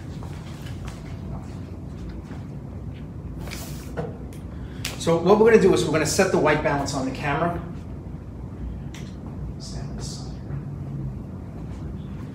And so all I'm doing is I'm, I'm grabbing this. Um, you can buy this in, in any photo store. And what I'm going to do is I'm going to use this to capture white balance.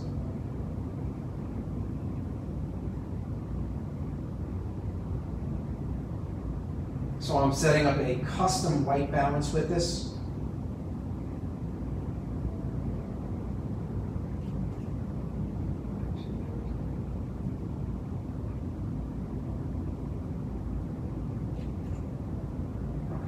So with my camera, basically, I captured what white, what true white is based on this. The camera will calibrate, and now I can photograph the painting, and it should be color correct.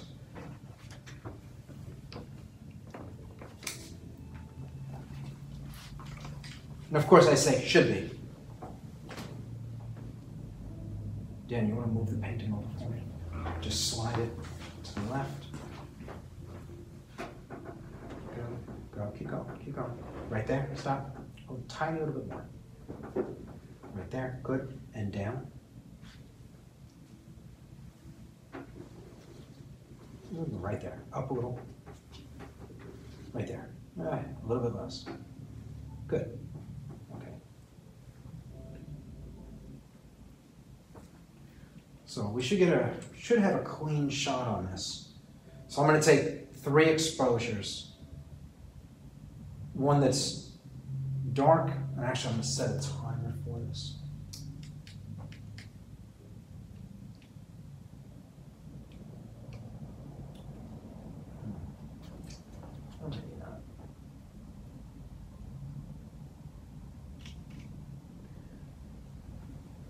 So I'm going to take three just, just different exposures so that I, I know that I've got the values right on one of them.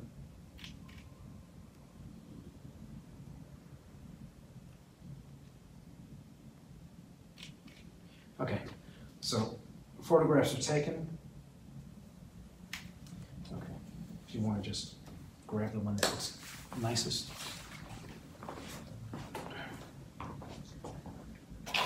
Oh. And again, like I said, I know that there's a few things left to do in this, but I'm basically this painting. This painting is done. Um, more likely than not, what I'm going to do, just to give you an overview of what I'm going to work with. I'll play with the hair a little bit to make it a little bit more solid, and it's just going to be grays. It'll probably be the highest highlight, the brightest highlight, and then some grays in here just to kind of break up these blocks of light. I'm going to drop a little bit of blue into the skin I, just by itself. And that actually probably be Payne's gray. It'll read as a blue. Um, I didn't want to do it while I was working with the pinks because I didn't want to contaminate them. I'll probably bring up a couple of highlights, and that'll be it. I'm going to tighten up the lapel pin with just a few highlights and nothing more. They'll be, they'll be just a, a hair's breadth lighter than what's there. Everything else in here is good, solid. I don't need to do anything else in here. The book is fine. I may add to the tattered edge just a little bit to give it a little bit more, a little bit more pop. Um, I gotta say, I mean, I think that's it. Now, um, the shot that we just took may show some sunken in areas here. Things are a little bit gray. But more than anything else, I want you to be able to see him. I want you to be able to see the apron, even the Bible, the medals over here. And all that stuff should be pretty clean for you. I'm going to jump behind here. So if you have any questions, um, feel free to. Um, oh, here we go. I'm. We're now. We're now turned around. So now I can actually see your questions. Get this thing.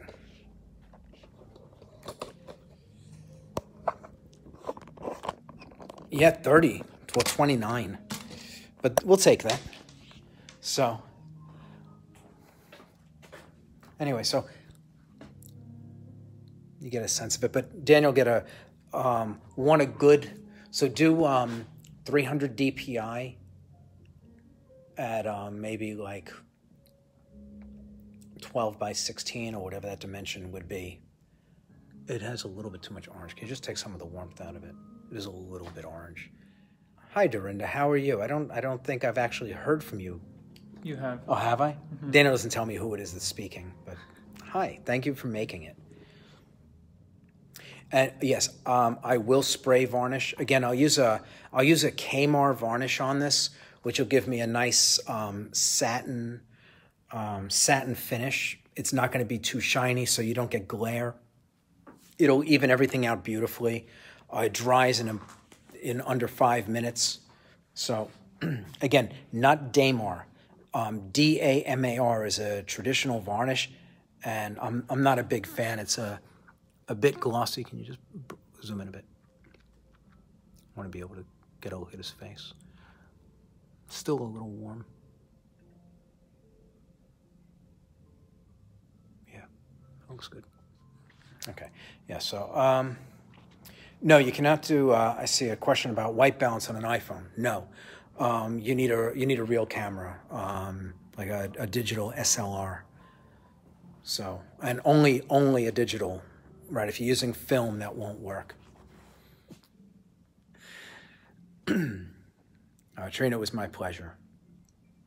So Daniel's almost almost got the thing uploaded, and I guess you're going to drop it in the comments here.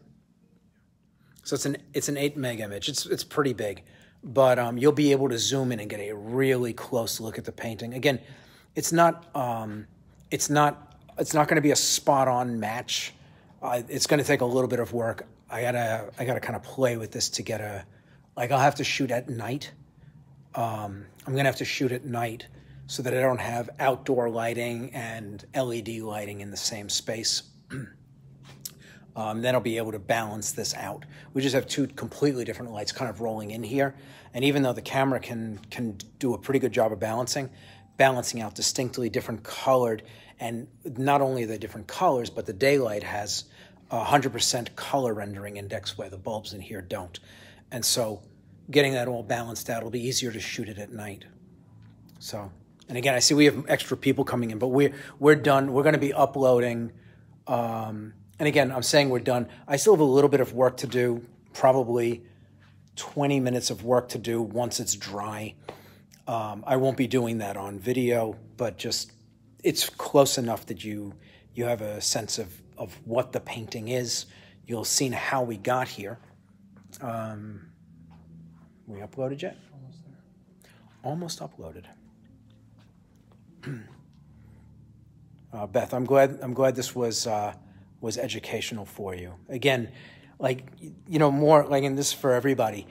It's about the ideas. It's not about like what paint I mixed or which brush I used, or it's about these overarching ideas. Remember, it's always, always going to be about the value, color, and then the edge you use to connect one to another. um, it always comes back to those same three simple moving parts. Once you once you learn how to filter your information through that, it doesn't matter what you're painting. It really doesn't make a difference. A ball on a table or a portrait like the one you just saw. Um, it's all it's all the same. It's just the portrait has more decisions, but they're, they're the same moving parts, right? It's like if you can bake a cake, you can bake 10 cakes, and it's basically the same thing. Ah, there goes the link. So, for those of you interested in, in checking out the uh, large, large scale, high resolution image, um, you'll get a much better sense of what we've been doing here this whole time. Again, I know the videos are very soft and fuzzy, and even though we get up close, it's not the same. So, um, but I just want to take a look over here. And again, the more you zoom in on the image, the cleaner it gets. Let's just open it up. I just want to get a good look at it. Yeah, like I said, remember that the painting, like just to give you an idea, as you as the image scales down on your computer, everything starts to darken and plug up. This head is from from from chin to the top of his head is about 12 inches something like that. I'll check that. If you want to see it on your computer. Actually, from his chin to the top of his head is exactly 11 inches. So if you want to see what the actual scale is, scale it up to that and you'll have an idea of just how big this was and what it what it looked like as I was working, like how much real estate I was having to cover. Anyway, um,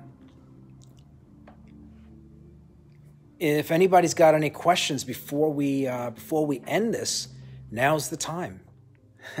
Beverly, I'm not sad it's finished. I'm always happy, always happy to sign the painting and be done. Um, it's a lot of fun working on the pieces, but this one's dragged on for for many, many, many hours. Uh, I'm happy to see it finished. Um, it was fun while it lasted, though. I'll, I'll miss I'll miss the company. Usually, I work and it's just me by myself. So it's been fun actually conversing the whole time I was working on this. I don't have any next paintings.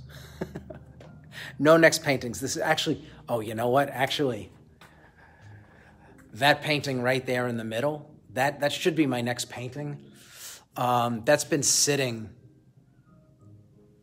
It's been sitting for two years almost. I need to get that done. Um, but but COVID's almost done, so time to get back to work. Um, I think if I if I have the time to do that with everything else I have going on, I may I may live stream that. I'll let everybody know. There's not a lot of work to be done there. It would just be the uh, it would just be the face and the and the um, his uh, tie and collar. So the total hours on this painting, we're estimating somewhere between like 80 and 100. Um, somewhere in that window. I don't know for sure. Um, probably, probably closer to 80 than 100, but in that window. Oh yeah, the lettering, Sana. Yeah, I don't feel like doing the lettering, but you know what? After after doing this thing, all of that, lettering doesn't feel so daunting. but yes, yeah, Cindy, I'll um, if I'm going to work on it um, and I'm going to live stream it, I'll definitely post so everybody knows. So I'm just going to do another two minutes. If anybody's got questions, let's get them.